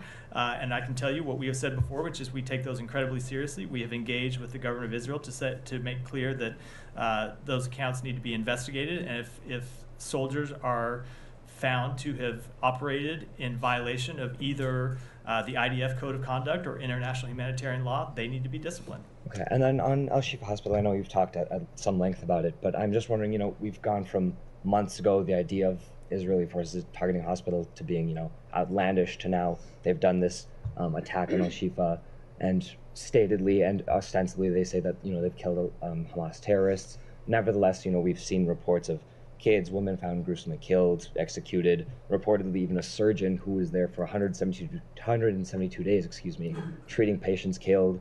Um, and you know, some victims we can't even confirm their, identity because of the, the state of their bodies. So I'm wondering, you know, given this attack, given the evident lack of care for civilians, given that we can't get an update on investigations into, for instance, the now two-month killing of Hind, um, the medic sent to save her, how can the U.S. approve, you know, any action into Rafah, a slice of land where you know 1.1 million Palestinians are seeking refuge. If, if, if a targeted attack on a hospital looks Yeah. like this, what would an attack So- in any form on Rafah look like? Uh, again, do not believe that this attack was on the hospital. It, the attack was on the Hamas fighters that are hiding inside a hospital. Sure, but that's- that's sort of my some, point. Some place that they should never be. But it makes you make a good point with respect to Rafah, which is why we have made clear we don't want to see a full-scale military operation. But I think the the the premise of the question I, I- shouldn't say I shouldn't say the premise of the question 'cause I don't want to attribute this to you but the other alternative is that Israel does nothing about the Hamas fighters that continue to exist uh, in Rafah and we don't think that's an acceptable alternative either so what we have said is there needs to be a targeted military operation in Rafah that targets the Hamas fighters in a way that minimizes civilian harm uh, and not a full-scale uh, operation. That's been what we what we have been making clear to them. Just one small follow-up on that, uh, if you'll allow. Um, I guess this just gets to a broader question about, you know, where, what does the U.S. see as sort of the path out of here? Like, is it political? Because what does it mean for Israel to defend itself ongoingly? Like, is it a matter of eradicating everyone who is associated with Hamas? Because that, I don't know, Yeah. doesn't necessarily seem like a goal that has led to the protection of civilians up to this point. So there needs they have there need to be battlefield successes and there needs to be a political path forward, and that is what we have been engaged with partners in the region uh, to develop and ultimately present to Israel, because as you have heard the secretary say, without a political path forward for the Palestinian people, Israel and the Palestinians are going to be stuck in this same cycle of violence that they have been stuck in for decades. And that's not in the Palestinian people's interest, as we have seen over the past nearly six months. It is not in Israel's interest, as we saw very clearly on October 7th. And so that is the work that we are doing inside the United States government to try to develop that political path forward that we think ultimately is in the best interests of the Palestinian people, the Israeli people, and the broader uh, region at large. Go ahead. Uh, yesterday, Turkey held local elections. I know it's the local elections, but it has a significant outcome. So, do you have any comment or statement about these elections, the process of these elections, or the results? Uh, I don't have any, any comment on that. We typically don't um, uh, comment or take a position on elections anywhere in the world. And the uh, elections are over. Do you have any updates about President Erdogan's uh, visit to Washington in May? Uh, I do not. Uh, go ahead, and then we'll wrap for this. Uh, come to Gita. Good news about uh, one of the U.S. detainee in Afghanistan, uh, Mr. Ryan Corbett. I spoke to the uh, senior Taliban official. They said that he's in good health and he speaks to his family. Another detainee before him was Joshua Boyce, who also contacted me after he was released from the Taliban. I requested the Taliban that these detainees should be released immediately without any conditions in the holy month of Ramadan. They said, We will definitely do it if you give us commitment that uh, the US will release our detainees. And I uh, am not a media group so big as Al Jazeera, I'm just a small time niche media group. Is there anything I can convey that like these detainees should be, I mean, given back to each other, or it's too much out of my. I, I, with all due respect, I think I will decline to conduct diplomacy uh, Okay, via that's what I- th- through this podium. That's what I- Uh, but I will say two things. One, we are concerned, despite those assurances, well-meaning as they may be, we are concerned about the well-being of Americans detained in Afghanistan. And number two, we are actively working for their release, and will continue to do. Uh, my second question is uh, drones have been reported flying in different parts of Afghanistan. Anything you can share that at least? Uh, No. No. I don't have Just any last, on that. Last, get- last, let me- go to just Gita 'cause one we have more. to- Out was- of five, six Gita- questions, Gita- I don't even get I- three. And Gita, go ahead. Thank you. Um, Matt, Human Rights Watch has uh, issued a report on the situation of the Baha'is in Iran. It says that the Iranians' persecution of this uh, religious minority is tantamount to crimes against humanity. I was wondering, since the State Department has been following their situation, the situation of the Baha'is in Iran, if you would have the same assessment as Human Rights Watch? Uh, let me take that back and, and get you an assessment. I haven't seen that, that, obviously it's an issue we've been following. I haven't seen that specific report, but let me talk to others in the building who might have and, and get your response. With that, we'll wrap for today. Thanks, everyone.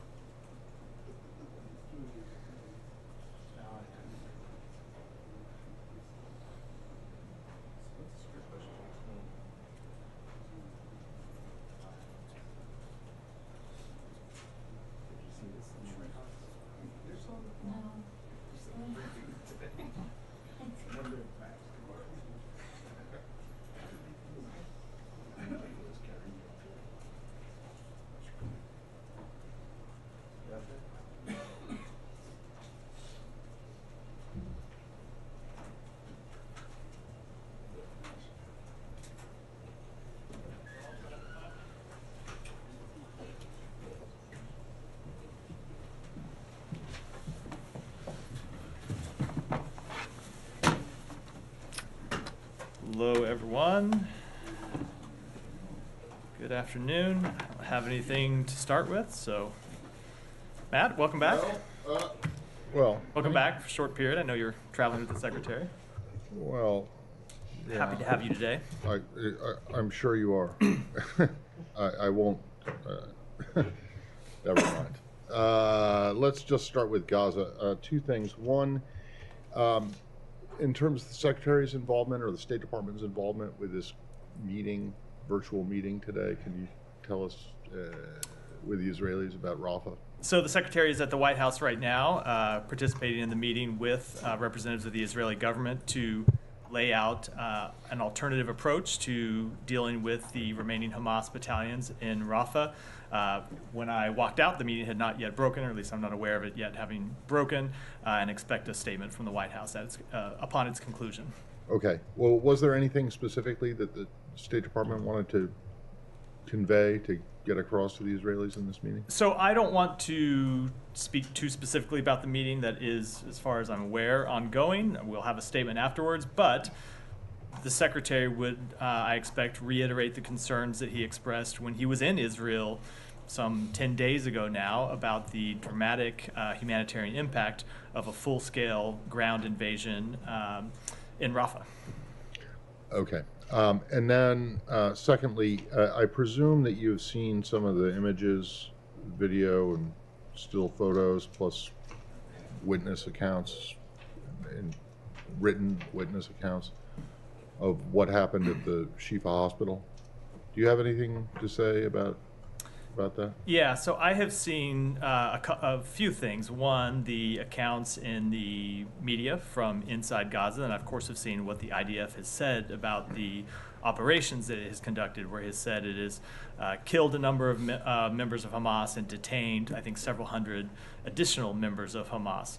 Um, we, as often is the case, don't have anyone uh, the ability to get full ground truth because we don't have anyone on the, uh, the ground uh, in Gaza. Uh, I will say from our perspective, the, the things you have heard us say before, of course, remain true, which is we generally don't want to see Israel operating inside hospitals in Gaza. We want to see hospitals be protected sites. Uh, but it is concerning that after Israel had conducted an operation earlier in this campaign to clear Al Shifa, that Al Shifa again was apparently infiltrated by Hamas fighters. And so, two things about that. One, look, obviously, we um, uh, it would be great if Hamas would stop hiding behind civilians and stop uh, hiding inside civilian infrastructure, including hospitals. But two, it points out what we have been saying all along, which is the need for Israel to have a sustainable long term strategy when it comes to Gaza. Uh, that it's not enough to just clear certain neighborhoods or hospitals or any other uh, geographic areas or buildings of, of Hamas. They need to have a long term sustainable strategy that is not just a security strategy, but also a political strategy if they really want to uh, secure the future of Israel against the terrorist threat that has so to date emanated from Gaza. Right. So you don't have any any comment on what you've seen from the aftermath of the two-week operation against the hospital. Not beyond what I just, All right. just And then when you just say, and this will be it for me, um, when you say um, Israel needs a sustainable long-term strategy uh, for Gaza, have you seen one yet from them? Uh, we have not yet seen one, no. And that's what we have been in conversation with them about. Yeah, but that what they- presumably the meeting today is just about Rafah, right? It's just not- about, it's just Right. about Rafah. And the, and the point, I mean, a sustainable long-term strategy means something beyond a military strategy. It be- means Yeah, uh, but politi- but- a political path as well. Right. So a political path to two states. That, that, Right. that is that is From our your- preferred that is our preferred policy, but it, you need a political path uh, Yeah. of But some have you sort seen? forward. But have you? But have you seen one from the Israelis that is even that is even short of At, two at, states? at this point, we have not known. All right. Thank you. Just follow up on Al Shifa, um, Israel has given some numbers. 200 militants uh, have been killed, 900 suspected militants detained, of whom some 500 have been identified as Hamas. Does the United States have any assessment that these numbers are correct? We don't have an independent assessment. No, Do you have an assessment on how many civilians around that operation have been killed? we do not. Okay. Um, moving on to this strike, this suspected Israeli strike in Damascus. Do you have anything to say on this? I don't. today? Obviously, it just happened in the, the hour or two before I came out here. We are in conversations with partners in the region, gathering more uh, information, but uh, at this point, don't have uh, confirmation either of the target or the responsible party. Do you know if the United States was given a heads up by Israel about this? Uh, again, we are gathering information. I don't have anything uh, about the strike right now. I don't have anything beyond that to offer. Okay, do you have any concerns that this might sort of escalate tensions, which are already high? So, And I in a way yeah. endanger the hostage talks So in any way? I don't want to, before we have gathered information about what exactly this was, I don't want to speak to it uh, specifically, but of course, we are always uh, concerned about, um, uh, about anything that would be escalatory or um, cause an increase in conflict in the region. It has been one of the goals of this administration since October 7th to keep the conflict from spreading, recognizing that Israel has a, uh, the right to defend itself from adversaries that are sworn to its destruction. Um, but with respect to the hostage talks, there's no reason why this incident should have any impact on, on the hostage talks. Uh, we have long believed it is uh, in the interest uh, of everyone to see these hostage talks succeed because you would not just see um, uh, a re- relief to the civilian population in Gaza that desperately needs it. Uh, it would enable the increase in humanitarian assistance into Gaza, and of course, it would get the hostages out. So, no, I, I don't know. I don't believe it should have any impact on that. Can you say how those talks are going in Cairo? I don't have any new assessment to, to offer today. Okay, two final things. This is about last, uh, this is from last week about these um, authorizations of uh, these bombs to, to Israel. They have been approved a long time ago by Congress, but looks like the department has decided to uh, do the transfers last week, the week before.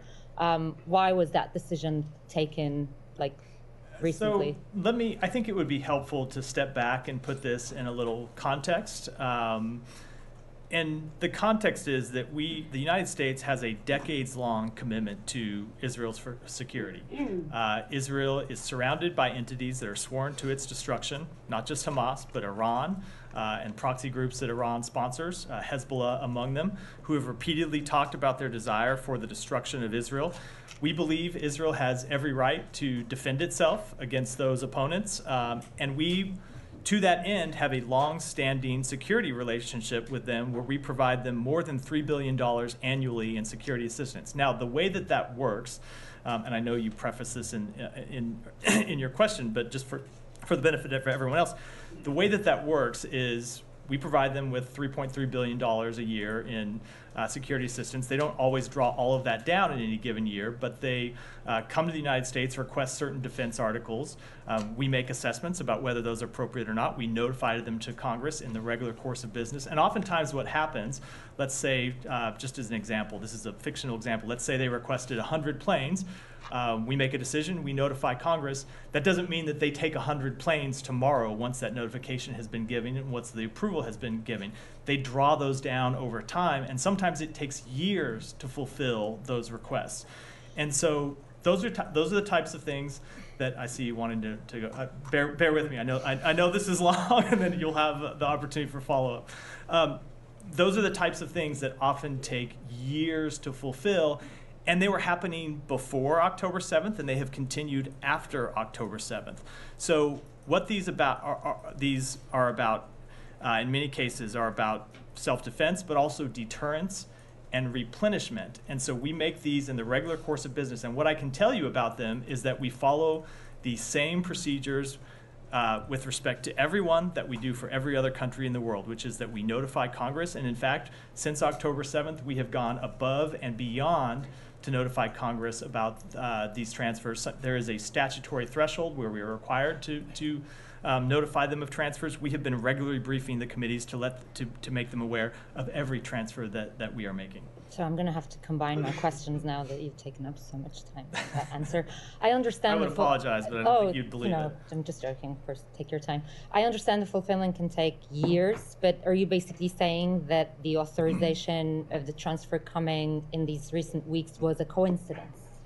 Uh, so I, I'm not saying it's a coincidence that Israel has been engaged in a military conflict, and of course, when you are engaged in a military conflict, you deplete your military stocks. So there was a and- request and you need in recent those- weeks those- for gonna- the for the additional fulfill for the So fulfillment I'm of these get particular. Into, I'm not going to get weapons. as is always the case. I'm not getting into the timings of, ex, of exact requests from Okay, here. my fin- let me just- let just- let me just- I'll be quick. It's a, but this is a process that we keep Congress fully apprised of, our, our relevant committees. Oh. Um, but but when you see these types of requests and when they get publicly reported, you have to remember that Israel is in an armed conflict and is is um, uh, expending a great deal of defense material, and some of that needs to be replenished for Israel's long-term security. Right. And my final thing on this is like Secretary and a lot of senior officials from this administration basically said far too many Palestinians have been killed.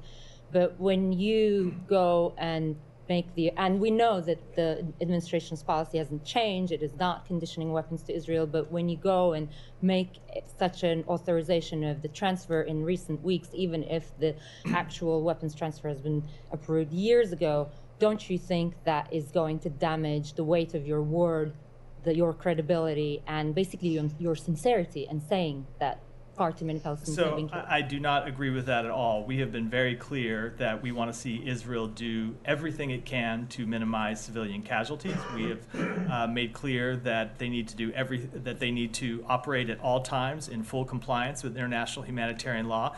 At the same time, we are committed to Israel's right to self-defense, and this is a long-term commitment the United States has made. That it made before October 7th, and that continues uh, uh, in it continues since October 7th. So it obviously the fight in Gaza is connected to Israel's long-term security in very substantial ways. I got into some of that with, with response to Matt's question, um, but Israel still faces, uh, on in addition to the security challenge posed with in Gaza, it still faces an Iran that is hostile to Israel. It still faces Hezbollah on its northern border that is hostile to Israel and says it is committed to the destruction of, Israel. And so we are going to continue to support Israel's ability to defend itself against those sworn enemies that want to see it, it end as a modern state or a state at all.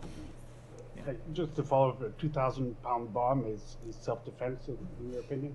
It is. It is a. Um, uh, so they need to have the ability to defend themselves against a very well-armed adversary. Like I said, Iran, Hezbollah, which has thousands and thousands of fighters and quite sophisticated uh, material and quite sophisticated weaponry, as we've seen them deploy.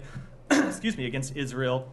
In the last few days, so yes, they do need the, the, the modern military equipment to defend But themselves against those adversaries. in Gaza before, in the beginning in Gaza. And we have made clear to them that when that whatever um, whatever weapon they use in Gaza, be be it a bomb, be it a tank round, be it anything, that we expect them to use those weapons in full compliance with international humanitarian law. And we've said we have had very frank conversations with them about the fact that there far too many civilians have died through their operations and that they need to do better in taking into account uh, the need to minimize civilian harm, and we'll continue to do that. Uh, uh, just uh, on that point, um, okay, took the requests were done years ago, what have you, but this time around you're suspiciously very careful not to publicize it. Um, usually you do the notifications to Congress, you, you do a you know statement, what have you. Uh, but this time, I understand you didn't need to do it because We- it So passed. But I just say we did notify Congress. Yeah, We- no, we I know, We followed. we followed. it. So it is usually not. you do on, on arms sales and all that. You you, so you publicize it. So that's not true with respect to most arms sales around the world. I know people have gotten used to our um, uh, the tempo of arms sales with respect to Ukraine, but that is very a very different situation than our arms sales to Israel or any other country with which we have a security relationship because we stood it up from nowhere right before an active war, where most of our security relationships we don't publicize uh, our ongoing sales. What we do is we notify Congress about those sales, and we have done that with respect to these sales to, to Israel, um, as we do with respect to sales anywhere in the world. Okay. Just a last question on the, back on Damas. Uh, I understand it's it's a bit early, but uh, obviously you don't deny there was a strike uh, by Israel on the consulate in the annex in, in the, the embassy of Iran in Damascus. So we've seen the strike, but again, I want to uh, I want to let the cons- consultations that we have ongoing with partners in the region take place. Uh, But if we- if we- before we can before I comment uh, any further. But it's definitely escalatory. That's not what I said either. I said No, I I'm s- saying that. Uh, you sure saying that great. I thought it was a And I'm question. asking for your reaction. Uh, so Humeyra kind of, kind of, that's that's good. Humeyra kind of did speak to this. Um, I'm not going to comment with respect to this particular strike um, because again, we just need to know more information about it before we do, and that includes drawing any conclusions from it. As a general principle, of course, we are worried about escalation. We are do, worried about anything that would cause the conflict to to expand or widen in any way.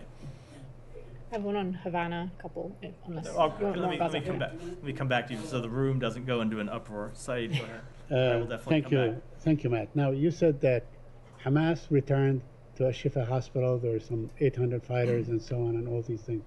Now, is that you are you are citing the Israeli narrative, or you have your own independent in- information? We don't have our own independent assessment, but you have seen Israel produce the names, hol- uh, the names, and photographs of known Hamas fighters Right. who it has killed or How, captured. how, how many? I mean, you know, they showed uh, names and Hamas fighters I in the Shifa hospital. I, ha- I have seen the information they have publicly released. Right, I, but- uh, but- well, but- I just let, I know you get. Let me just. no, no, I'm, finish. I'm with know, you. I'm me- not. I'm not just- interrupting. I'm trying to understand what you're saying. So we have seen them release. I, the, I, I don't think uh, there's anyone who has cause to dispute that. Yes, they have. Uh, there were there were uh, Hamas fighters hiding in Al Shifa Right. Hospital again, not for the first right. time. Okay, so you are certain that the reason that Israel went into Hamas, into Al Shifa hospital one more time is because Hamas fighters were there, and not you know hundreds of civilians that have taken refuge there. So I think it is a uh, certainly a fair conclusion, Right. given what has been their goal since Right. the outset of this campaign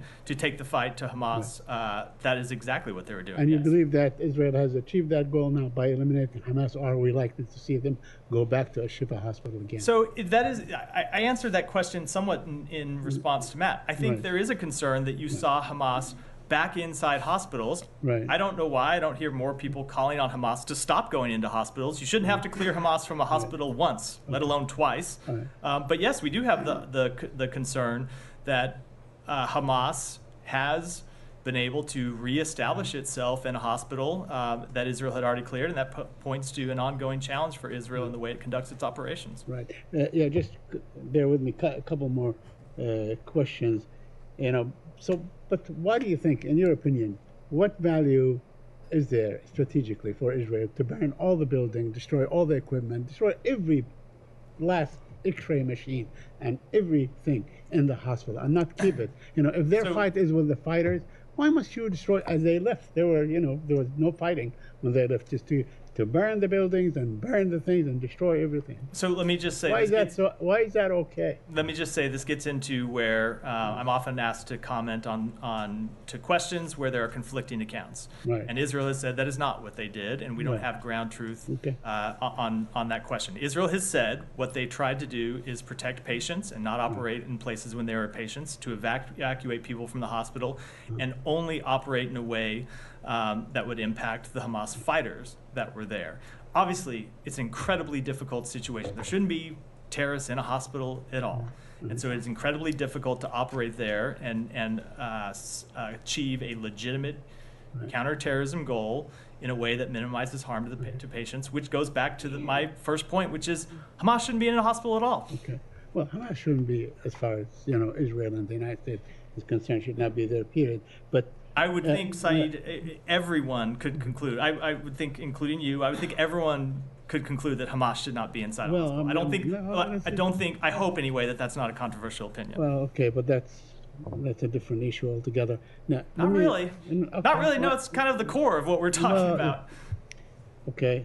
Uh, uh, let me ask you something. You, you, you talked about the 2,000 pound bombs uh, and so on. You think that it is really wise to send it at this time? You know, when this far in this battle, you know, or this war, it has only been used in Gaza. I mean, I know you say that uh, Israel is surrounded by, uh, you know, people that wish it well and so on. But in fact, it's surrounded by Egypt with very good relations with Israel, surrounded by Jordan with good relations with Israel, surrounded by Syria that is obviously embroiled in its own civil war and cannot even defend itself against attacks as we have seen today. So, quite the contrary, is Israel is surrounding Hamas and it's using these weapons to do that. And in fact, I mean, you know, the F-35, to the best of my knowledge, I could be wrong, has only been used in combat against the people of Gaza. So how could you justify sending all these weapons when you have the most hapless people probably on earth, you know, destroyed, moving from one place to another,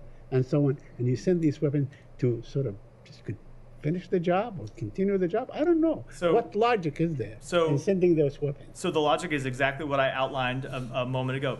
Despite the fact that Israel has a relation, has diplomatic relations with Egypt uh, and Jordan, it does not change the fact that Hezbollah is parked on its northern border and is sworn to the destruction of Israel. It does not change the fact uh, that Iran, uh, uh, no, not exactly, not right on its border, but well within striking distance, is committed to the destruction of Israel and continues to fund proxies committed to the destruction of Israel. So, yes, Israel faces incredibly ser- serious threats, not just from Hamas, although Hamas is clearly one, as we saw on October 7th, but from other adversaries uh, that it needs uh, our assistance uh, to continue to defend itself against. Lastly, lastly, me- please, just one one, one, last one, if I may. Uh, are you aware of a report made or a, a conversation that Israeli officers made with, to, or an interview with Haaretz, where they say that Israel established some sort of an illusionary, you know, kill zone uh, line and so on? Are you aware of that? I and they actually kill whoever walks or moves about in that area? I, I- I read that article and I noted that in it the IDF says that, that that of course is not what they have established. There are of course areas of significant combat where uh, any civilian could wander in and be the the um, uh, unfortunately be killed either by fire from Israel or by fire from Hamas. If you walk into an active conflict zone, uh, that's a possibility. I've, but I, I have noted that the IDF said they have not, of course, established kill zones. It would be incredibly inappropriate for anything uh, like that to be established, and we've not seen evidence at this point that they have.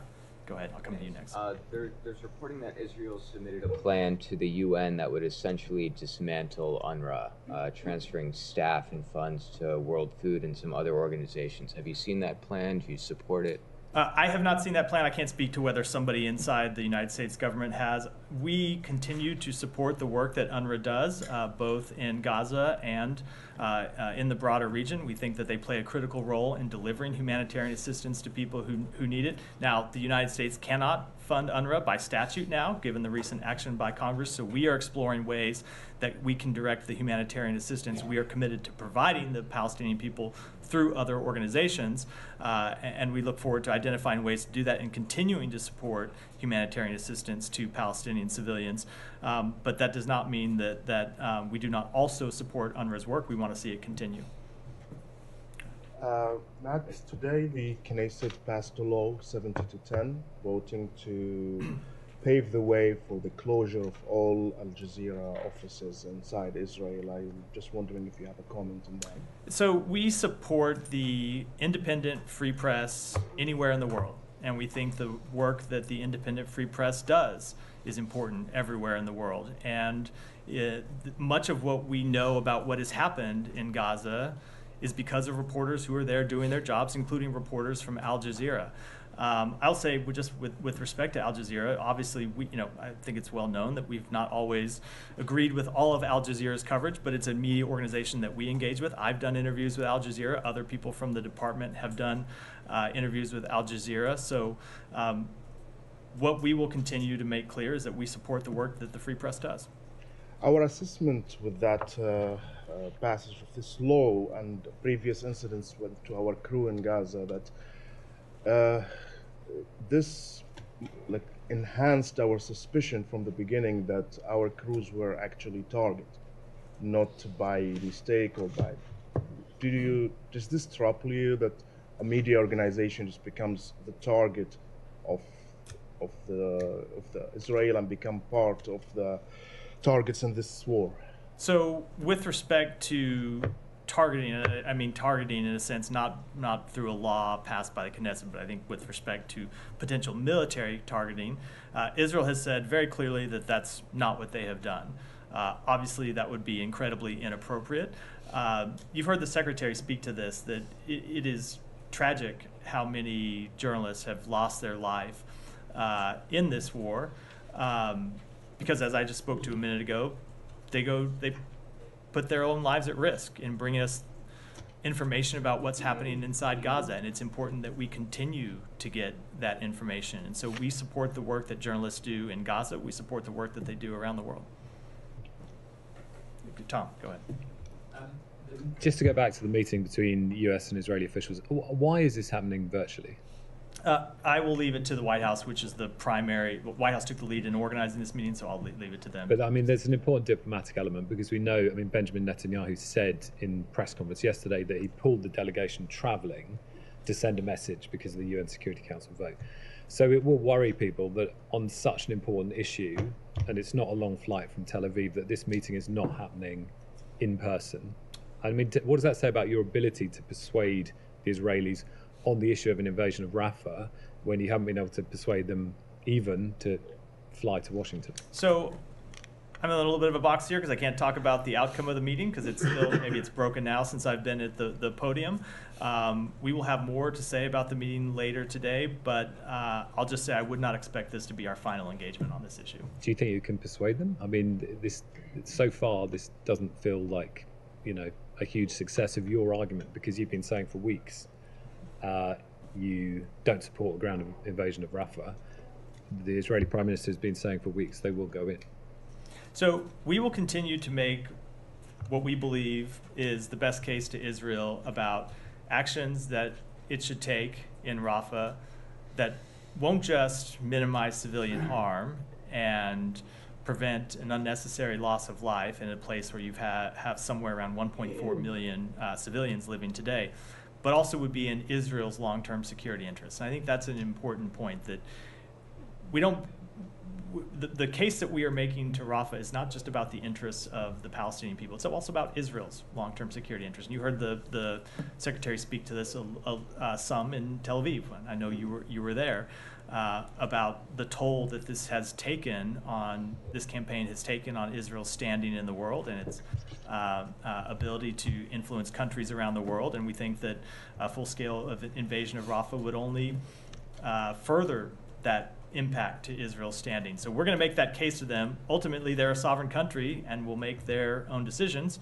Um, but we're going to make the, the we will uh, lay out to them the way we see it. I just follow up on Yeah, go ahead. Um, and will this conversation also make clear what the U.S. will do if they go ahead with a full-scale invasion uh, in response, or is this just laying out alternatives? Uh, so, two things about that. One, with respect to the broader question, not tied directly to this meeting, I've gotten that before, and I'm just not going to speak to hypotheticals. We're going to take it one step at a time and not make uh, any predictions about what, what I'm just asking if that's being Uh, discussed in this Yeah, meeting. Yeah, but what will happen? And then with respect to the meeting itself, again, I'm not going to speak in detail about a meeting that was still ongoing when I walked out here. We'll have more to say. But you have once- spoken We'll have more to say about it what, once it's concluded. So at a, at a very high level, not not in. Okay, and just one more question on Israel.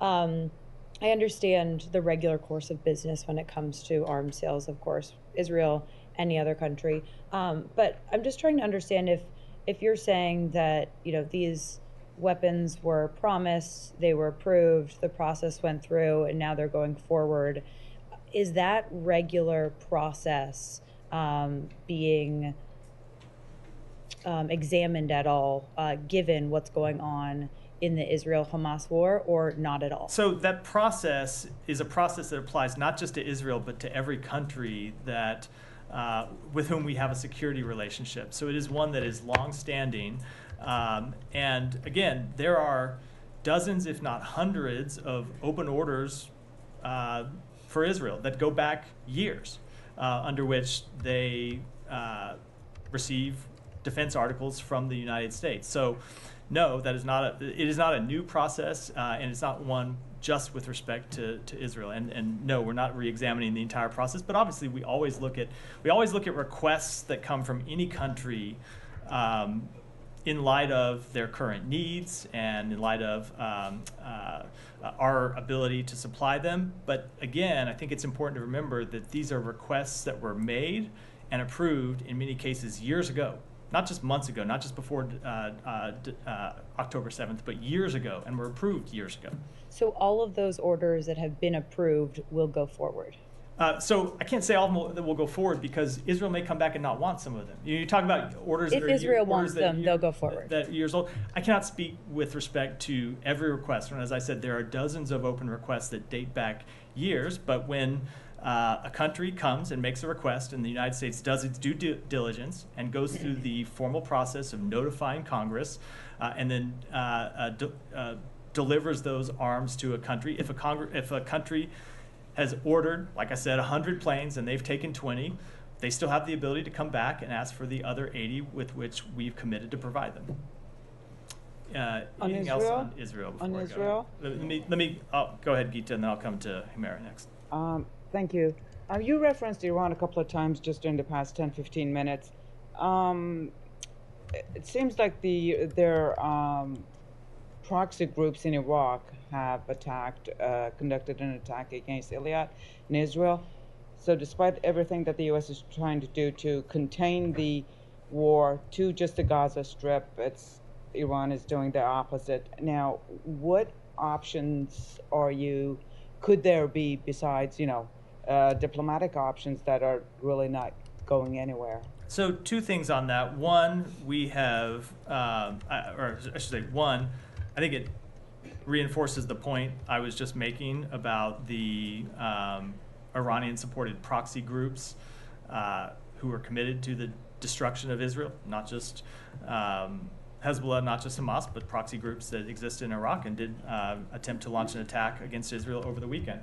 Uh, but two, we will continue to make clear to um, those groups and to Iran that it is not in their interest to take strikes against Israel. It is not in, the interest to take strikes against the United States, as we have done uh, for some time. How much confidence do you have in the Iraqi government to contain them? Because the foreign minister was here, the prime minister is supposed to be coming, and it hasn't govern the government hasn't really been able to deliver. So I would say that that is an ongoing conversation we have with our Iraqi counterparts about the need to um, take action against proxy groups that uh, launch attacks from uh, within Iraqi uh, inside Iraq. You have seen obviously a dramatic decrease in the number of those attacks over the past month or six weeks, but it is something that we continue to engage with the Iraqi government about. Can I ask Any you a more question on about Is- Iran? Humeyra, Humeyra, and then we'll, we'll come. Um, just one thing uh, in your answer, Matt, to me and a few others on, on the weapons thing, you mentioned, um, you know, the threat from Hezbollah, like on Israel and all that. So, uh, were you trying to suggest that, you know, in the course of this latest authorization for the transfer, did you get any assurances from Israel that it's not going to use these, like in its offensive in Gaza, but it's only going to use these against Hezbollah? So, no, that's not what I said at all. I think you're reading quite a bit into. Okay, no, I just in- wanna hold check on. that. Reading quite a bit into my answer, but again, the recent authorizations that you're talking about were in many cases made years ago. Right. Right, But, years ago, before just October 7th. Yes, but just to be sure, there has been no assurances. United States has not sought any assurances from Israel, just in the wake of this or just before this uh, this transfer. Like you can use it in this place and you can't use it in that place. So There's I'm been not- no such conversation. I am not going to get into the private conversations we have uh, with any country, hold any country in the world. But that is not to read into that. You should not read into that that we are uh, imposing so, uh, uh, some kind of conditions. The, what we expect with respect to the defense articles that we supply to Israel and other countries are that they operate in compliance with international humanitarian law. Now, with respect to a campaign against Hezbollah or a potential campaign against Hezbollah, we have seen we want to see that issue resolved uh, diplomatically. We want to see um, uh, Israeli citizens able to return to their homes in northern Israel. We want to see uh, Lebanese civilians able to return to their home in southern Lebanon, but that's a um, uh, that's a path we're pursuing diplomatically. And just by law, you had the authority not to make the transfer, right? Like even if Congress had approved this years ago, even if the fulfillment takes years, United States government certainly had the has the authority not to fulfill so it today. Whether we have right? the authority or not is one question. There are always ramifications. Um, uh, if you have committed to supply a country with something and you don't, this gets very technical. No, I'm and- just wondering and- if you had and- the and- and option. You have but the again, choice. We are committed to the defense of Israel. I know people want me to say some kind of different answer, but we are committed to Israel's long-term security.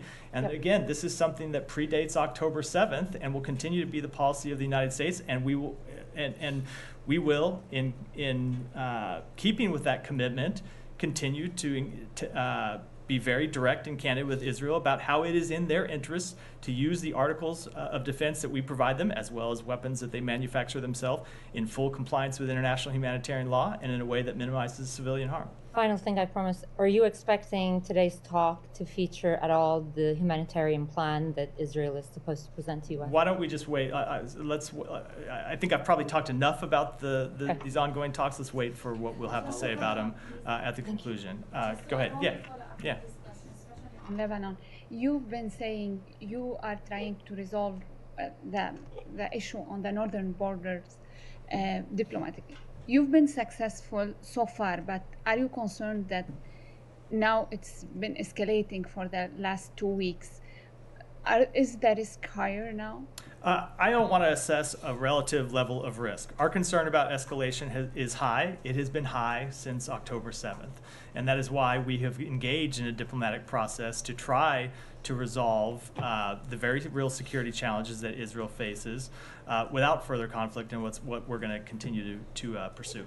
One more question. Uh, during the secretary visit to the region, can you confirm the reports that uh, the Arab ministers uh, gave him an Arab proposal on how, on the day after, and on the establishment of a Palestinian state within three years? So I'm not going to confirm that report, but the path forward for Gaza and the West Bank and the Palestinian people is something that we have been engaged with with partners in the region.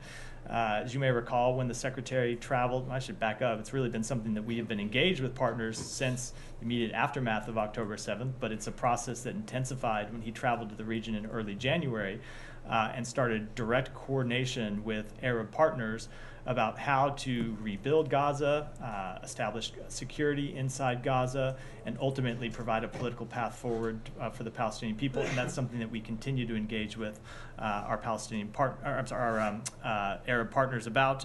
But I don't want to get into specifics of those conversations. Thank you. All right, get one more, and then we'll and then we'll, we'll I'll take some others. Go ahead.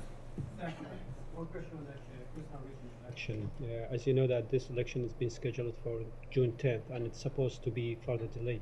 Especially the KDP, the ruling party, is refusing to participate in that election. In the past few days, the U.S. ambassador met the KDP leader twice. So, do you have any concern that the election, the KRI election, will not happen in the scheduled time? And then, how are you going to encourage the KDP and other political parties to overcome the disputes and having election either on June 10th or any other day this year? So we understand the IKR president uh, and various Iraqi authorities and political parties are actively considering next steps. We encourage efforts to schedule free, fair, and credible elections in the IKR. And I realize I forgot to come back to you about. Uh, yeah, I, I, you know, we could do. It seems like we could do the whole briefing on it. So let me. We'll, we'll move on for now and then come back um, if there's more time. Go ahead. I, I promise. Um, per the CBS 60 Minutes reporting that aired on Sunday, a first incident of Havana syndrome took place in Frankfurt with an employee of the US consulate. This happened two years before the already known cases that occurred in Havana in 2016. Can you confirm there was an incident in 2014, at least one incident in Frankfurt, that led to apparent Havana syndrome symptoms? So we have made it a practice to not confirm or comment on specific reports uh, uh, in this regard. What I will say is what we have done for affected employees, uh, and that is we have implemented the Havana Act passed by Congress that has allowed us to provide additional support to those affected employees, uh, including uh, reimbursement for medical care, including free care at military hospitals and other military treatment facilities. Uh, includes help with their careers if they've been affected by, say, uh, a prolonged absence from work. Uh, the safety and security of our personnel remains the top priority of the Secretary, and we are doing everything possible to help those uh, affected. A couple more uh, on Havana still. Does the State Department's Bureau of Intelligence and Research have confidence that the, in the U.S. intelligence community's assessment that it is unlikely that a foreign adversary is causing Havana syndrome? So we do. It has been the broad uh, uh, conclusion of the intelligence community since March 20, uh, 2023 that it's unlikely a foreign adversary is responsible for these anomalous health incidents. It's something that the uh, intelligence community has investigated extensively and continues to look at. Um, we will look at the, uh, new information as it comes in and make assessments inside the State Department and with our intelligence community. You can't confirm whether whether INR agrees with that in this building. No, I said we do, they, they You do share that. You do, okay. share that assessment. Um, and uh, I don't know if you've seen the report uh, that aired on Sunday, but will any State Department employees who believe they are victims of Havana face consequences for publicly questioning the intel community's assessment? No, of course not. Janie, go ahead. Thanks, Matt. And let me, let me, uh, I said, let me just come back and say, um, uh, uh, of course not, and in no case um, uh, would we in any way hold employees, accountable is not even the right word. In no case would we uh, discipline employees for speaking their mind. They have the uh, ability to do, to do that. We encourage it.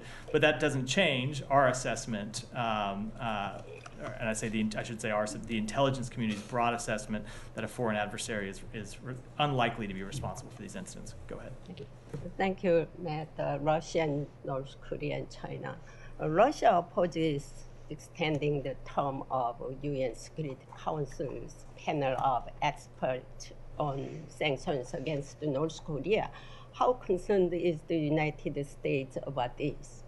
Uh, incredibly concerned. I spoke to this at, at detail in detail last week. It's unfortunate that uh, Russia and China decided to exercise their veto. This is a panel that has previous whose work has previously been extended unanimously, and uh, I think it's clear what happened here is that Russia made a bargain with the DPRK in return for.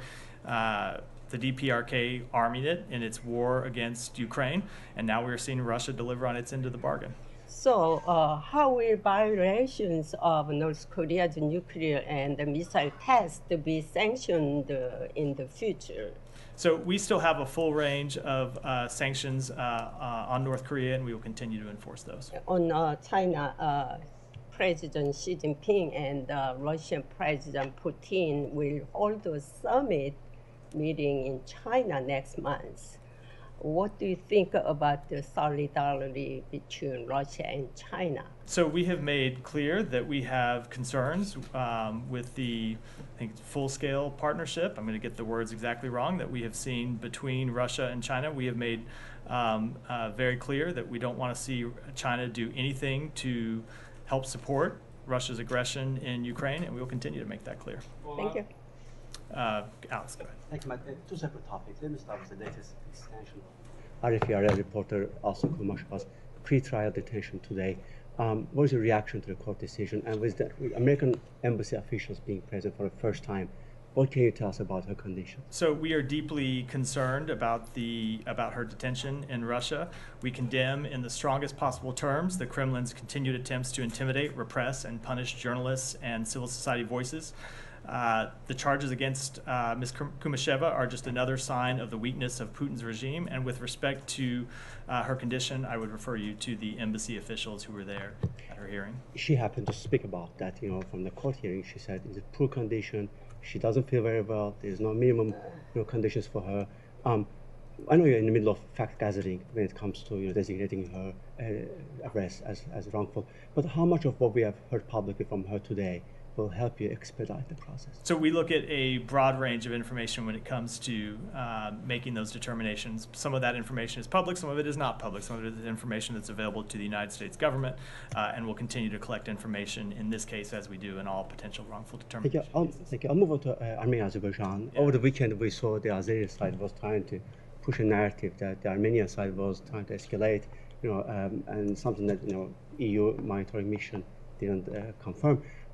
What, how much do you know what's going on, and uh, how concerned are you about potential escalation, and what kind of reaction will that invite if that happens? Presumably this week, say. So we saw the statement from uh, the government of Azerbaijan over the weekend. Uh, I would note that the EU monitoring mission uh, said yesterday that the Armenia-Azerbaijan border was calm and quiet, with no unusual military troop or artillery movements. Despite those those statements, we caution and will continue to caution against escalating rhetoric or hostilities along the border. We continue to encourage the creation of conditions for a just and dignified peace in the region where the rights of all are respected. And as you've heard me say from this podium many times, the only way to ensure a sustainable peace is at the negotiating table.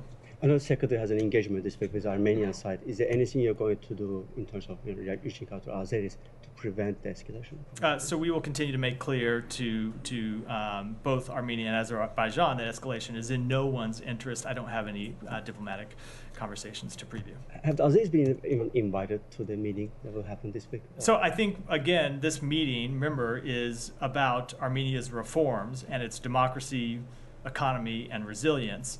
Um, the peace process is not the focus of this meeting. It's a meeting between the U.S., EU, and Armenia to discuss economic diversification, humanitarian assistance, uh, support for refugees, and supporting Armenia's political reforms in areas such as democracy and the rule of law. It is not a regionally focused meeting. You can find one from me, if I may, on uh, 60 Minutes uh, investigation. The reports about, you know, um, that uh, Am- Americans living in Tbilisi also, uh, you know, talked about them being impacted. How concerned are you about uh, Russian operations in, in the region, in Georgia, of course? Uh, uh, so again, I'm not going to comment on specific reports. As I said, um, uh, we we make it a practice not to do.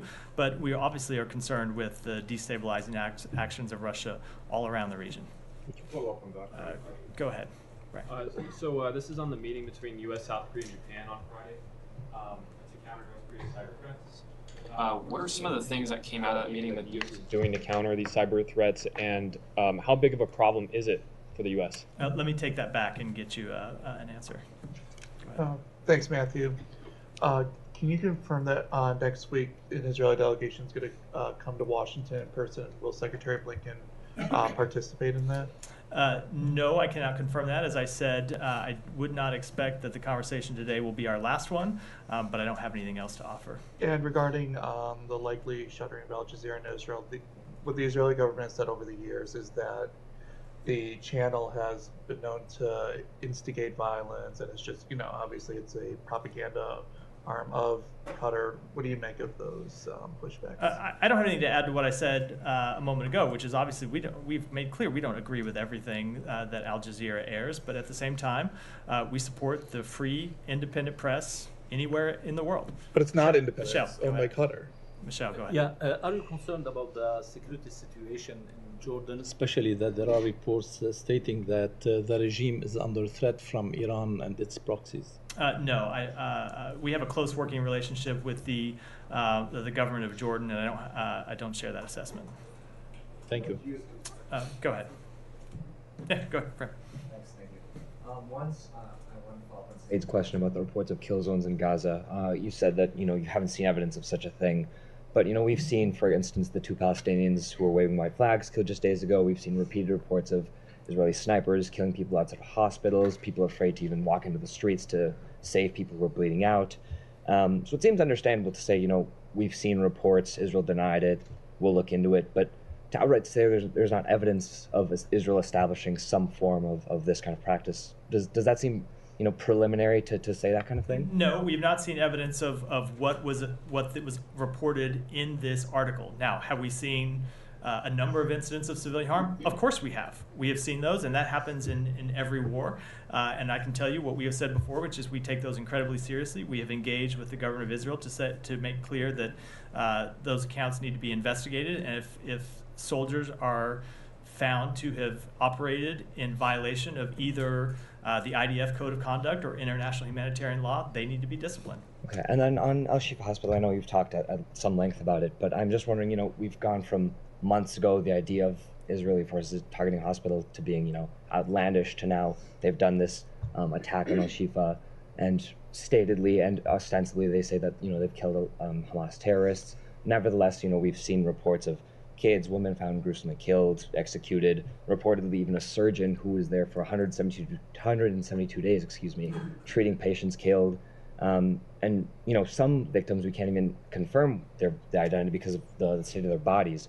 So I'm wondering, you know, given this attack, given the evident lack of care for civilians, given that we can't get an update on investigations into, for instance, the now two-month killing of Hind, um, the medic sent to save her, how can the U.S. approve, you know, any action into Rafah, a slice of land where, you know, 1.1 million Palestinians are seeking refuge? If, if, if a targeted attack on a hospital looks Yeah. like this, what would an attack So- in any form on Rafah look like? Uh, again, do not believe that this attack was on the hospital.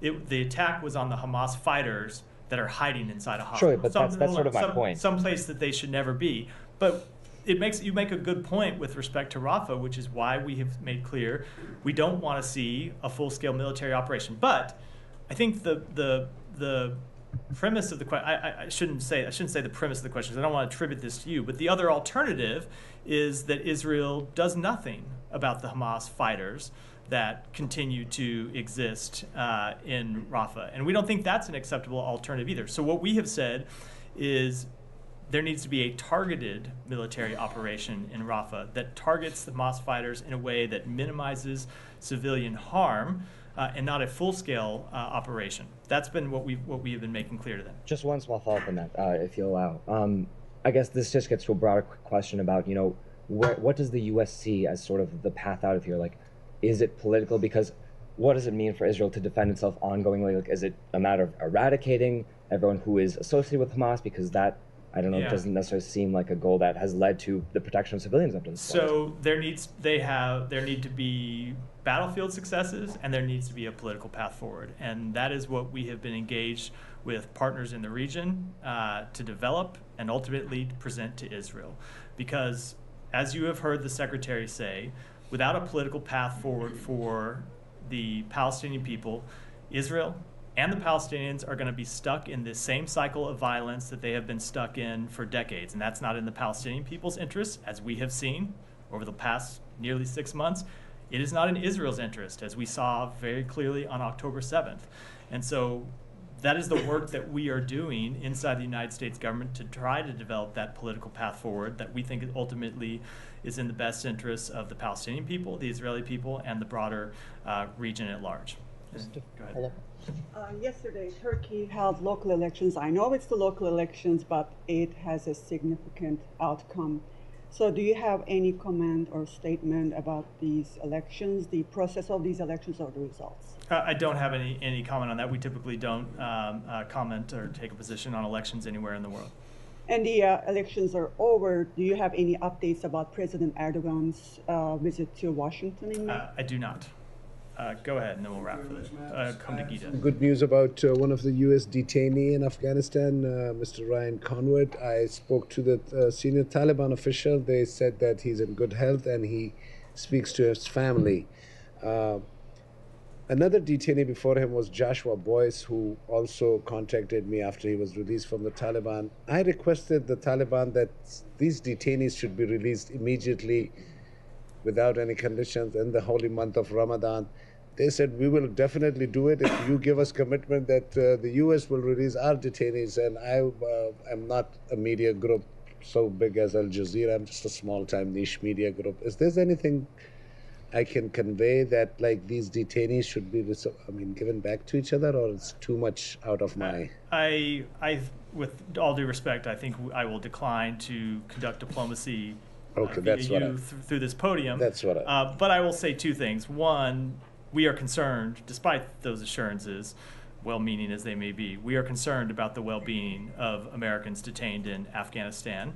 And number two, we are actively working for their release, and we'll Thank continue you. to do. Uh, my second question is uh, drones have been reported flying in different parts of Afghanistan. Anything you can share that at least? Uh, No. No. I don't have Just last, on that. Last, get- last, let me- go to just one we have more. to- that Out was- of that five, two. six Gita- questions, Gita- I don't even get I- three. And Gita, go ahead. Thank you. Um, Matt, Human Rights Watch has uh, issued a report on the situation of the Baha'is in Iran. It says that the Iranians' persecution of this uh, religious minority is tantamount to crimes against humanity. I was wondering, since the State Department has been following their situation, the situation of the Baha'is in Iran, if you would have the same assessment as Human Rights Watch? Uh, let me take that back and, and get you an assessment. I haven't seen that. That obviously it's an issue we've been following. I haven't seen that specific report, but let me talk to others in the building who might have and, and get your response. With that, we'll wrap for today. Thanks, everyone.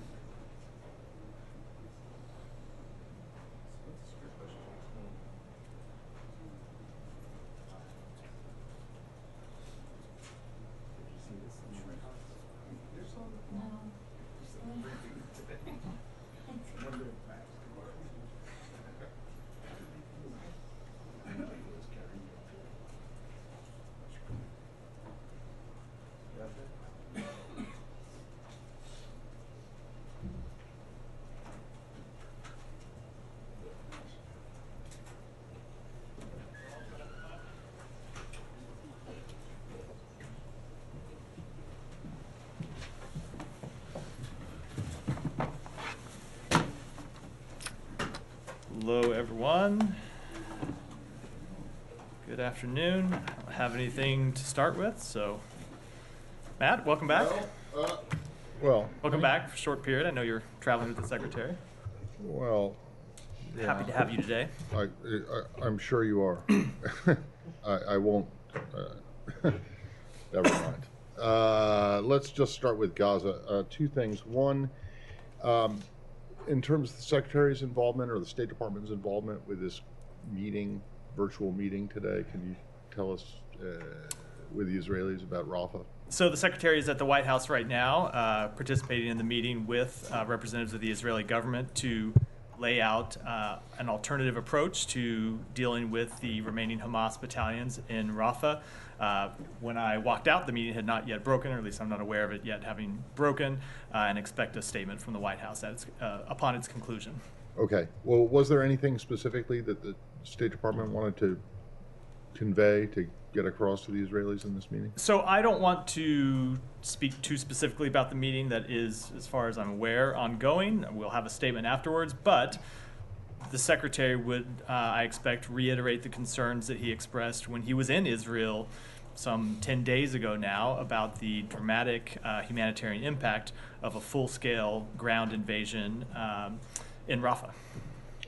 Okay. Um, and then, uh, secondly, uh, I presume that you've seen some of the images, video, and still photos, plus witness accounts and written witness accounts of what happened at the Shifa Hospital.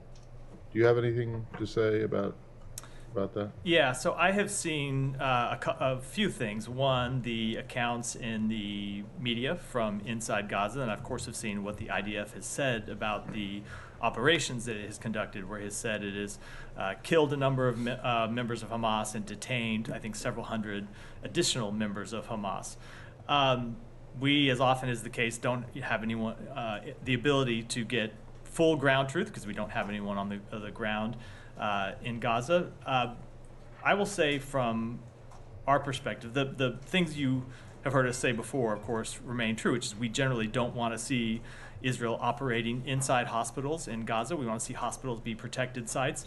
Uh, but it is concerning that after Israel had conducted an operation earlier in this campaign to clear Al Shifa, that Al Shifa again was apparently infiltrated by Hamas fighters. And so, two things about that.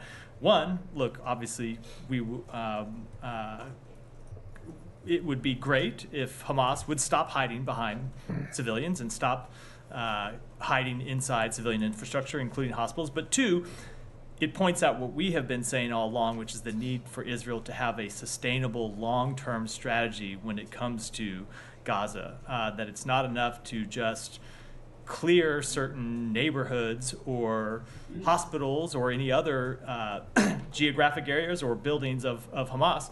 They need to have a long term sustainable strategy that is not just a security strategy, but also a political strategy if they really want to uh, secure the future of Israel against the terrorist threat that has so, to date emanated from Gaza. Right. So you don't have any any comment on what you've seen from the aftermath of the two week operation against the hospital. Not beyond what I just, All right. just And then when you just say, and this will be it for me, um, when you say um, Israel needs a sustainable long term strategy uh, for Gaza, have you seen one yet from them? Uh, we have not yet seen one, no. And that's what we have been in conversation with them about. Yeah, that- but that what they- presumably the meeting today is just about Rafah, right? It's just about it's just Right. about Rafah. And the and the point I mean, a sustainable long-term strategy means something beyond a military strategy. It, be, it means Yeah, uh, but you- politi- but- a, a political path as well. Right. So a political path to two states. That, that, Right. that is that is From our your- preferred that is our preferred policy. But it, you need a political path Yeah. uh, of but some have you sort seen? forward. But No. have you? But No. have you seen one from the Israelis that is even that is even short of At, two at, states? at this point, we have not. No. All right. Thank you. Just to follow up on Al Shifa, um, Israel has given some numbers. 200 militants uh, have been killed, 900 suspected militants detained, of whom some 500 have been identified as Hamas. Does the United States have any assessment that these numbers are correct? We don't have an independent assessment. No, Do you have an assessment on how many civilians around that operation have been killed? we do not. Okay. Um, moving on to this strike, this suspected Israeli strike in Damascus. Do you have anything to say on this? I don't. Obviously, it just happened in the, the hour or two before I came out here. We are in conversations with partners in the region, gathering more uh, information, but uh, at this point, don't have uh, confirmation either of the target or the responsible party. Do you know if the United States was given a heads up by Israel about this? Again, we are gathering information. I don't have anything uh, about the strike right now. I don't have anything beyond that to offer. Okay, do you have any concerns that this might sort of escalate tensions, which are already high? So, And I in a way yeah. endanger the hostage talks So in any way? I don't want to, before we have gathered information about what exactly this was, I don't want to speak to it uh, specifically, but of course, we are always uh, concerned about, um, uh, about anything that would be escalatory or um, cause an increase in conflict in the region. It has been one of the goals of this administration since October 7th to keep the conflict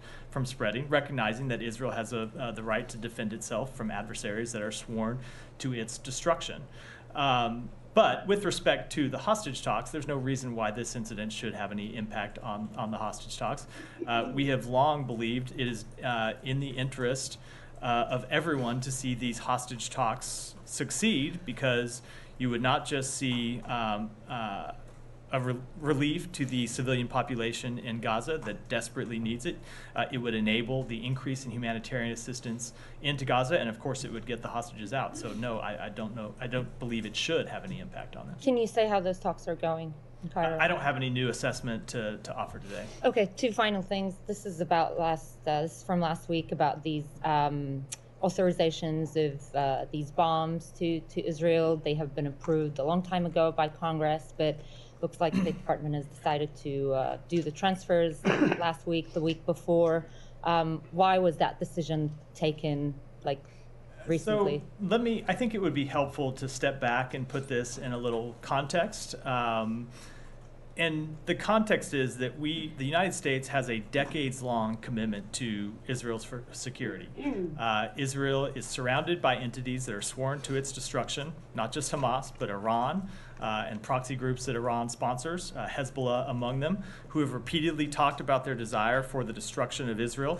We believe Israel has every right to defend itself against those opponents, um, and we to that end, have a long-standing security relationship with them where we provide them more than $3 billion annually in security assistance. Now, the way that that works, um, and I know you preface this in, in, in your question, but just for, for the benefit of everyone else, the way that that works is we provide them with $3.3 billion a year in uh, security assistance. They don't always draw all of that down in any given year, but they uh, come to the United States, request certain defense articles. Um, we make assessments about whether those are appropriate or not. We notify them to Congress in the regular course of business. And oftentimes, what happens, let's say, uh, just as an example, this is a fictional example, let's say they requested 100 planes. Um, we make a decision, we notify Congress. That doesn't mean that they take 100 planes tomorrow once that notification has been given and once the approval has been given. They draw those down over time, and sometimes it takes years to fulfill those requests. And so those are, those are the types of things that I see you wanting to, to go. Uh, bear, bear with me. I know, I, I know this is long, and then you'll have the opportunity for follow up. Um, those are the types of things that often take years to fulfill and they were happening before October 7th, and they have continued after October 7th. So what these about are, are these are about, uh, in many cases, are about self-defense, but also deterrence and replenishment. And so we make these in the regular course of business. And what I can tell you about them is that we follow the same procedures uh, with respect to everyone that we do for every other country in the world, which is that we notify Congress. And in fact, since October 7th, we have gone above and beyond to notify Congress about uh, these transfers. There is a statutory threshold where we are required to, to um, notify them of transfers. We have been regularly briefing the committees to let to, to make them aware of every transfer that, that we are making. So I'm going to have to combine my questions now that you've taken up so much time with that answer. I understand. I would apologize, but I don't oh, think you'd believe know, it. I'm just joking. First, take your time. I understand the fulfillment can take years, but are you basically saying that the authorization of the transfer coming in these recent weeks was a coincidence? Uh, so I, I'm not saying it's a coincidence that Israel has been engaged in a military conflict, and of course, when you are engaged in a military conflict, you deplete your military stocks. So there was a to- and- request and you need in recent those- weeks those- I'm not for gonna- the for the additional uh, fulfill uh, for the fulfillment I'm of these particular into, I'm not going to get weapons. as is always the case. I'm not getting into the timings of, ex, of exact requests from Okay, here. my fin- Well, I'll be quick.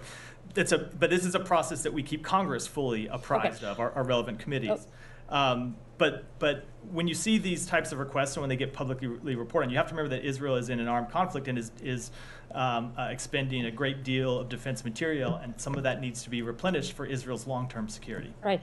And my final thing on this is like Secretary and a lot of senior officials from this administration basically said far too many Palestinians have been killed. But when you go and make the and we know that the administration's policy hasn't changed. It is not conditioning weapons to israel. But when you go and make such an authorization of the transfer in recent weeks even if the actual weapons transfer has been approved years ago don't you think that is going to damage the weight of your word the, your credibility and basically your, your sincerity in saying that many palestinians have So killed I, I do not agree with that at all. We have been very clear that we want to see Israel do everything it can to minimize civilian casualties. We have uh, made clear that they need to do every that they need to operate at all times in full compliance with international humanitarian law. At the same time, we are committed to Israel's right to self-defense, and this is a long-term commitment the United States has made. That it made before October 7th, and that continues uh, uh, in it continues since October 7th. So it obviously the fight in Gaza is connected to Israel's long-term security in very substantial ways. I got into some of that with, with response to Matt's question, um, but Israel still faces, uh, on in addition to the security challenge posed with in Gaza, it still faces an Iran that is hostile to Israel. It still faces Hezbollah on its northern border that is hostile to Israel and says it is committed to the destruction of, Israel. And so we are going to continue to support Israel's ability to defend itself against those sworn enemies that want to see it, it end as a modern state or a state at all. Just to follow up, a 2,000 pound bomb is, is self defense, in your opinion? It is. A, it is a. Um, uh, so they need to have the ability to defend themselves against a very well armed adversary. Like I said, Iran, Hezbollah, which has thousands and thousands of fighters and quite sophisticated uh, material and quite sophisticated weaponry, as we've seen them deploy. excuse me, against Israel. In the last few days, so yes, they do need the, the, the modern military equipment to defend they've themselves against those using adversaries. in Gaza before, in the beginning in Gaza. And we have made clear to them that when that whatever um, whatever weapon they use in Gaza, be be it a bomb, be it a tank round, be it anything, that we expect them to use those weapons in full compliance with international humanitarian law. And we've said we have had very frank conversations with them about the fact that there far too many civilians have died through their operations and that they need to do better in taking into account uh, the need to minimize civilian harm, and we'll continue to do that. Uh, uh, just uh, on that point, um, okay, took the requests were done years ago, what have you, but this time around you're suspiciously very careful not to publicize it. Um, usually you do the notifications to Congress, you, you do a you know statement, what have you. Uh, this time, I understand you didn't need to do it because We- it was So passed, but I just say we did notify Congress. Yeah, We- no, we I know, We but you followed. didn't we followed. it. So it is usually not. you do on, on arms sales and all that. You you, so, you publicize it. So that's not true with respect to most arms sales around the world. I know people have gotten used to our um, uh, the tempo of arms sales with respect to Ukraine, but that is very a very different situation than our arms sales to Israel or any other country with which we have a security relationship because we stood it up from nowhere right before an active war, where most of our security relationships we don't publicize uh, our ongoing sales. What we do is we notify Congress about those sales, and we have done that with respect to these sales to, to Israel, um, as we do with respect to sales anywhere in the world. Okay. Just a last question on the, back on Damas. Uh, I understand it's, it's a bit early, but uh, obviously you don't deny there was a strike uh, by Israel on the consulate in the annex in, in the, the embassy of Iran in Damascus. So we've seen the strike, but again, I want to uh, I want to let the cons- consultations that we have ongoing with partners in the region take place. Uh, But allow if we- if we- before we can before I count, comment uh, any further. But it's definitely escalatory. That's not what I said either. I said No, I I'm s- saying that. Uh, you're saying that great. I thought it was a And I'm question. asking for your reaction. Uh, so Humeyra kind of, kind of, that's that's good. Humeyra kind of did speak to this. Um, I'm not going to comment with respect to this particular strike um, because again, we just need to know more information about it before we do, and that includes drawing any conclusions from it. As a general principle, of course, we were worried about escalation. We were do, worried about anything that would cause the conflict to to expand or widen in any way. I have one on Havana, a couple, if- unless you I'll- want let more me, let me that. come back. Let me come back to you so the room doesn't go into an uproar. Saeed, go ahead. I Uh, will definitely Thank come you, back. thank you, Matt. Now, you said that Hamas returned to Ashifa Hospital, there were some 800 fighters and so on and all these things. Now, is that, you are, you are citing the Israeli narrative or you have your own independent in- information? We don't have our own independent assessment, but you have seen Israel produce the names, hol- uh, the names, Right. photographs of known Hamas fighters Right. who it has killed or How, captured. how, how many, I mean, you know, they showed uh, names and Hamas fighters I in have- the Shifa Hospital? I have I have seen the information they have publicly released. Right, I, but- uh, but- well, but- Saeed, just let, I know you get. Let me just. No, no. I'm, I'm I with know, you. I'm me- not, I'm not just- interrupting. I'm trying to understand what you're saying. So we have seen them release. I, the, I, I don't think uh, there's anyone who has cause to dispute that. Yes, they have. Uh, there were there were uh, Hamas fighters hiding in Al Shifa Right. Hospital again, not for the first right. time. Okay, so you are certain that the reason that Israel went into Hamas, into Al Shifa hospital one more time is because Hamas fighters were there, and not you know hundreds of civilians that have taken refuge there. So I think it is a uh, certainly a fair conclusion, Right. given what has been their goal since Right. the outset of this campaign to take the fight to Hamas. Uh, that is exactly what they were doing. And you yes. believe that Israel has achieved that goal now by eliminating Hamas, or are we likely to see them go back to a Shifa hospital again? So that is, I, I answered that question somewhat in, in response to Matt. I think Right. there is a concern that you saw Hamas back inside hospitals. Right. I don't know why I don't hear more people calling on Hamas to stop going into hospitals. You shouldn't have to clear Hamas from a hospital once, let alone twice. Right. Um, but yes, we do have the the, the concern that uh, Hamas has been able to reestablish itself in a hospital um, that Israel had already cleared, and that po- points to an ongoing challenge for Israel in the way it conducts its operations. Right. Uh, yeah, just bear with me. A couple more uh, questions.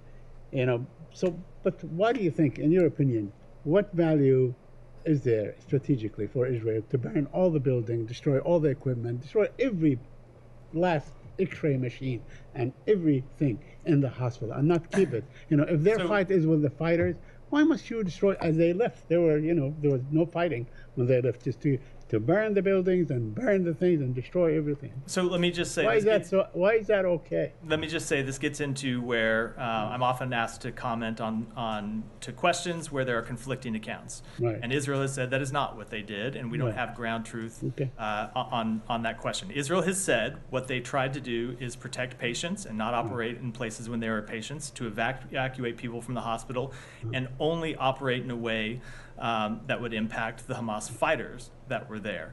Obviously, it's an incredibly difficult situation. There shouldn't be terrorists in a hospital at all. And so it's incredibly difficult to operate there and, and uh, s- achieve a legitimate counterterrorism goal in a way that minimizes harm to the pa- to patients, which goes back to the, my first point, which is Hamas shouldn't be in a hospital at all. Okay. Well, Hamas shouldn't be, as far as you know, Israel and the United States is concerned, should not be there. Period. But I would Uh, think, Saeed, everyone could conclude. I, I would think, including you, I would think everyone could conclude that Hamas should not be inside Well. I'm- don't think. no, well, I don't think. I hope anyway that that's not a controversial opinion. well, okay, but that's that's a different issue altogether. Now, not me- really. mm, not really. No, it's kind of the core of what we're talking Well, about.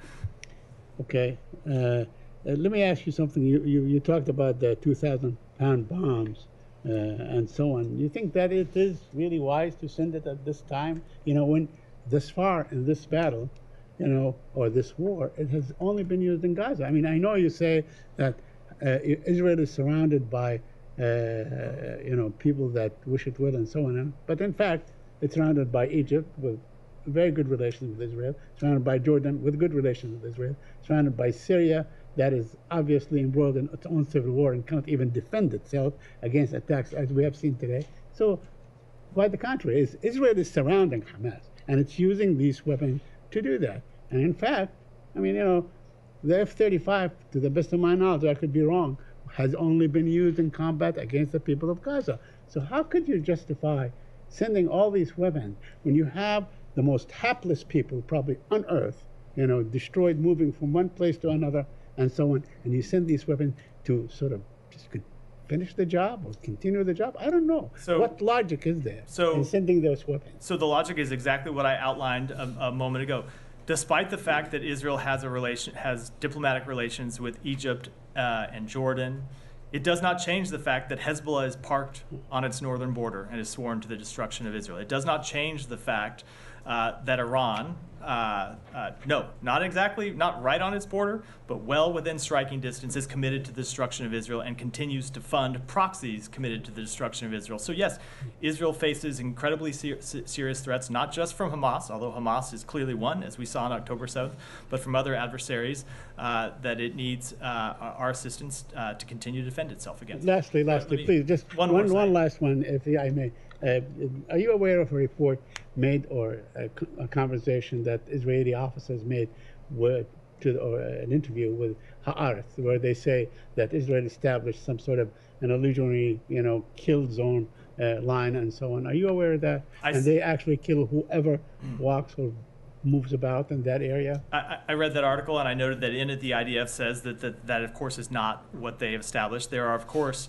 areas of significant combat where uh, any civilian could wander in and be the the um, uh, unfortunately be killed either by fire from Israel or by fire from Hamas. If you walk into an active conflict zone, uh, that's a possibility. I've, but I, have noted that the IDF said they have not, of course, established kill zones. It would be incredibly in- inappropriate for anything uh, like that to be established, and we've not seen evidence at this point that they have.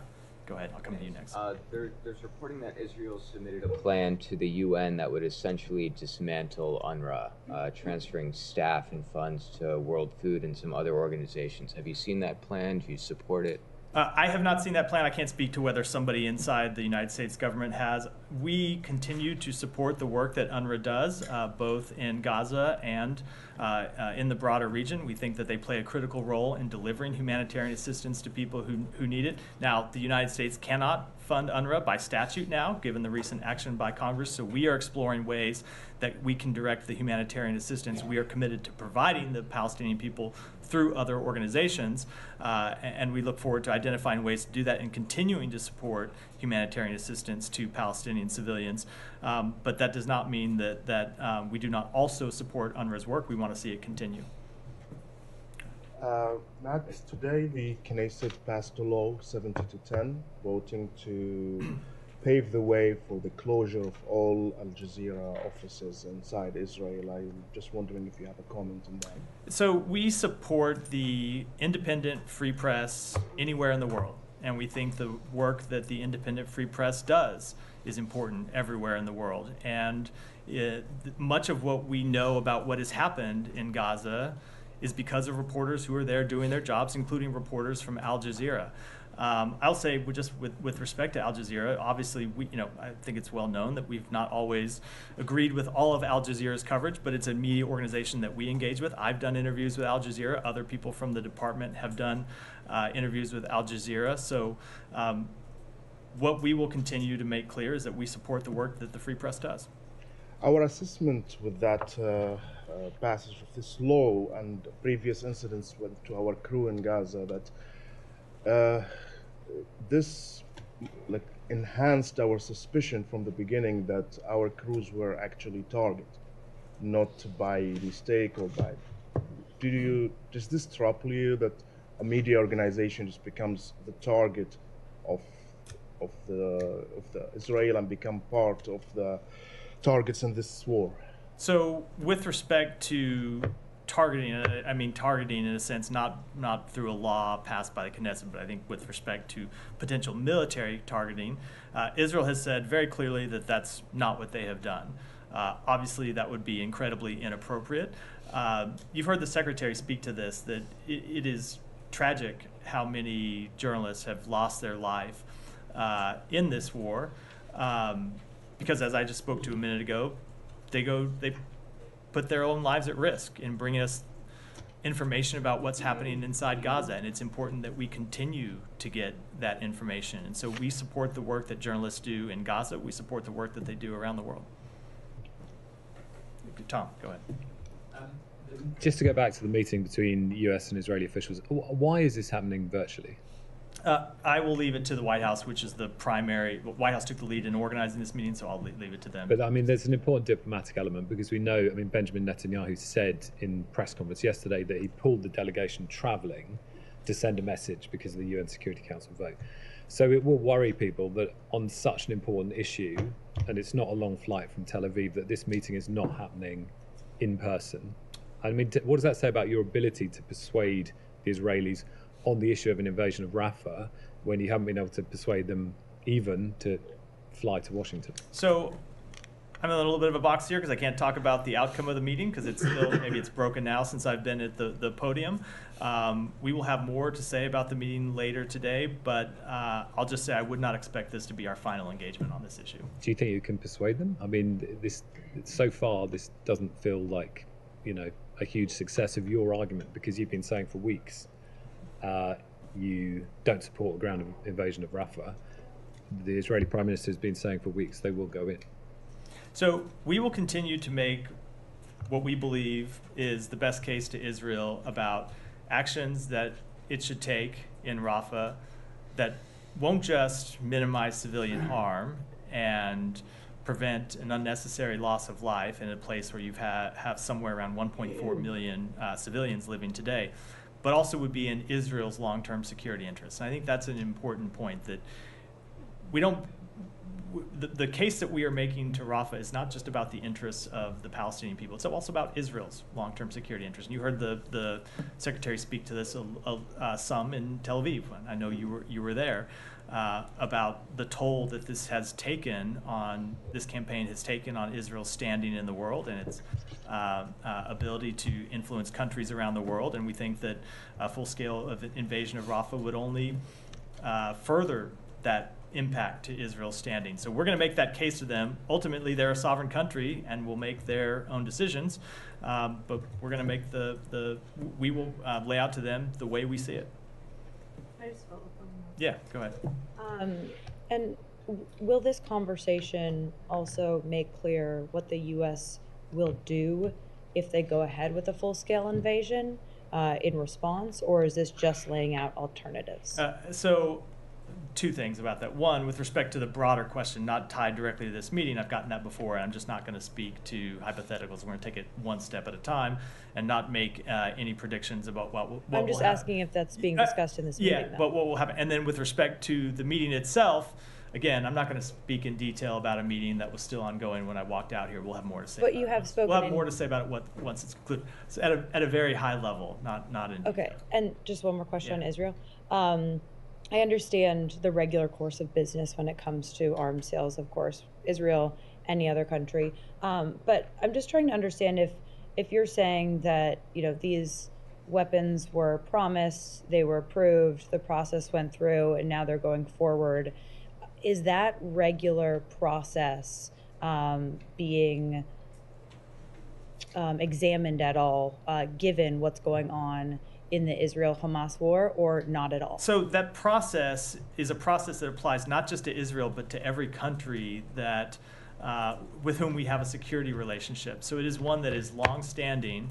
Um, and again, there are dozens, if not hundreds, of open orders uh, for Israel that go back years, uh, under which they uh, receive defense articles from the United States. So, no, that is not a. It is not a new process, uh, and it's not one just with respect to, to Israel. And and no, we're not re-examining the entire process. But obviously, we always look at we always look at requests that come from any country.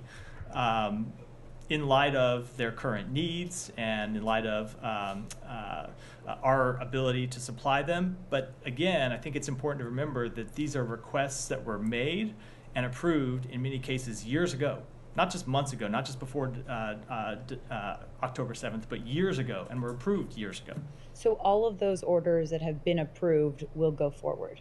Uh, so I can't say all of them will, that will go forward because Israel may come back and not want some of them. You, you talk about orders. If that are year- Israel orders wants them, year- they'll go forward. That years old. I cannot speak with respect to every request. And as I said, there are dozens of open requests that date back years. But when uh, a country comes and makes a request, and the United States does its due diligence and goes through the formal process of notifying Congress, uh, and then uh, uh, de- uh, delivers those arms to a country. If a Congre- if a country has ordered, like I said, 100 planes and they've taken 20, they still have the ability to come back and ask for the other 80 with which we've committed to provide them.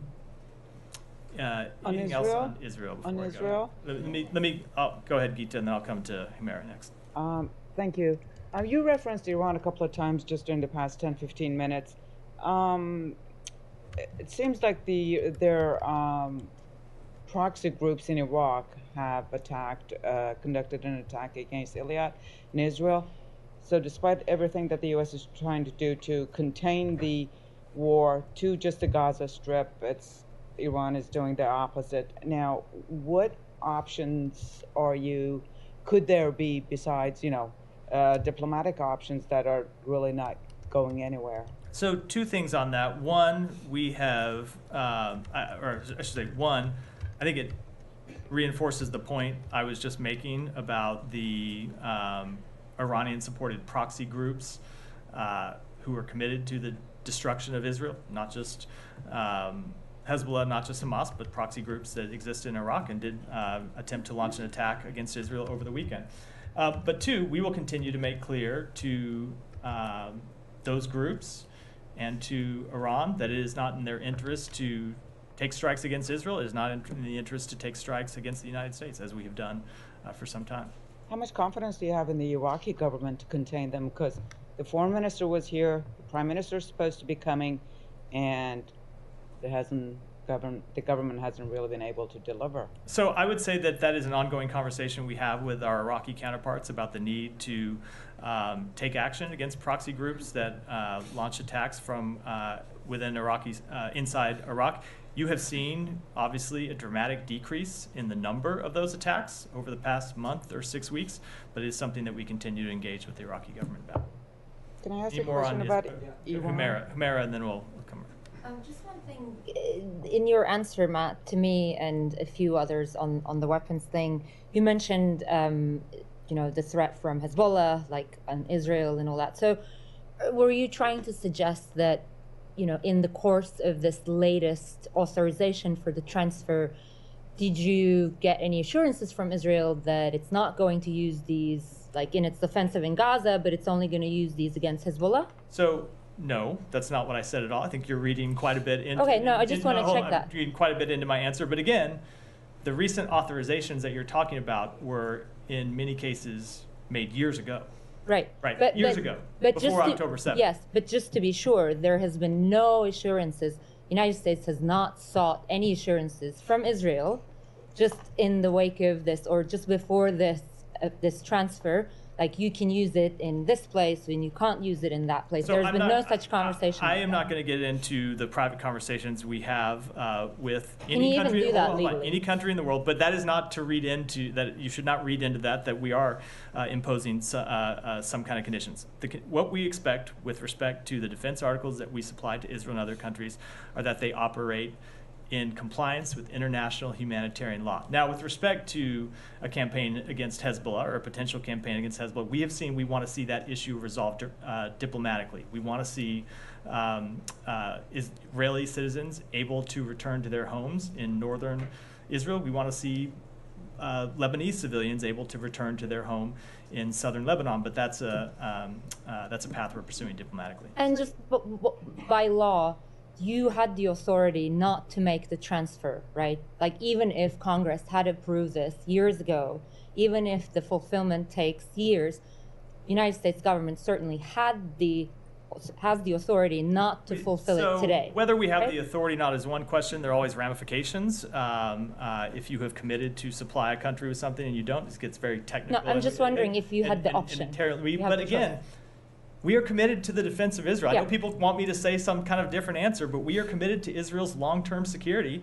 And Yep. again, this is something that predates October 7th and will continue to be the policy of the United States. And we will, and, and we will, in in uh, keeping with that commitment, continue to to uh, be very direct and candid with Israel about how it is in their interests to use the articles uh, of defense that we provide them, as well as weapons that they manufacture themselves, in full compliance with international humanitarian law and in a way that minimizes civilian harm. Final thing I promise. Are you expecting today's talk to feature at all the humanitarian plan that Israel is supposed to present to you? Why don't we just wait? Uh, uh, let's. I think I've probably talked enough about the, the these ongoing talks. Let's wait for what we'll have to say about them uh, at the conclusion. Uh, go ahead. Yeah. Yeah. Lebanon, you've been saying you are trying to resolve uh, the the issue on the northern borders diplomatically you've been successful so far, but are you concerned that now it's been escalating for the last two weeks? Are, is the risk higher now? Uh, I don't want to assess a relative level of risk. Our concern about escalation has, is high. It has been high since October 7th. And that is why we have engaged in a diplomatic process to try to resolve uh, the very real security challenges that Israel faces uh, without further conflict and what's, what we're going to continue to, to uh, pursue.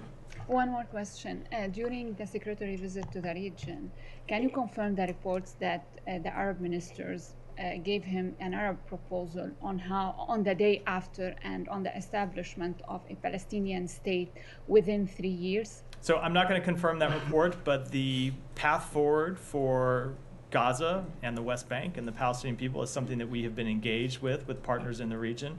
Uh, as you may recall, when the secretary traveled, I should back up, it's really been something that we have been engaged with partners since the immediate aftermath of October 7th, but it's a process that intensified when he traveled to the region in early January uh, and started direct coordination with Arab partners about how to rebuild Gaza, uh, establish security inside Gaza, and ultimately provide a political path forward uh, for the Palestinian people. And that's something that we continue to engage with uh, our Palestinian part, or, I'm sorry, our um, uh, Arab partners about. But I don't want to get into specifics of those conversations. Thank you. All right, one more, and then we'll and then we'll, we'll, we'll take some others. Go ahead. Uh, as you know that this election has been scheduled for June 10th and it's supposed to be further delayed. Especially the KDP, the ruling party, is refusing to participate in that election. In the past few days, the U.S. ambassador met the KDP leader twice. So, do you have any concern that the election, the KRI election, will not happen in the scheduled time? And then, how are you going to encourage the KDP and other political parties to overcome the disputes and having election either on June 10th or any other day this year. So we understand the IKR president uh, and various Iraqi authorities and political parties are actively considering next steps. We encourage efforts to schedule free, fair, and credible elections in the IKR. And I realize I forgot to come back to you about uh, yeah, I, I, you know, we could do. It seems like we could do the whole briefing on it. So let me, we'll, we'll move on for now and then come back um, if there's more time. Go ahead. I, I promise. Um, per the CBS 60 Minutes reporting that aired on Sunday, a first incident of Havana syndrome took place in Frankfurt with an employee of the U.S. consulate. This happened two years before the already known cases that occurred in Havana in 2016. Can you confirm there was an incident in 2014, at least one incident in Frankfurt that led to apparent Havana syndrome symptoms? So we have made it a practice to not confirm or comment on specific reports uh, uh, in this regard. What I will say is what we have done for affected employees, uh, and that is we have implemented the Havana Act passed by Congress that has allowed us to provide additional support to those affected employees, uh, including uh, reimbursement for medical care, including free care at military hospitals and other military treatment facilities. Uh, includes help uh, with their careers if they've been affected by, say, uh, a prolonged absence from work. Uh, the safety and security of our personnel remains the top priority of the Secretary, and we are doing everything possible to help those uh, affected. A couple more uh, on Havana still. Does the State Department's Bureau of Intelligence and Research have confidence that the, in the U.S. intelligence community's assessment that it is unlikely that a foreign adversary is causing Havana syndrome? So we do. It has been the broad uh, uh, conclusion of the intelligence community since March 20, uh, 2023 that it's unlikely a foreign adversary is responsible for these anomalous health incidents. It's something that the uh, intelligence community has investigated extensively and continues to look at. Um, we will look at the uh, new information as it comes in and make assessments inside the State Department and with our intelligence community. You can't confirm whether whether INR agrees with that in this building. No, I said we do, they, they You do share that. You do, okay. share that assessment. Um, and uh, I don't know if you've seen the report uh, that aired on Sunday, but will any State Department employees who believe they are victims of Havana face consequences for publicly questioning the intel community's assessment? No, of course not. Janie, go ahead. Thanks, Matt. And let me, let me, uh, I said, let me just come back and say, um, uh, uh, of course not, and in no case um, uh, would we in any way hold employees, accountable is not even the right word. In no case would we uh, discipline employees for speaking their mind. They have the uh, ability to do, to do that. We encourage it. But that doesn't change our assessment um, uh, and I say the, I should say our, the intelligence community's broad assessment that a foreign adversary is, is unlikely to be responsible for these incidents. Go ahead. Thank you, Thank you Matt. Uh, Russia and North Korea and China. Uh, Russia opposes extending the term of UN Security Council's panel of experts on sanctions against North Korea. How concerned is the United States about this? Uh, incredibly concerned. I spoke to this at, at detail in detail last week. It's unfortunate that uh, Russia and China decided to exercise their veto. This is a panel that has previous whose work has previously been extended unanimously, and uh, I think it's clear what happened here is that Russia made a bargain with the DPRK in return for. Uh, the DPRK arming it in its war against Ukraine, and now we're seeing Russia deliver on its end of the bargain.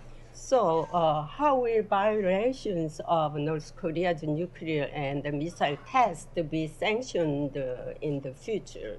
So we still have a full range of uh, sanctions uh, uh, on North Korea, and we will continue to enforce those. On uh, China, uh, President Xi Jinping and uh, Russian President Putin will hold a summit meeting in China next month. What do you think about the solidarity between Russia and China? So we have made clear that we have concerns um, with the, I think, full-scale partnership. I'm going to get the words exactly wrong that we have seen between Russia and China. We have made um, uh, very clear that we don't want to see China do anything to help support Russia's aggression in Ukraine, and we will continue to make that clear. Thank you. Uh, Alex, go ahead. Thank you, Matt. Uh, two separate topics. Let me start with the latest extension.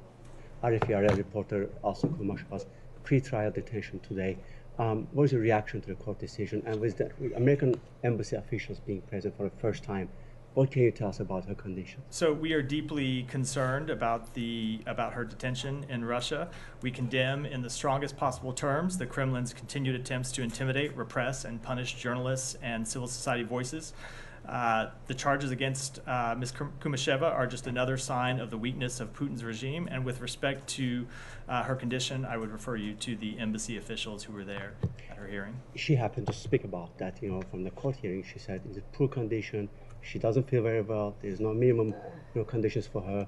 Um, I know you're in the middle of fact gathering when it comes to you know, designating her uh, arrest as, as wrongful. But how much of what we have heard publicly from her today will help you expedite the process? So we look at a broad range of information when it comes to uh, making those determinations. Some of that information is public, some of it is not public. Some of it is information that's available to the United States government, uh, and we'll continue to collect information in this case as we do in all potential wrongful Thank you. determinations. I'll, thank you. I'll move on to uh, Armenia, Azerbaijan. Over the weekend, we saw the Azeri side was trying to push a narrative that the Armenian side was trying to escalate, you know, um, and something that you know EU monitoring mission didn't uh, confirm. What, how much do you know what's going on, and uh, how concerned are you about potential escalation, and what kind of reaction will that invite if that happens? Presumably this week, say. So we saw the statement from uh, the government of Azerbaijan over the weekend. Uh, I would note that the EU monitoring mission uh, said yesterday that the Armenia-Azerbaijan border was calm and quiet, with no unusual military troop or artillery movements, despite those those statements. We caution and will continue to caution against escalating rhetoric or hostilities along the border.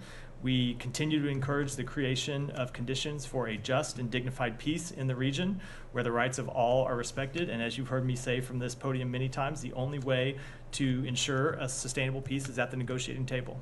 I know the secretary has an engagement this week with the Armenian side. Is there anything you're going to do in terms of you know, reaching out to Azeris to prevent the escalation? Uh, so we will continue to make clear to to um, both Armenia and Azerbaijan that escalation is in no one's interest. I don't have any uh, diplomatic conversations to preview. Have the Azeris been even invited to the meeting that will happen this week? So I think again, this meeting, remember, is about Armenia's reforms and its democracy, economy, and resilience. Um, the peace process is not the focus of this meeting. It's a meeting between the U.S., EU, and Armenia to discuss economic diversification, humanitarian assistance, uh, support for refugees, and supporting Armenia's political reforms in areas such as democracy and the rule of law. It is not a regionally focused meeting. You can find one from me, if I may, on uh, 60 Minutes uh, investigation. The reports about, you know, um, that uh, Americans living in Tbilisi also, uh, you know, talked about them being uh, impacted. How concerned are you about uh, Russian operations in, in, the region, in Georgia, of course? Uh, uh, so again, I'm not going to comment on specific reports. As I said, um, uh, we we make it a practice not to do, but we obviously are concerned with the destabilizing act, actions of Russia all around the region. Follow up on that. go ahead. Right. so this is on the meeting between U.S., South Korea, and Japan on Friday um, to counter North Korea's cyber threats. Uh, what are some of the things that came out of that meeting that the U.S. is doing to counter these cyber threats, and um, how big of a problem is it for the U.S.? Uh, let me take that back and get you uh, uh an answer. Uh, thanks, Matthew. Uh, can you confirm that next week an Israeli delegation is going to come to Washington in person? Will Secretary Blinken participate in that? Uh, no, I cannot confirm that. As I said, uh, I would not expect that the conversation today will be our last one, um, but I don't have anything else to offer. And regarding um, the likely shuttering of Al Jazeera in Israel, the, what the Israeli government has said over the years is that the channel has been known to instigate violence, and it's just, you know, obviously it's a propaganda arm of Qatar. What do you make of those um, pushbacks? Uh, I don't have anything to add to what I said uh, a moment ago, which is obviously we don't, we've made clear we don't agree with everything uh, that Al Jazeera airs, but at the same time, uh, we support the free, independent press anywhere in the world. But it's not independent. Michelle, owned by Qatar. Michelle, go ahead. Yeah, uh, are you concerned about the security situation in Jordan, especially that there are reports uh, stating that the regime is under threat from Iran and its proxies? Uh, no, I, uh, uh, we have a close working relationship with the uh, the government of Jordan, and I don't uh, I don't share that assessment. Thank you. Uh, go ahead. Yeah, go ahead. Fred. Thanks, thank you. Um, once I want to follow up on Saeed's question about the reports of kill zones in Gaza. you said that you know you haven't seen evidence of such a thing. But you know, we've seen, for instance, the two Palestinians who were waving white flags killed just days ago. We've seen repeated reports of Israeli snipers killing people outside of hospitals, people afraid to even walk into the streets to save people who are bleeding out. Um, so it seems understandable to say, you know, we've seen reports, Israel denied it, we'll look into it, but to outright say there's, there's not evidence of Israel establishing some form of, of this kind of practice, does, does that seem, you know, preliminary to, to say that kind of thing? No, we've not seen evidence of, of what was what was reported in this article. Now, have we seen uh, a number of incidents of civilian harm? Of course we have. We have seen those, and that happens in, in every war. Uh, and I can tell you what we have said before, which is we take those incredibly seriously. We have engaged with the government of Israel to set to make clear that uh, those accounts need to be investigated, and if, if soldiers are found to have operated in violation of either uh, the IDF code of conduct or international humanitarian law, they need to be disciplined. Okay, and then on Al Shifa Hospital, I know you've talked at, at some length about it, but I'm just wondering, you know, we've gone from months ago the idea of Israeli forces targeting hospital to being, you know, outlandish to now they've done this um, attack on Al Shifa, and statedly and ostensibly they say that you know they've killed um, Hamas terrorists. Nevertheless, you know we've seen reports of kids, women found gruesomely killed, executed. Reportedly, even a surgeon who was there for 172, 172 days, excuse me, treating patients killed.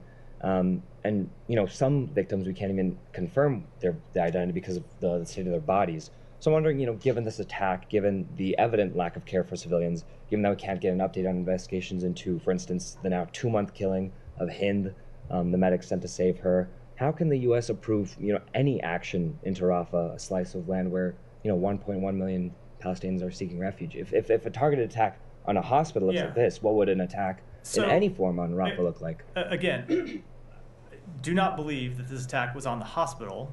It, the attack was on the Hamas fighters that are hiding inside a hospital. Sure, but that's- that's sort of my some, point. Some place that they should never be.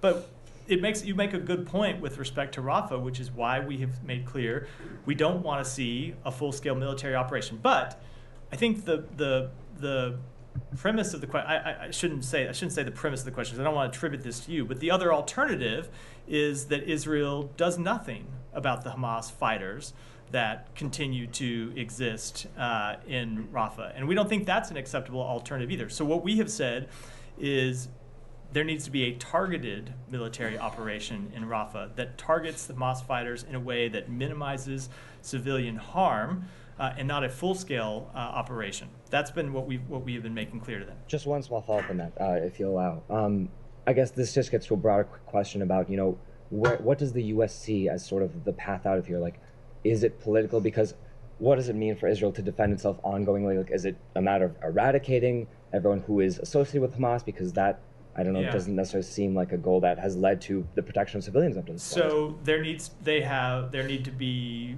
battlefield successes and there needs to be a political path forward, and that is what we have been engaged with partners in the region uh, to develop and ultimately present to Israel, because as you have heard the secretary say, without a political path forward for the Palestinian people, Israel and the Palestinians are going to be stuck in this same cycle of violence that they have been stuck in for decades. And that's not in the Palestinian people's interest, as we have seen over the past nearly six months. It is not in Israel's interest, as we saw very clearly on October 7th. And so that is the work that we are doing inside the United States government to try to develop that political path forward that we think ultimately is in the best interests of the Palestinian people, the Israeli people, and the broader uh, region at large. Go ahead. Uh, yesterday, Turkey held local elections. I know it's the local elections, but it has a significant outcome. So, do you have any comment or statement about these elections, the process of these elections, or the results? Uh, I don't have any, any comment on that. We typically don't um, uh, comment or take a position on elections anywhere in the world. And the uh, elections are over. Do you have any updates about President Erdogan's uh, visit to Washington in May? Uh, I do not. Uh, go ahead, and then we'll wrap for this. Uh, come to Gita. Good news about uh, one of the U.S. detainee in Afghanistan, uh, Mr. Ryan Corbett. I spoke to the uh, senior Taliban official. They said that he's in good health and he speaks to his family.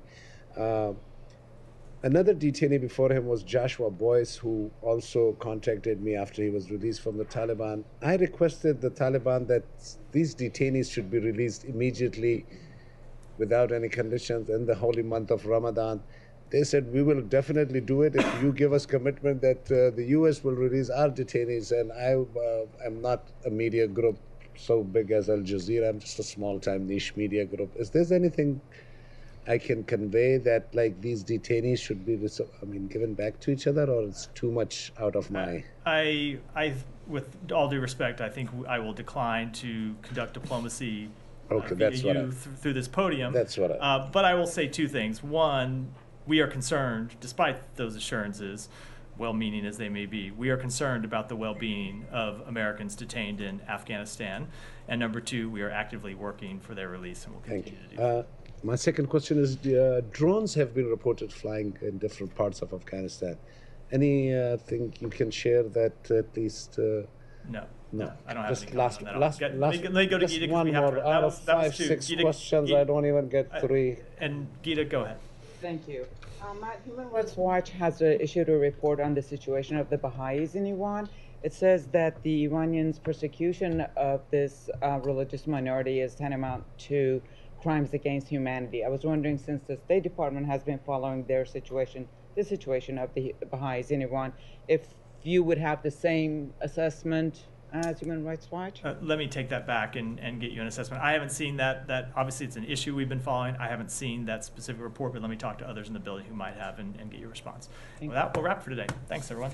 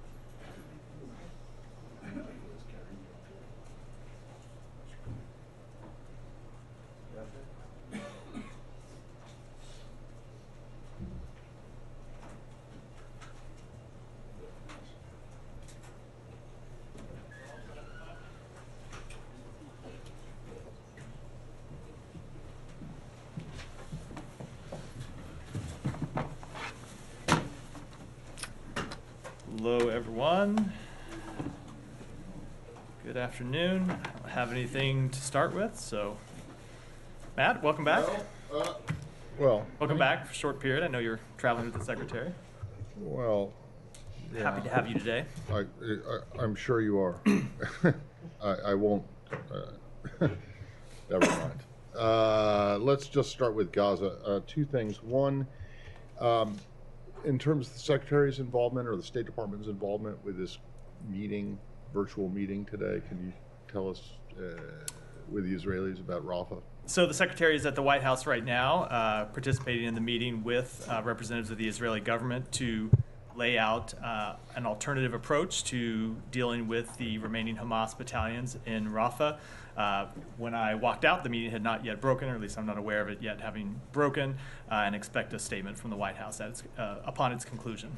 Okay. Well, was there anything specifically that the State Department wanted to convey to get across to the Israelis in this meeting? So I don't want to speak too specifically about the meeting that is, as far as I'm aware, ongoing. We'll have a statement afterwards, but the secretary would, uh, I expect, reiterate the concerns that he expressed when he was in Israel some 10 days ago now about the dramatic uh, humanitarian impact of a full-scale ground invasion um, in Rafah.